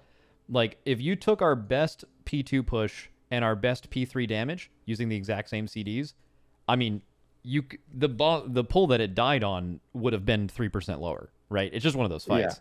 So like Oh yeah, I mean, uh, so you, you know you could you could have easily killed the boss with that, but it, it probably would have taken another day from both of us of of like optimiz- optimizing and also just having the seed people get better to where you're getting more consistent like things where people are. I mean, that's just one of those dude. If you're a seed user in that phase, you are your damage is going up every pull, like every single pull, your damage is going up. yeah, well, it- it goes. 100%. It is actually goes both ways. The damage is going up, and the heart rate is also going up. I can say, out of our own experience. All right, Dratnos, any any thoughts? Oh shit! Uh, Wait, Rat- Ratnos is still here. Yeah. Yeah, yeah. Oh, hello. I I mean, are you guys done talking about Fyrakk? I think I Uh, think keep going. I think there's a lot. I mean, just anything you think is interesting would be good. I, I still think, even though Dratnos hasn't talked a lot, I stand strong in my opinion that Dratnos has a very. hi- If you were to ratio the amount of time people are talking and the quality, Dratnos's will be very high and putting us in good directions. So Yeah, I mean, I, I think the the Fyrakk discussion is good though. Like the the specifics are just stuff you guys know more than I. Um, but if we're done with that, then we can move on Well, to some I- general stuff. Okay, well, I do have one more question about. So you guys, your strat in the last phase, I really like a lot. It has like your raid swapping sides of the boss. Actually, no, let me just pull up a raid plan. It'll be way easier to do this. Uh, if I'm like showing your all's general idea versus ours. I have fucking Larodar up right now. Let me turn my stream or stream on in Discord. So at least from what I can tell, when you guys are doing this phase, you are like have the boss here and then i think you have like your entire raid like on the left to start or something like that. And that way when you're putting firestorms behind you're like already on the side of the room to get to the edge. And the seeds are i don't really know where the seeds are but the idea is your raid does firestorms here. And then the next phase right your raid is over here and firestorms go here at this point you have put down the two things right? And then like you back the boss up like very slightly. And then what do you do after that? What is the third orientation? You I can, I can, I think maybe because. Do you you can show our Figma version. Yeah, to show- I can show this. Yeah, yeah. One second. because it, it's the only Uh, concept I've seen of it is more like This is You this made- is the first bloom, basically. Um, yeah. okay, so you have like a decent spread. All of the seeds are enranged. Okay, so you do double hunter and mage warlock exact same as us at the beginning, but you have the raid. See, this is the thing that we wanted the raid to always look the same, and we wanted everyone to be in similar spots. So like this is okay so i get this and then this is just going to be flipped slightly for the second phase i want to see the third What is phase Yeah. 3c link that I, I did. That's when the cook starts going a little No, bit no. like that, a little bit uh, crazy, yeah. Uh, but yeah, here you go. That's uh, I- I that's think- the third one. On the 3C, is the main issue was that people swapping around after this was uh, holy fuck, yeah, that took a long time, Roger. By the way, like Yeah. after this, when when we if Roger's gonna link 3D, that was a big issue. well, I. I think 3D was a big issue for the okay movement. Yeah. so we have the exact same concept for where the raid is standing and where the melee seeds are we just opted to always have that be the same with the sacrifice of people having to pre-move for firestorms so you have the raid already in the spot of where you want to put tornadoes we had the raid mm-hmm. in the middle and as firestorms are going out if they're putting firestorms to the right they're like pre-running there so like I, okay i get an idea of yours now but like this is the general orientation in the raid right you have like the two uh good seeds to start back here uh you have the two good seeds over here and i'll just do like in i won't do like every single phase but i'll just put where the corrupted seeds go so like the corrupted seed for dh is up here rogue is up here tank is up here because the two seeds playing together was like pretty playable. Um, Uh, yeah, uh, before you continue, this was actually something we debated quite a bit. We had the situation. Uh, if you if you check 3D, um, the picture, yeah, okay. this we had the issue that the tank, uh, oh sorry, 3C, I guess. Sorry, 3C. Okay. Um, we had the issue that th- you see the DH, the tanks, and the mage warlock. I mean, Xervo was not that far, let's say, yeah. Yeah, and then we close. actually had we had a couple of wipes, more than two, I think, where they this, the corrupted seeds hit each other with the blazes, and it was so unfortunate. But it was kind of hard, and we were debating like, should we have the DHs be on top of the tanks, and then they just dodge each other, but then the warlock is you never have to worry about the warlock because the DHs had it kind of hard because they had to look at both directions basically, which is like the camera is not easy to do that. Um, so did you have two corrupted seeds on top of each other? Because we thought of doing it, and the players were like, "Nah, we're just used to this. Like, let's not change it." Uh, But I- so yes, we did. So our first progression, uh, from the beginning is obviously the four good seeds, just like this, with the raid being loosely spread behind. Uh, what we did was every time we were putting firestorms to the left initially, So let's say our first firestorms go like to the front left of the room or something. They would bait the entire raid would bait to the uh, right side here to bait the beam here. These guys would move to the right of the beam. These guys would play in the middle, and now the whole raid is in the middle with Blaze out of range of everyone's seeds. And then as firestorms would go out, we'd be saying firestorms in three, two, one. You would basically just be going in this direction in case you get it, just like Babby strafing, and then you would have enough time to make it out. But this way, all it does is it makes every single blaze of the entire fight happen with the raid happen in like this box. And that Mm. never changes, and you never have to worry about rotating, and that's what most of the people in the raid are doing. And then when we when we moved the corrupted seed location, it was like we initially, I think at the very big, and then phase two, right? You have uh the three seeds. One has been popped. Uh, I think we still had uh, two over here, and then now the first two corrupted seeds is tank plus DHs, and we had DH go here and tank go here. So same thing, pretty easy to understand. You have like the entire raid still doing the blaze in this box. Uh, and then these people Yeah. are on the two front sides of the thing. The circle we put same, I think same as you, front left first. I think. Uh, yeah. Oh, uh, then like the boss generally plays like here, and then now everyone's out of range of seeds. The third one is where it gets uh, a little. It like keeps the same concept, but we put the two seeds next to each other. Like we basically said, if two ranged can be out of range of everyone and do their seeds together, then like why not be able to do it in melee as long as they are out of range of everyone else's blaze, and they always were. Uh, so Yeah. so the next phase we do uh, hunter one is gone. We put we actually kept the good seed with fi- so fired up and THD I think wiped us in total two times to seeds over all of our pulls. So we just started letting them carry the seeds more by doing some soulstone stuff. So we had THD keep the good seed and they actually swap.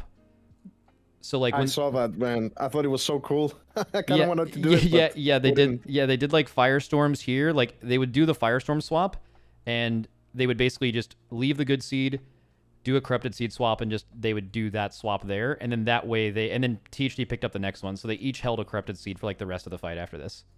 Um, but for this phase, this is done, and then what we did, which is different than you, as opposed to your three C, our three C is two in melee, rest on the left side of melee.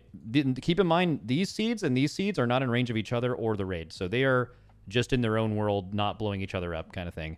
Uh, we had very little wipes to these two seeds, if that's what you were asking. Like, it was actually pretty consistent. Mm. Uh, I mean, we, yeah. I think we would have had the same. It was just an issue what uh, Roger pointed out that the Demon Hunter seed and the Warlock seed in the beginning were like too close sometimes, and then they blew up. But uh, when we were in the positions where they were kind of alone, we also didn't wipe to it. So this is something that Final Fantasy strat making kind of taught me, which is that as much as you can, you want to make every single phase look the same, like orientation, boss relative wise, to make things consistent. So like what you guys did, and I think was really good for Firestorms. What I really liked about what we did is you always are looking at the boss the exact same way. Everyone relative, always here, always here. That never changes. These guys are back here. These guys are back here.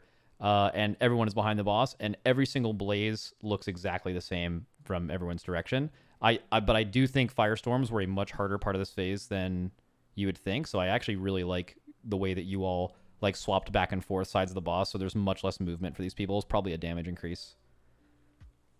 yeah, the firestorms. I mean, they were an issue for us as well, but I do think yeah, we focused a bit to make uh, the main thing we actually had an issue with with the firestorms were on yeah 3C and 3D. Like basically the not the first two times, uh, but the third and fourth Yeah. part of the fight. Uh, if the people with the good seeds got it, it was quite hard sometimes to to get it to a good position and uh, that caused a bit of issues. Like uh, this is like the final product like obviously that you're seeing here. Like we had issues where the hunter they couldn't make it there uh, or they didn't like pre-move let's say for it. And then they would just drop it a little bit more in air or they would go at the bottom bottom at the tip and drop it there. But then we we kind of banned doing that even though we had one there for the kill Yeah. but uh, it was not supposed to be there so we had a bit of an issue with this random like or Xerwo like we had a wipe where Xerwo in this what you're seeing now Yeah. he placed the tornado there on the left and then i think it was nice memes he went out to place his tornado on 3d and he didn't expect to have a tornado there Yeah, dude, and this happened so many. exploded T- this happened like so Yeah. many fucking times where like like in our strat right here, what our hunters would do early is like if they got a firestorm, they were pretty far from here. So like they would put a firestorm like here or here, and it was like so dog shit later in the phase. But like the illegal, yeah. We, Yeah. we, we banned it and called it the illegal. And Yeah, we're it is so- yeah, it was-. Yeah, it was definitely bad. So then, like, the way that we did this for four is we were like, okay, we can utilize what we're not utilizing in the room right now is like these other sides. And what you guys chose to do, and we did not, this is probably the biggest difference in our strat, is these tornadoes are turbo sketchy, right? Like, you have, you, these tornadoes, you're putting like almost in the next tornadoes. Uh, or the previous tornadoes, sorry, Yeah. or like you can even put them in the puddle if you have like a big personal or something, right? So like like that way you're doing it. We just thought that that was insanely sketchy. But like again, I I like the way you guys rotate. We just put our third one here, flipped our side of the room, had uh THD or the hunter get rid of his seat here, and they picked up a corrupted now, and then we have a tank, and now it's just flipped, looking at the boss on the other side, completely clear with everything behind you. So like this part of the phase, like just like one swap, and the boss is obviously hitbox is much bigger than this for people who are watching it, but um, you start doing this, and then the next one just goes like on the tip, and then you just back them up and do the same thing. Yeah. And and you have fire firestorms can kind of be YOLO'd left or right for both of these phases as long as you just have enough space. Um, so that that was that was the way we did it. Uh, what did your all's last phase burn look like? What is like three E, I guess. Uh, yeah. One second. I just want to see what that looks Well- like because it's like I'm assuming you just give yourself way more space. Yeah, but we also never played it actually because on the kill, like Roger said, we had a a wild tornado on the bottom left uh, corner, so I couldn't really put the boss properly in there because people wouldn't have had space. So I think we kind of ended up with almost the same boss positioning as you guys. Um, Oh yeah, it is at the exactly the same. Yeah, it's like yeah, Yeah. So so basically, yeah, it's exactly the same except we were just here one thing earlier. But you, uh, man, it's so funny how you have these concepts of where tornadoes should be and where they should not be, and.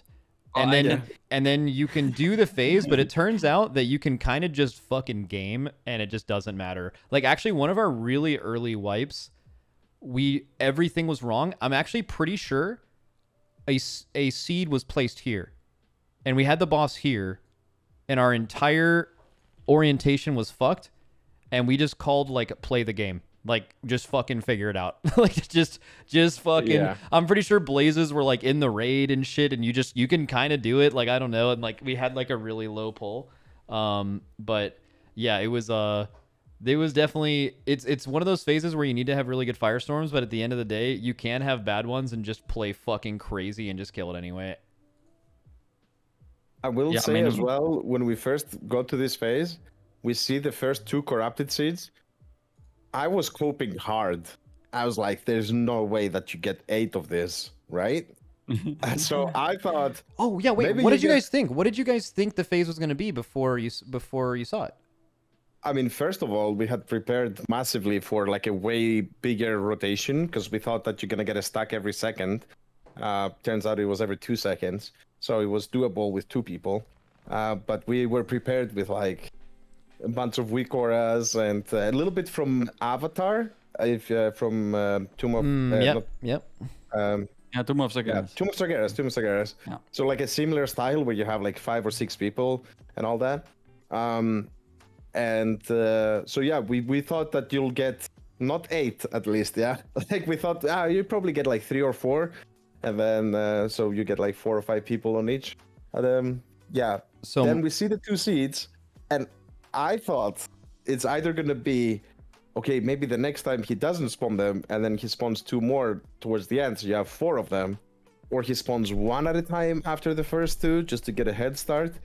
I did not expect eight. I was coping hard. People like there was also the thought if we don't use a good seed, maybe he doesn't spawn the corrupted. yeah, because you can li- you can live the apocalypse roar without a seed. Yes, yes. We were like, guys, we just pop all, we live it, we don't corrupt the seed, like a good one, and then we don't get the co- two corrupted ones. So we thought about this and we just didn't want to waste a wipe by going to the last phase and then just like doing that and then fucking it because you can't test it in any other difficulty. But then we, I think what we did was we had a wipe really early on where like a bunch of people were dead. So we just called to use uh, or we just called to like not use any seeds. We just like immuned the hit, and then we saw that they just spawned on a timer.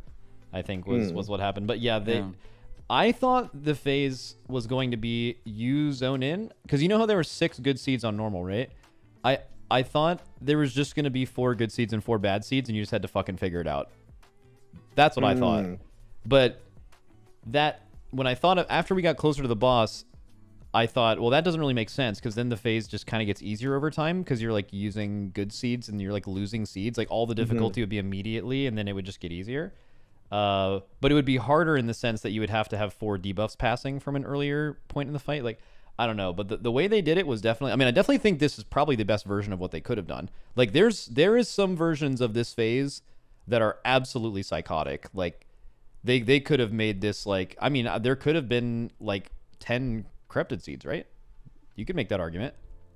Yeah, Yeah, they could. Yeah. yeah. I mean, I- would not want to see how it would look with healers also having to play those, because I think both this and Tindral were so hard on the healers, like as just boss designs, that uh, I, I like there was this thought at some point, yo, let's maybe maybe we put them to healers because they heal themselves as well. You know, it's good, yeah. I was like, bro, like, don't do it. Yeah, they're already stressed enough. They don't need an extra layer of stress uh, to, Yeah. to in this fight. You were Um, you were talking to me at BlizzCon about a secret phase. You were like, "Man, I hope there's a secret phase." There has been. There's been a secret Oh. phase on the end boss of the last raid of the expansion in every single expansion since Cataclysm. Were you disappointed to Yeah. not see one? Yes. I mean, de- definitely, but it made a lot of sense. I think after seeing the last phase with the seats, there was a lot of cope going on. I think uh, some people in the venue were also like, "Yeah, we're all gonna blow up, and Chromie will dress us, and then we get a secret phase." or Oh, that is an stuff," insane but, uh, cook. but, but I mean, I mean, to, to, to be honest, after seeing eight seats, you were like, "Guys, I don't know. It was probably just die Yeah, or we bro, die." if if we got that boss to zero percent and a secret phase started, I would have fucking logged off. I would have logged off instantly. The- you know, this was a classic Argus situation. You have all these titans watching you, and they don't do shit. Yeah, and this time you have, you have all the aspects watching you, and they don't do jack. Like, I don't know. Like, just lore wise, this is just strange, Blizzard. Come on. Like, you need to have something cool happen. I don't know. Look at the Ragnaros or something, right? Like, he pops up. There's like all the people are coming. Malfurion is helping you, popping the roots uh, to root the Ragnaros. Like uh, implement those characters in some way. I don't know. I was so disappointed actually that they didn't do something cool. Um, I do think also one thing Yeah. to say is that the face looks crazy and it was very hard to get the kill, but it was relatively easy to reach. Rel- okay, I guess not easy, Yeah, but it yeah, was yeah, yeah, yeah. it was yeah. reasonable to let's say con- somewhat consistently reach 15% or so of the fight uh, it was the last 10% especially that was the hardest to get through um, I think especially the first two blooms of the seeds at some point you just didn't wipe until that point right like you just Or when you did, consistent. it was an Omega tilter. Yeah. yeah Uh, you just So- see the firestorm spawn on someone, or Oh my God. someone leaving. Actually, what I- what put what did me the most on this fight was the when you had the seed and the firestorm spawned, the hitbox on you was very small, but when your seed was on the ground, the firestorm just became the biggest missile in the world and just killed you, or killed the seed rather. I think Yeah. that was very weird, uh, very weird, very bad. Um. Yeah. But I- yeah, I'm like my point is that if they wanted to do they it, like if the boss at 10% or 15% transition to a mythic only phase, I think it would have been okay, but not at 0% like Jesus yeah, Christ. dude. Yeah, Like, that if, was yeah. If like I said, if if that boss got to zero and there was a secret phase, I would have instantly went to bed and just like had to process that and then come back and like, dude, think about how many pulls in a day. Like, even when we get better at that fight, how many pulls in a day would you even make it to the secret phase? Like, holy fuck, man! Like, it, that's the kind of fight where you could have been there ten times and then not get there for three hours. It's just that's just how it is.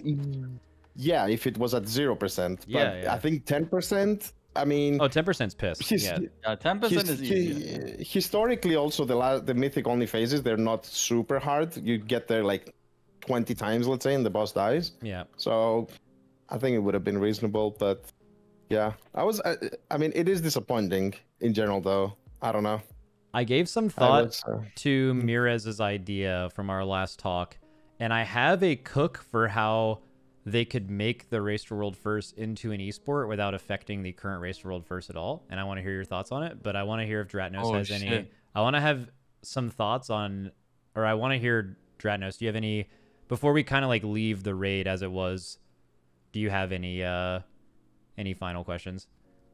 Yeah, I kind of got a broader one just zoomed out entirely about this race, which is like oftentimes we come into these races and we we sort of learn something and it's like, "Oh, we were doing something this tier based on what happened last tier, but like that was stupid and wrong for this tier and we didn't kind of realize it." So, uh, did either of you you guys have any kind of instances of something where you kind of like were fighting the last war, right? Doing the doing something based off of what was right in Aberrus that was just not right in this raid.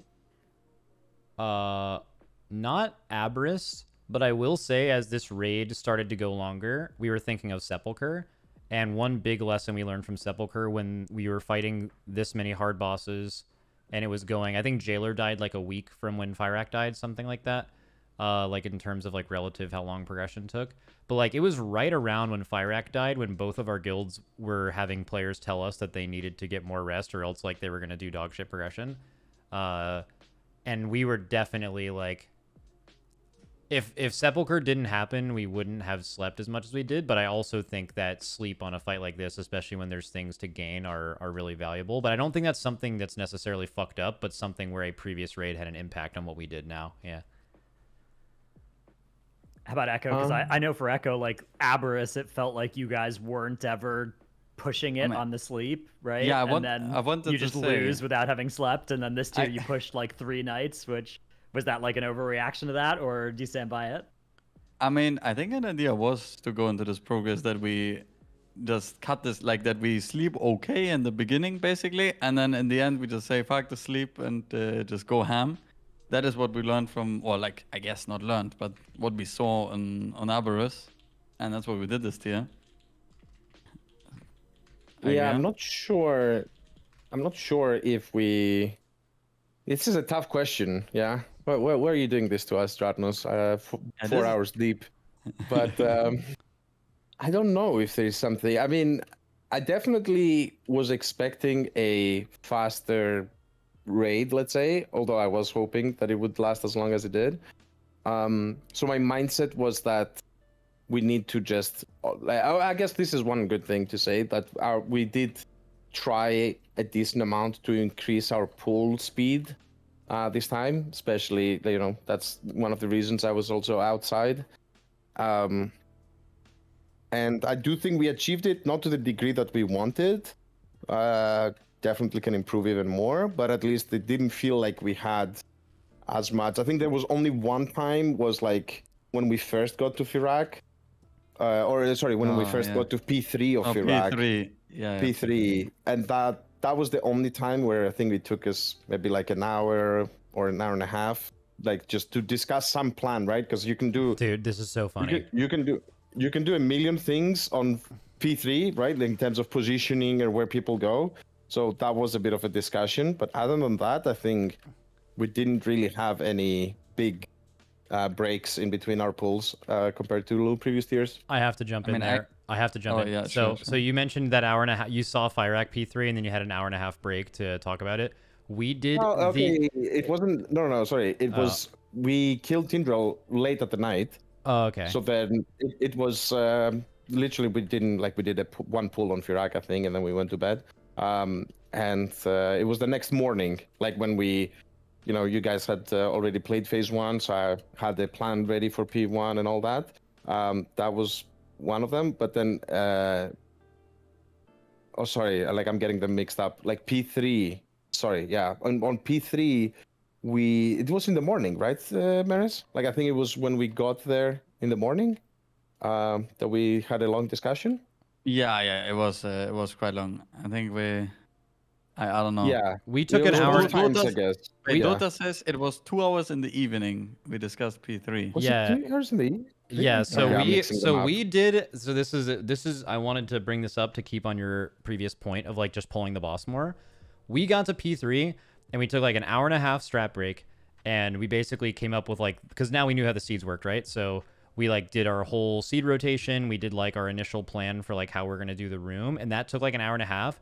And then I know after the raid, like so like you're looking back on what you could have improved on. I think what we should have done is probably come up with what we did in like the first 30 seconds to minute of that phase and then just kept pulling for consistency, right? Um and then so that was like a criticism, but it sounds like you guys did the exact same thing, which is I mean, Yeah. it's like it's it sounds stupid to not pull a boss when you don't have a full plan of what you're doing and it would have been impossible for us to plan on the seed order before you knew how they were going to do the seeds, right? So the Yeah, the the issues as well, like you know the entire fight basically from the get go, because the, the timers are full repeats. So it's not like, oh, let's just pull to see further. Like, you know what's gonna happen. Like, it's not a mystery. So you kind of want to have some sort of plan of where you're gonna place things, because you don't want to also try something out quickly and then be like, okay, scrap all of that. We're doing completely different positions, and then people are like, no, but you know now I've, I'm used to this. I don't know, but yeah, I think you are also correct. We should not have taken that long. I It mean, was, I, uh, I, I am I am fighting the other side of this because like we talked as officers like how what we could have done to be better and stuff like that, and definitely some feeling was like we should have just pulled faster in that scenario. And my feeling was, how can you pull P three without knowing what you're going to do and you're going to get there? And I think the compromise is you don't have to Yeah. actually strategize all of P three before you see it. You can just have bare bones general ideas and still keep pulling because like two hour breaks. Not everyone in these guilds is like uh super involved in strategy, right? Like a lot of people are just playing the game. So like Yeah, those yeah. those people check out during those breaks, and your pulls after those breaks are usually bad. Uh, so it yeah, it's it's it's hard, but It, it was actually crazy. I was trying to pull for like an hour straight, I think, and Scripe was just taking people one by one hostage, and I couldn't pull. He was like, "Ah, look at this now, Mike," and then he showed Gingy for like ten minutes what he has a plan for the movement. I'm like, "Okay, maybe Mike is done now." Um, press ready check, and he's like, "Oh, look, Frago, maybe you can check here." I'm like, "Oh my god." Uh, so that was some cra- crazy time, man. So Ben, who is a old raider for us, you guys know Ben. He was just spamming slash pull twenty in our current raiders chat in Discord during like a lot of Fyrakk. Well, just I can I I can say quick, quickly on on Tindra sometimes the ready check was done when we were wiping like during the wipe I was already guys we're pulling again there's nothing to talk about yeah, The- Yeah. I, I don't need to I don't need to chat yeah. I remember also one thing like towards the end, like on the last day, we would have maybe like a phase one or two, uh, not so much one, but like phase two wipe, and then people started discussing like why we wiped and stuff. And I'm like, guys, if we haven't figured it out in 300 and whatever pulls, it's fine. Like let's just keep pulling. We we should not discuss anything but P3 at this point. Yeah, like just keep pulling the boss. It's fine because uh, it was getting to that point where we're just uh, focusing, I think, on the the wrong parts of the fight. yeah I I think that's a lesson that we learned on Jailer and never managed again actually I mean I'm not sure how much but in, because on Jailer I was raid leading phase one and two right and every time we wiped and everyone was just kind of so zoned out at that point because it was such a long progress. But we wiped, and I was like, guys, is there something to talk about on the wipe? And I was like, nah, not really. And we just pulled again. But I think we didn't achieve that fully, this progress. Maybe we uh, need to try again next time, I guess. I don't know. All right, Dratnos. Any Sometimes- other?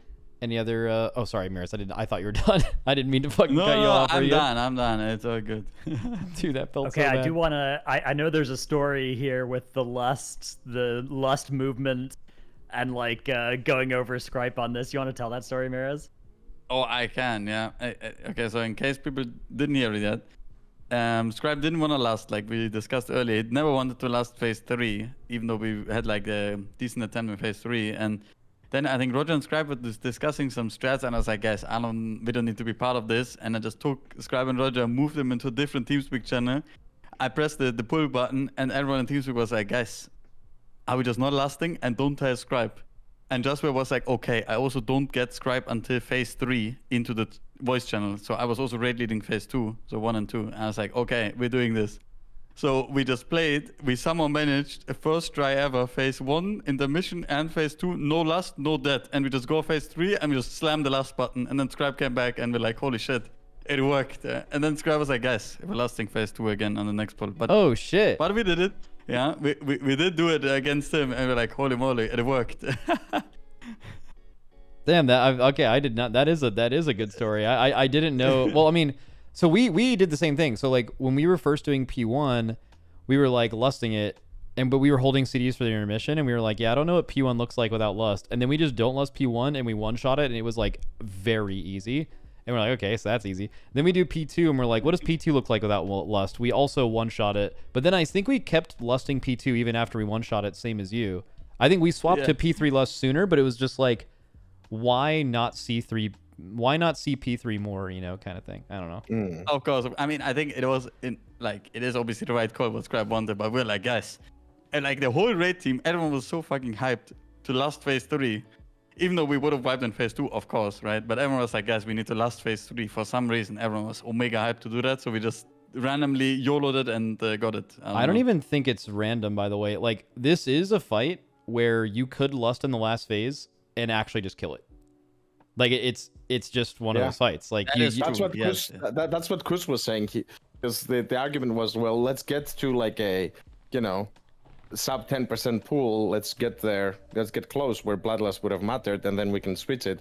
And his argument was, bro, this boss is so random. Like, what if we get that, uh, you know, 4% wipe? That could have been the kill.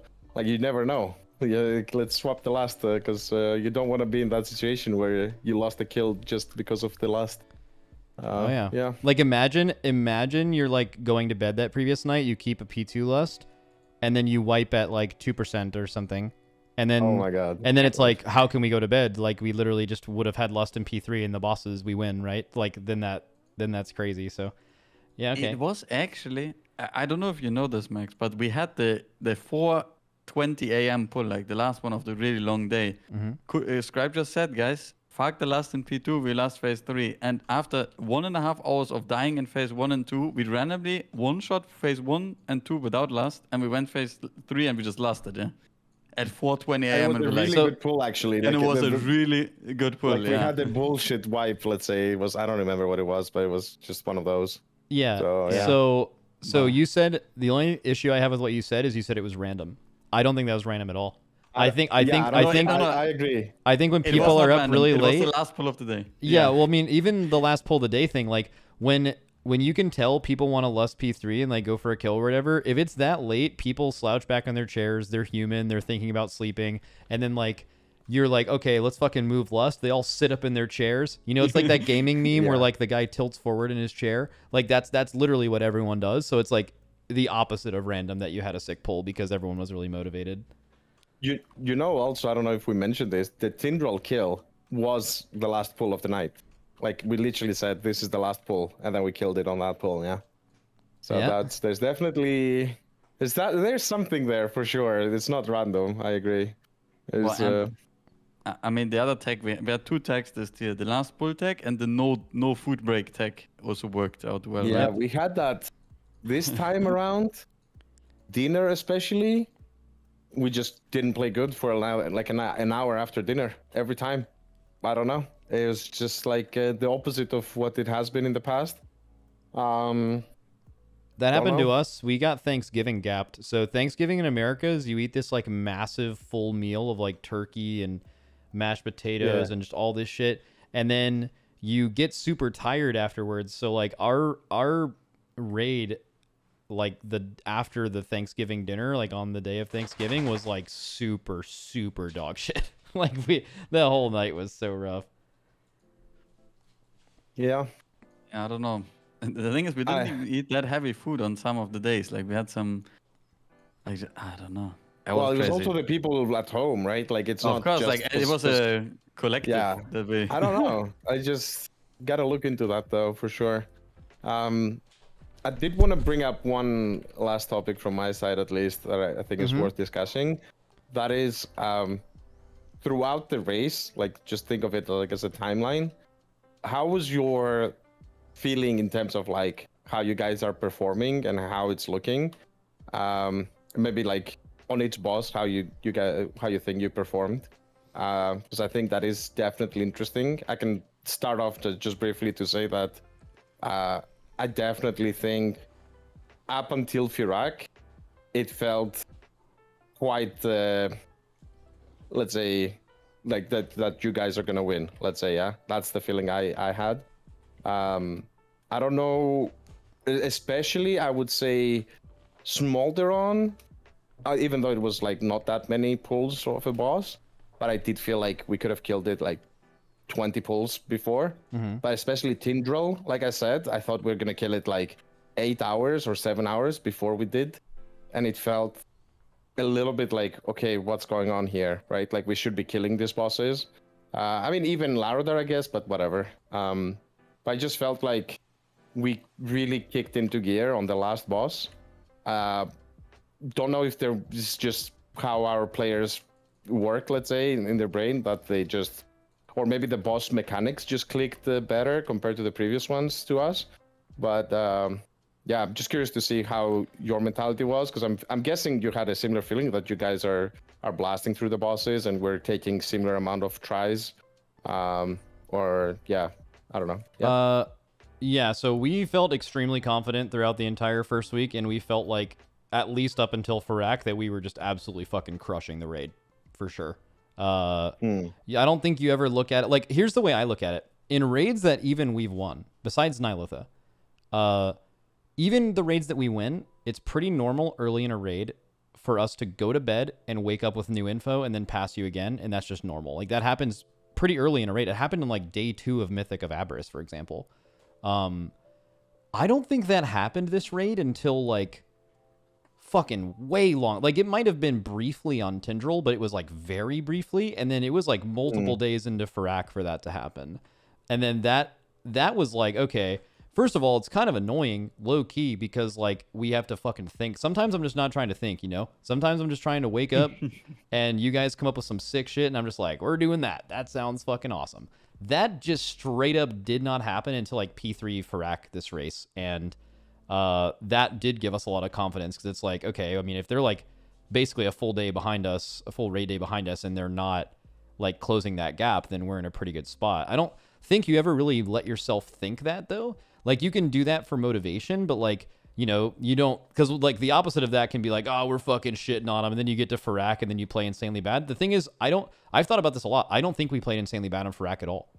Uh, I think you guys just fucking pop the fuck off. I don't know if that's how you guys felt in your guild, but I think you guys just played that boss. That might be one of the best bosses you've ever played because we were, I think we were absolutely owning you guys until that boss, and then you guys came back. I mean, it is a good boss to like wake up with info on. You, I think probably the biggest thing you got was like you got to wake up to just like a full P1, just like okay, GG, swap Yeah. a few things around like that. Yeah. that caught a lot of time up. But like for the rest of the fight, you guys were doing a lot of your own problem solving and just executing, and you were more consistent, right? So, um, yeah, that, I think I think one thing I guess that uh, I just wanted to add is that in general, bo- on, on all the last three bosses, I think we, uh, I mean, if you're uh, like uh, let's ignore Fyrakk, yeah, but, but at least on Smolderon and Tindral, it wasn't so much like we progressed quite good on the bosses. I I feel, but we just couldn't close it.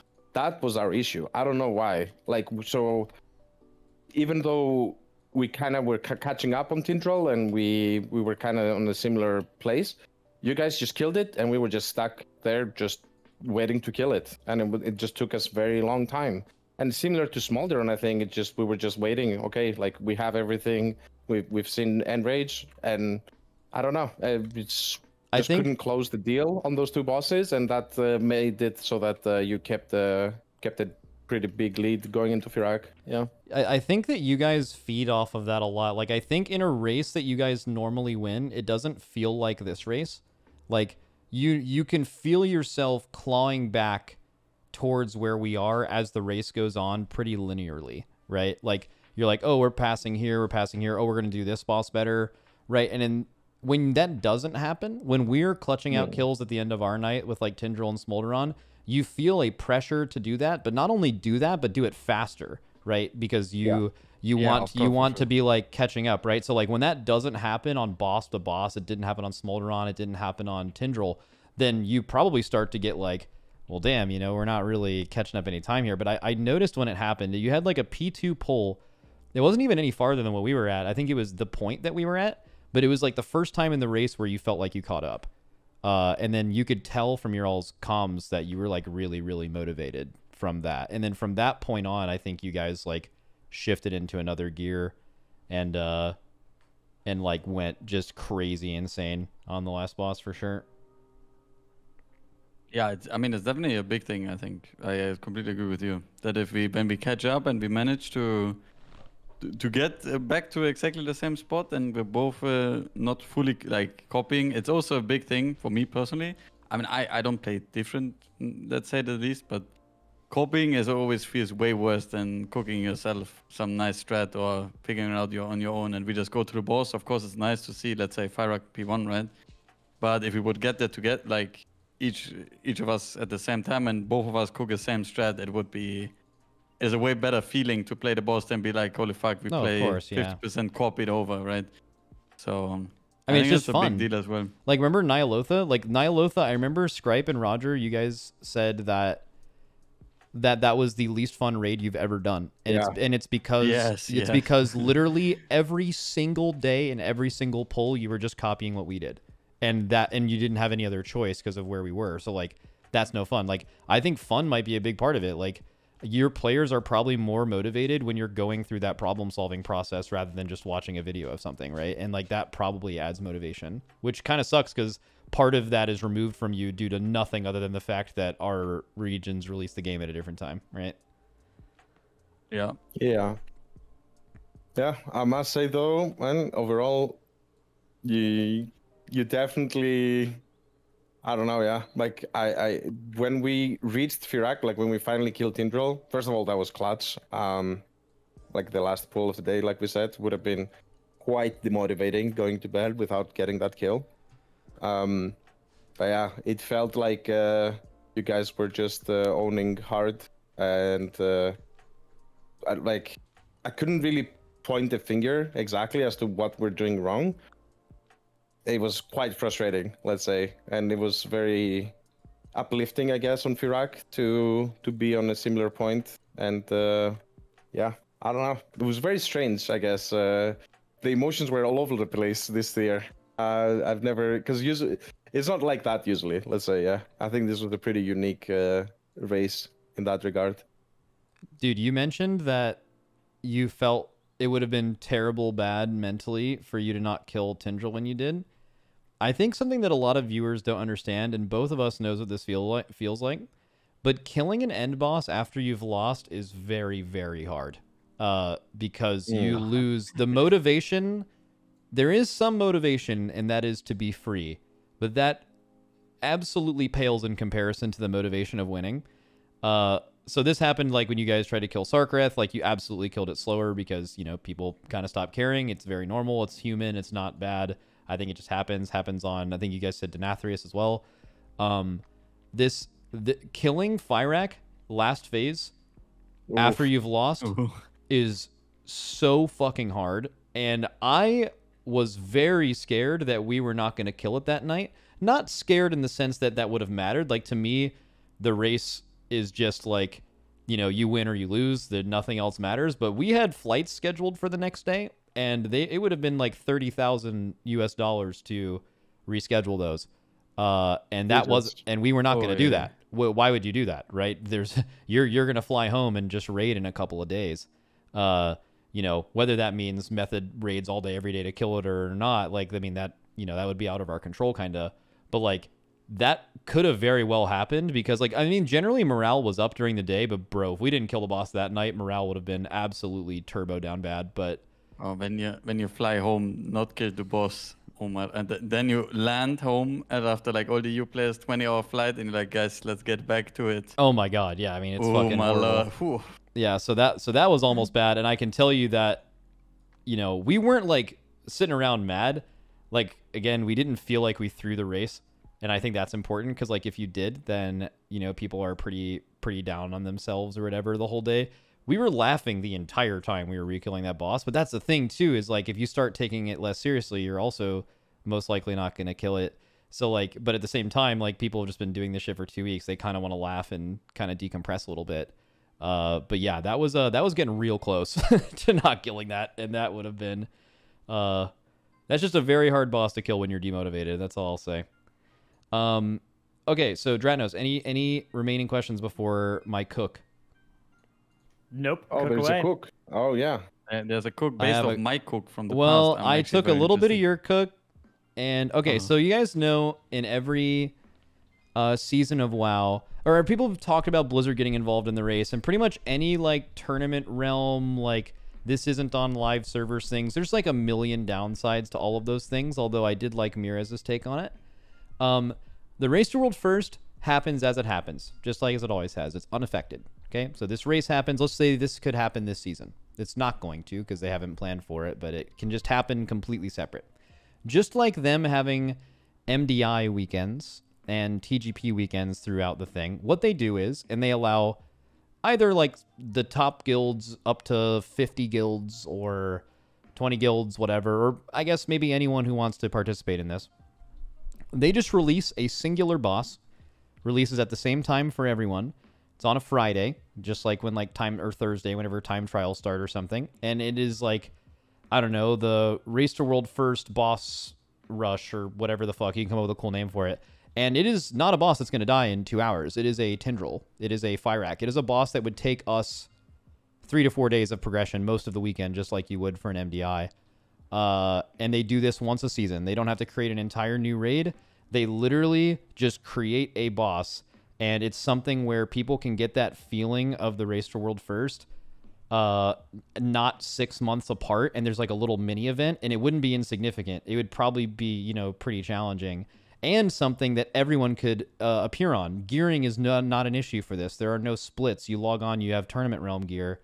Uh, and you can anyone can play and anyone can play whatever they want and i think people would watch the absolute fuck out of this and i think the load the lift for blizzard for this is pretty low too that's my cook Yeah. Where do I sign up? Oh, like, yeah, exactly. Where's the tournament room? I'm calling right now. Um, no, I think that is that would be insane. I do think, um, in terms of uh, the difficulty, I you- like. Do you think this would just stay difficult then? For for like they, they wouldn't i mean go and nerf i mean it afterwards. this yeah? is i mean this there's no reason to nerf it this isn't even on live servers the only reason this boss exists in the game is for the purpose of esport and the purpose of it being challenging right so there's no reason I- to make it accessible to the masses because this is just like the mdi or the uh or the tgp it is it is Mhm. something created for the spectacle of the race which is fucking massive by the way this was like the most viewed race of all time yeah. uh, it's obviously extremely popular, infinitely more popular than dungeon content. So like Blizzard would also just be promoting and investing into a part of their game that people obviously really care about. Uh, I don't know if if the argument is like it's taking away content from the live game. It, the thing is, is we're not asking for them to create extra esports raids. We are asking for a single boss. And a lot of the times when Blizzard is making a boss, the load for that boss is not a lot. What takes a lot of time for dungeons and raids to be made is actually the concept, theme, and design, and like how it looks. And that takes a ton of time, and it's a lot of bosses and boss design. Dude, if a couple of boss designers work on one boss, they'd probably make a banger, and it's not going to take up a ton of their development time for other things, and it would be extremely entertaining to watch and participate in. And a lot of the guilds that are unable to compete in the race, uh, whether they would compete anyway is another discussion, but can't even begin to think about it because they can't do this many splits and have this many helpers and have this much gold and all these things, right? All of that is fucking gone. If you are an awesome, if you're instant dollars, right? If you're a sick guild and you want to actually see how close you would get, maybe you and your boys can take a weekend off and see how well you do, kind of thing. And I think that could also make it a bit more interesting. So I'm a Yeah, I think that's yeah. I Yeah. think that's a great idea. I mean, and also this was the one thing that I said when they uh, at BlizzCon, like uh, when people were asking, so what do you think about the war within and all that? I'm like, yeah, everything sounds great, but give me more raids. Like the the rate at which we get bosses has decreased steadily over the last few years and there's you know there was the Shadowlands with the the COVID uh, let's say excuse, which is a valid one. But what about this expansion, right? Like I feel like they I mean, I don't I don't want to say they owe it to us, but why was it able to be done in the past and not anymore? Is my question. Like why Yeah. we used to get so many more raids, and now Yeah. we're getting three.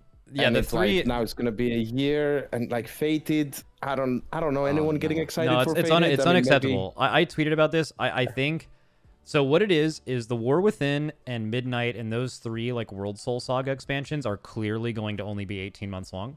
And in an 18 month expansion, it is acceptable and normal for there Yeah. to be three raids in those expansions. So what I think they're doing is they're just doing that early before that happens. But the reality is like a two year expansion only having three raids is just straight up unacceptable. Like Fated is fine if it's like the last three months. Like it's a glorified like little Yeah. fun pre-patch thing. That's fine. When it's replaced, which it did, it, it did that last expansion, right? Fated was fine last expansion. It had issues, but it was fine. It replacing an entire season is just it's it's unacceptable. It's just simply not good enough. Like it is not okay to just not Yeah. make a re. I don't know. I, big not big. I thought yeah. uh, I, I- thought they're gonna uh, announce that the War Within is coming earlier because obviously with the Augment Rune we got a hint that this might be the last tier, not fully confirmed, but then they basically confirmed it uh, at the BlizzCon, and then they say, "Oh yeah, War Within coming fall 2024," Yeah, and I was yeah. like, Yeah, if it huh? came summer, if it came summer, like we're chilling, Yeah. right? Like It would have made exactly. sense. Yeah, yes, Summer exactly. made sense, and I thought maybe they want to shift where they when they release expansions because they're kind of stuck in this infinite loop of two years, and they maybe they didn't want to release it um, around uh, you know uh, November or, or whenever they. When was this expansion released? I don't remember. October, November. This was Maybe they're uh, like, yeah, we want to do it in summer for reasons. I don't know, financial reasons. And I was like, okay, I'm down. But then they don't do that. So I don't know. And not to mention, okay, a little bit going on the lore side again.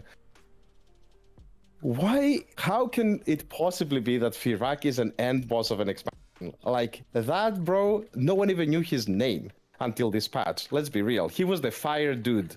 Okay, and now suddenly he's closing Dragonflight. Are you kidding me? Where is Galakrond, man? Hello? and and no know. secret phase. I mean, it was uh, Yeah. FF. Sorry. I, I I thought there's gonna be yeah at least a secret phase or I don't know. I mean, I mean, is, um, I, I, Max, are you even into the lore situation or is it full FF for you? what's up? The- uh, oh. No, yeah, no, no. Galakrond, yeah, the whole dragon family, all all of them, big fan. yes. I, mean, okay, I okay. don't know. Just it's- just comparing it to like Argus or N'Zoth, you know, those are some important people, and now we just killed the fire dude. I mean, I don't know, a little bit. uh not not as impactful, I guess, but I feel like it was why a I- I- suitable boss for an end of expansion if you just look at it from the difficulty and like the design. Oh, It- it's yeah. suitable that Oh, way. yeah. You're just talking lore wise, which I mean, I have no opinion on that. yeah, yeah. Oh, I I'm just- actually well, well, that's why I thought they're gonna do another raid. That's literally the reason, because I thought lore-wise this makes no sense. This is the last Yeah. boss. Okay, Yeah. I I have two more things to add. Uh, number one, I wanted to add to my my esport thing, Cook. I forgot to mention one very important part. Uh, there would actually be no reason for there to be a dungeon journal at all for this, and you would find all of it out natty, like at the very beginning. That that Oh, would yeah. be Yeah, a- of course. Of course. a, a cool part of this. And I then mean- and then that I didn't want to like fully cook on that. I just wanted to let that simmer. And the other thing is, do you guys think there's a correlation between Sepulcher and Amirdrassil? They are the two hardest raids probably ever. Maybe not for their era. Like for example, you could argue Tomb of Sargeras was harder than Amirdrassil, but like that's for its time, right? I mean, like our current guilds would absolutely fucking demolish Kil'jaeden and Fallen Avatar, right? So it's like you'd have to compare between the times, but uh do you think it is a coincidence that the two hardest raids in a very, very long time and maybe ever both happened as an end of expansion raid? So, ever since uh, BFA with Uldir, they have no longer done the like intro raid. Like Castle Nathria, Uldir, and Vault were not intended to be easier than a regular raid. But I'm asking, is the end? Do you think it's a coincidence that the end of the la- uh, raid of the last two expansions happened to be significantly more difficult than the rest? Do you think that's intentional, or do you think it's just like RNG? Uh, I, I mean, my personal opinion, I think it's RNG. I think whoever's uh, working on the bosses uh, just cook some good stuff because I personally, I mean, I expected last boss to be hard, but I personally didn't expect Tindral to be this crazy of a boss, right? Okay, we can talk about that, right? It's because Right. Tindral on PTR was a fucking joke. It was so easy. also yeah. It was Yes, that is so easy. true. Like normally, when bosses on PTR go live, they'll be harder because they ramp up. They like change a few of the mechanics. They ramp up the damage. They actually like gave that boss bloodlust, and he cast abilities like three times faster. Like it's completely unrecognizably different. Yeah, I don't know. Yeah, I'm, I'm, I'm not sure. I mean, maybe there's a maybe there's a philosophy I- in Blizzard's uh, I end, have right? I- the the I have it. Armada. I have a theory. Okay. Oh, sh- oh no.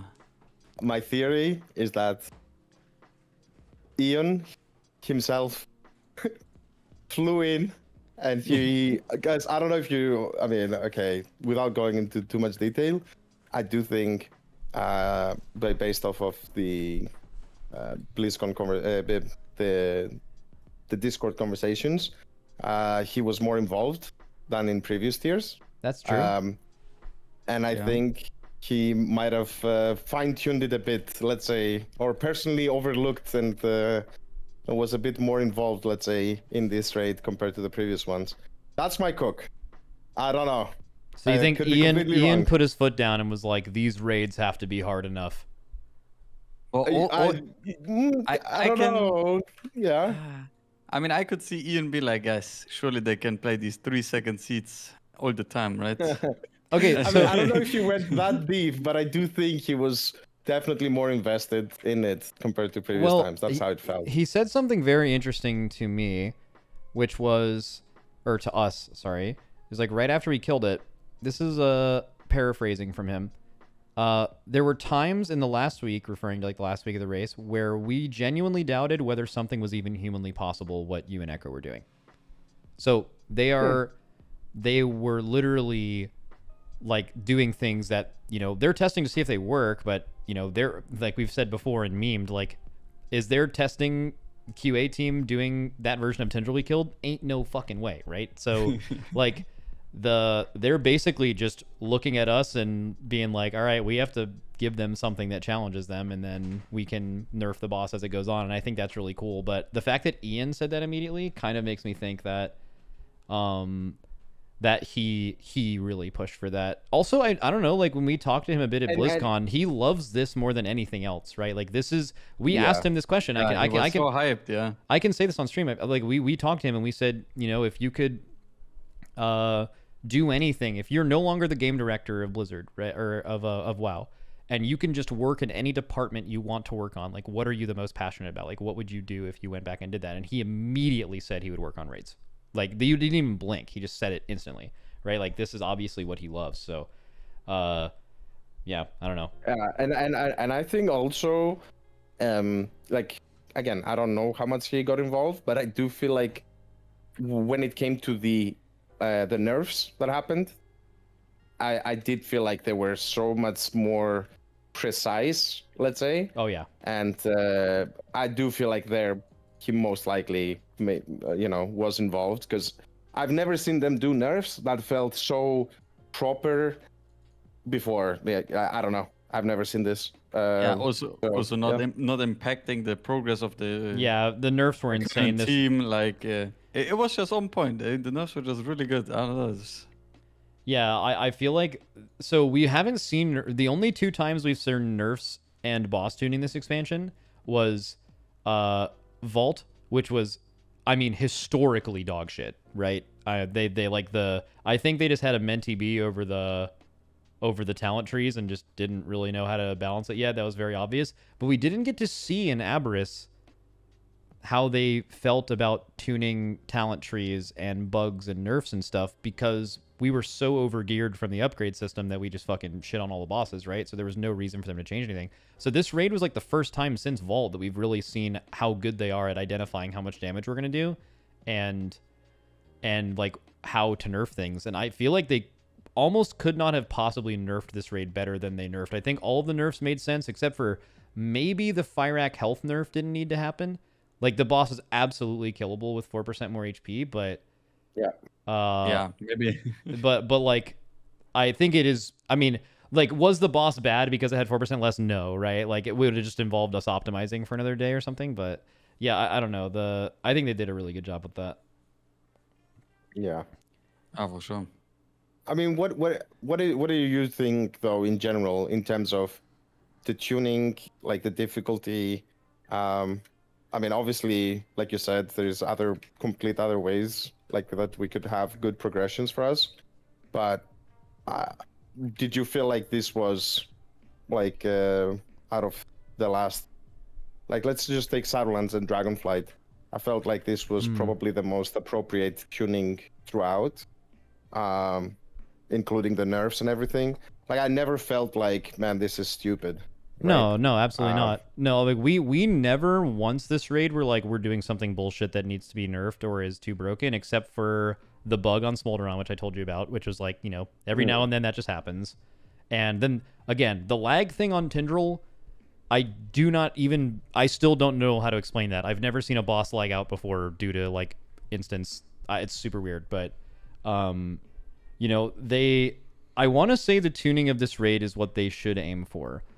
I would hope for like a little bit more interesting Smolderon because like I think people are like, oh, we didn't want the race to last too long, bro. If they made Smolderon have to live with everyone alive instead of two people dead, it would have just died five pulls later instead of you know what I mean. Like it's not like that would have taken Yeah. forever.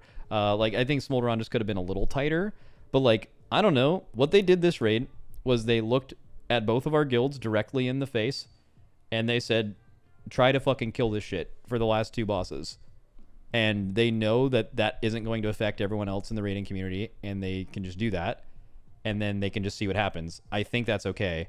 It, but i mean there's obviously a quality difference. Like they could do that with two bad bosses and then the race feels like shit kind of i don't know. But like you know as long as they make good quality i think what they did with tuning was good. The only thing i'm a little concerned about is it is insane they did not nerf seeds this reset.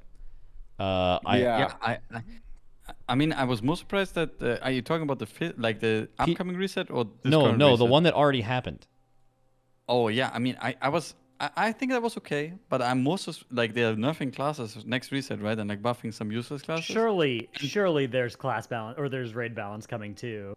They just yeah, haven't I, finalized I, I'm, it yet. I- I'm telling you, like if they don't, like they nerf the OP classes, they buff useless classes that are not even in the raid, and they're not nerfing the bosses. Holy moly, huh? That's some crazy stuff next week. There, there will be uh, boss nerfs on Monday. There, there has to be. Like, I mean, it has to be. I agree. think even if there wasn't class nerfs, I still think there would have to be boss nerfs on Monday. So, the I mean, it's just Yeah. way too hard. and right? ma- ma- make the blazes not uh, turn the spirits instantly, man. Just let make them lose some HP. yeah, start with Holy more shit. HP on them. I mean, the the modifier is 300%, right? Everything in that phase does 300% more damage to those ads than it does to you. You can just lower that Hmm. modifier and it would be fine. Yeah. Yeah. God, that's a tilting wipe. Wow. Holy fuck. Talk about tilting Fyrakk wipes, bro. the Oh my fucking an ad getting blazed 300 pulls in oh. is Oh. a that is a take a break angle. Like that. I, I, I think we we we had like three pulls in a row, and I just put the ten minute break. I was like, guys, We actually this- made the recoil so that people at least know, yeah, because like when when it happened and you didn't even know about it, and then suddenly everyone is dying, and you're like, oh, what the hell? Look at that! There's in the corner. There's an ad.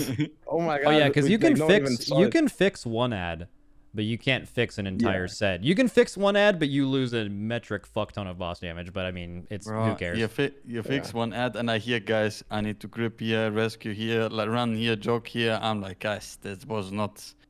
This is the biggest pain ever. It's insane. Dratnos, any thoughts? Yeah. No thoughts for me. No, that's Oh, thank uh, God. Actually, he, he just dropped that. Oh, that's good. head empty. Head Head- day?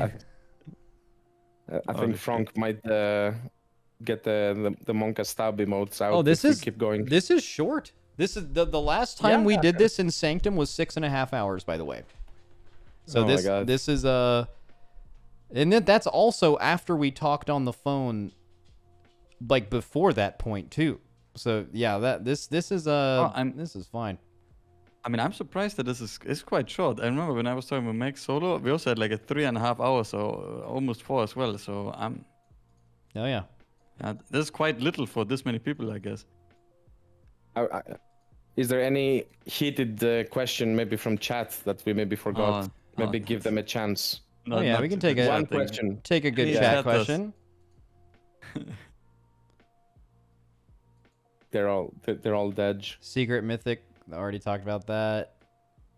Frank sent me uh, 30 minutes ago. He sent, "Ask right now if Head Start is an actual advantage, and extend this episode by four hours."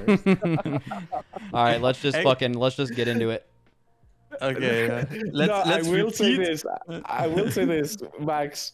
Your fucking tweet was a fucking banger. Then after I must say, Oh, I, I showed the yeah. tweet to everyone, Max, and that tweet, I better took off hard. Yeah, that was an insane tweet. So okay, my so I usually don't tweet during the race, but there was uh that day was pretty rough for me. So I don't know what was going on, but in our facility, I DC'd for my stream and and TeamSpeak and everything mid pull eight times in like three hours. So I was, and I don't know if you guys are like this or anyone in chat is like this.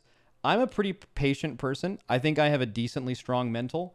If I ever lag or DC in game, I'm I am an absolute demon for the rest of the day, and that's if I DC once. I I I mentally cannot recover from from from lagging out or DCing. I'm an absolute turbo bitch when I DC. So that happened to me eight times. I was as bad as you. You could actually watch me do this on stream. I am kicking back with my legs up on a couch, lagged out on stream, and I'm I open up my Twitter. I see a bunch of viewers saying that like EU is getting fucked by this nerf timing, which I think all of us can agree is absolutely fucking insane. And then, and you even messaged me at the time, Mira, as you're like, yeah, I mean, like, Yeah, I- like, I- oh my god.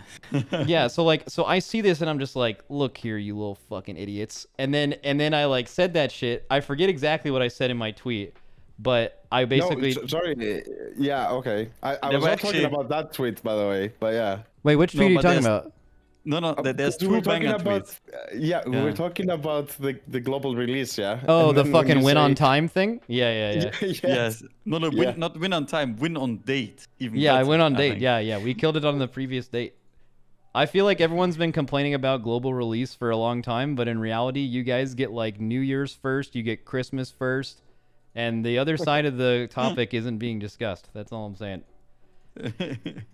Yeah, but no, No, that but the day, other one for- that Yeah, that one ahead. day was so I was so down bad, man. And then I just started tweeting, and then what I didn't know, because I have all of Echo muted during races on Twitter. I'd never want to see anything you guys say. It could only tilt me. It could not make me happy. So it's bad. So you guys are all muted. Uh, but apparently, Gingi had tweeted, kind of indicating that the nerf timing was bad for you guys. But I didn't know that. So I like looked at my Twitter later, and there was like very negative, nasty responses to me, and I'm like, this is so strange. Like I'm just like responding to a bunch of chatters, and I feel like what I said was definitely right. And then I didn't know this, but I, I like it. People thought I was like subtweeting Gingi. Like people thought I was like Gingi tweeted, so I immediately was like wrong, and then and then it came off as like super fucking aggressive. So that uh, that was yeah, bad. I- uh, Yeah, Yeah, No, Twitter I was a mean, mistake. I, I did not. Yeah, hello? You did not. Oh yeah, go ahead. I do not. Yeah. He I- did not. Guys, I do not. Well, maybe he's gone. He's yeah, he's he's, he's just typed gone. WTH Fucking- he's out. chat. I guess Alright. he's out. Um, Yeah. I did see a good question from chat as well. If we just wanna wanna leave Roger. Hello? Oh, I think I'm Oh, back. okay, Hello? welcome Ah, back. Okay, what did yeah. you not? No, no, I, I, I do not think this was about the Tindral nerf, right? Yeah, yeah, yeah. Yeah, like I do not think uh, like the way they did that nerf. I mean, it did not matter at all. Like it was. Uh, uh, Yeah. So like then, said, what the fuck happened? The nerfs. How do I What? open up my? I opened up my Twitch and a bunch of EU fans are just fucking mad as shit. They're just like, "Oh, here we go again, fucking NA nerf timing." And uh, and then I'm just like, "All right, you guys want to talk about fucking nerf timing, huh?" Like, yeah, let's fucking let's we can get we can talk about nerf timing. Yeah, I don't Bro, know. I, Yeah. I, I don't even know how that happened, yeah, because ev- everyone that looked at it for longer than five minutes was like, I mean, guys, yeah, we didn't even reach any of those things that were nerfed, so it's probably pretty good that they're nerfed, yeah. Yeah, and I also mean, on- people on- were saying we asked for the boss to get nerfed. That that was another thing. Oh, Liquid asking for boss. That never happened at all. just making shit up. Yeah. I think on the surface it just looks bad because it's like literally when we are going to bed, but that's when you guys are waking up, and same goes for the Blizzard people. I don't know what the solution would be in general. I do think one thing that they could do um, in terms of nerfs is to just give, um, like, just standardize that there is like, unless it's a bug that they're fixing, right? Like the small Smolderon thing you said. Uh, that should be hot fixed immediately, of course. But if it is just a nerf on the boss, maybe just give like a couple of hours of head start uh, of uh, uh, like, hey, we're gonna nerf this in three hours, you know, so that uh, people can plan around this, you know. I guess. Uh, I don't know. I mean, like that would be fine. It's just that every time something was nerfed, we were on the boss for longer. Whether you're going to bed or not, we were just on the boss for longer at that point, and the nerf wasn't even on something we were currently progressing. So I just I didn't understand yeah. any argument. I mean, you guys know that too. It's just more the people, fans, fans get riled up in the race. That's all. They get real, Yeah. real excited. That, that is true. All right. I picked out a question from chat that also was one that I'd kind of written down earlier as well, but I think would be interesting to talk about, which is how is it now that we're like having this talk where like last race and the race before tensions were obviously a lot like higher between Hmm. you guys, right? There was kind of not as much Oh yeah, uh, oh yeah. communications and stuff. What what was the process where we got to uh better like more open, friendlier uh relationship between the guilds and you guys? I Oh. think uh, two two main factors. I think one was definitely BlizzCon, like uh, meeting up in person, uh, played a, a big role. And secondly, I think the fact that uh, how this race ended, like uh, Max uh, said as well, like if uh, you know, let's say in a world where the bosses were easier or whatever, and then you had a kill right after a reset or something like that, I think it would have uh, also not been great. Um, but uh, it, uh, let's say, it helped a bit uh, the the situation how how the race overall went. So a bit on the tuning and um, yeah, just overall, I think it was. Uh, it would have been hard, I guess, to have it gone as uh, badly as it did last time. But regardless, I, th- I think those are the two main factors. I don't know. Um, so I think there's two things. So number one, BlizzCon, and then I'll show this on stream. I'm not going to share my stream in Discord, but like this GIF, um, with the two dogs barking at each other through a fence, but then when the fence is lifted, they they s- Yeah, they I they what they stop like they're like barking crazy, right? And then the the gate's gone. And they're like, "Oh, what's up?" That was basically us at BlizzCon. Like like that's us for years leading up to BlizzCon, but because of the pandemic, you have no way to actually talk and see people. You only hear the worst possible thing from a clip that what they say. You don't watch the good things they say. All you hear is what their fans say in your stream chat every day, which is obnoxious. And then you end up just having this warped opinion or position that you see them in. And if you don't talk normally, especially IRL, it's kind of hard to get past that.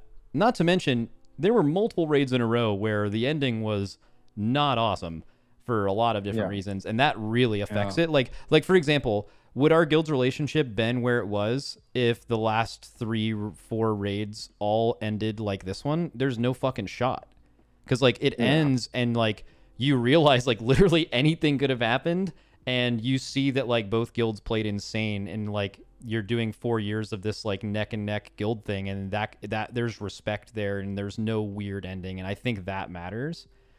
Um i also think that and there's a reason why i did this today. Um i think having these talks after races really help because it shows the community that it's not all smoke and it's also interesting but it's really really fucking hard for the person who loses to do this talk this close to the race. And this time and we talked about this at blizzcon and i would be pretty much i would be a pretty huge hypocrite if we won this race and then you know expected you guys to show up and do something like this like we talked about and then you not want to do it. And then like i i can't be that person right? So like i have to kind of suck it up and do this. Like i fucking hate losing. I hate that we lost this race right? I there's so many things that go in my mind about how we could have won but I think it's important to do stuff like this uh, to maintain that.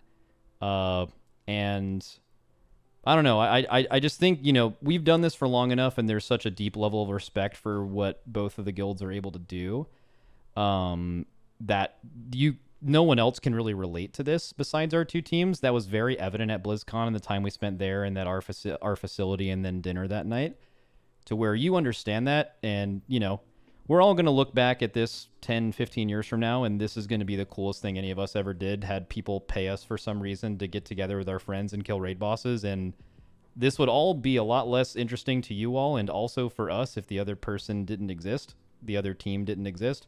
Like this would just be boring as fuck. It would be an absolute stomp in the race so uh yeah i don't know. We respect them and uh yeah the, the reason why it's better now is because we had an opportunity to see each other in real life for the first time in four years i think that's probably the biggest factor Mm-mm. Yeah. Yeah. For, for sure.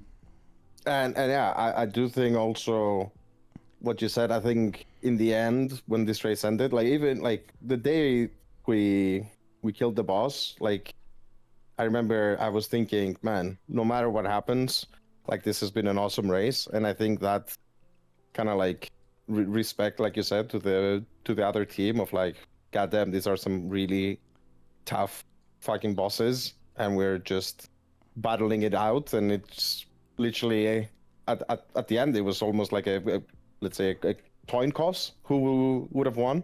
It was like uh i don't know. I, I think that trumps a lot of any uh, random Yeah. crap uh, that happens during the race and you're just like man it was a good it was a good race and you kind of uh, i mean obviously i fully sympathize in regards of like so much effort and then uh, losing sucks uh, massively but knowing that you know uh, both teams did the best and uh, it was uh, a great race. I don't know. To me of course i like we said we're losing uh, years of our lives during that day because uh, both teams want to win Oh, so yeah. crazily. I'll never i'll But, never forget that but but it was uh, uh, that's the main feeling you have i think afterwards right? Like you man what a crazy race.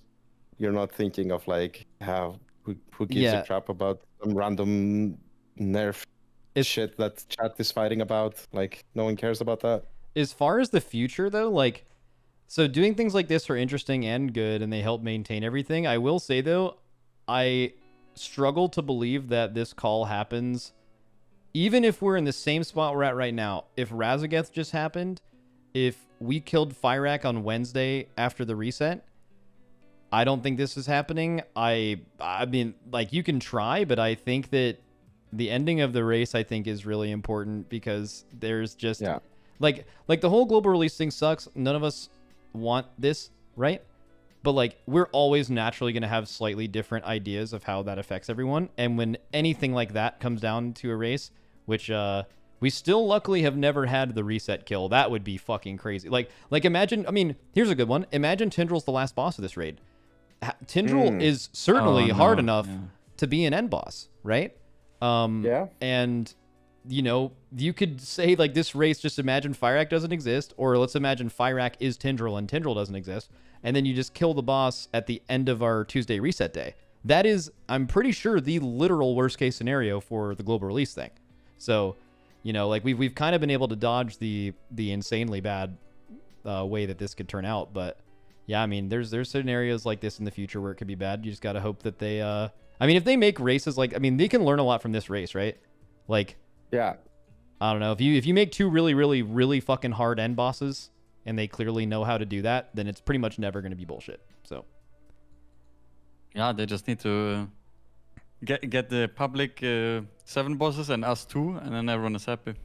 and they need to do that esports cook. I'm telling you, that would be fucking awesome. That shit would That would that shit would get Oh, yeah. hundreds of I mean, that thousands of be- viewers on Twitch. It would be over the weekend, so people would like look forward to it. You'd see you'd see us figuring there'd be no testing. You'd see us figure out the bosses in real time, no dungeon journal. Your fucking favorite friends guild can actually compete and try on their own, which people like as much as I don't know how many people would want to pull Tindral when we're pulling it, but if you wanted to do a boss like that and see how you would actually fare, it would probably increase your respect for what we're able to do, but also have fun on your own.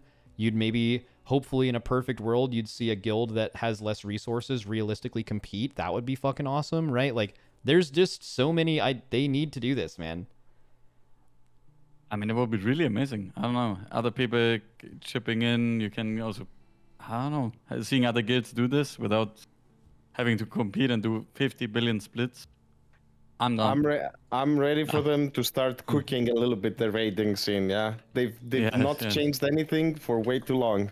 It's time to cook, Blizzard. Like- Come on. We- We're down to skip a fated tier and get this instead of fated. Oh yeah, faded. Oh, yeah. Faded. I mean, maybe we cook with the deepest set of like pans and shit, and we try to make faded interesting. I have no fucking Ooh. clue how we can do that, but uh, or you know what? Here's what I want them to do with faded.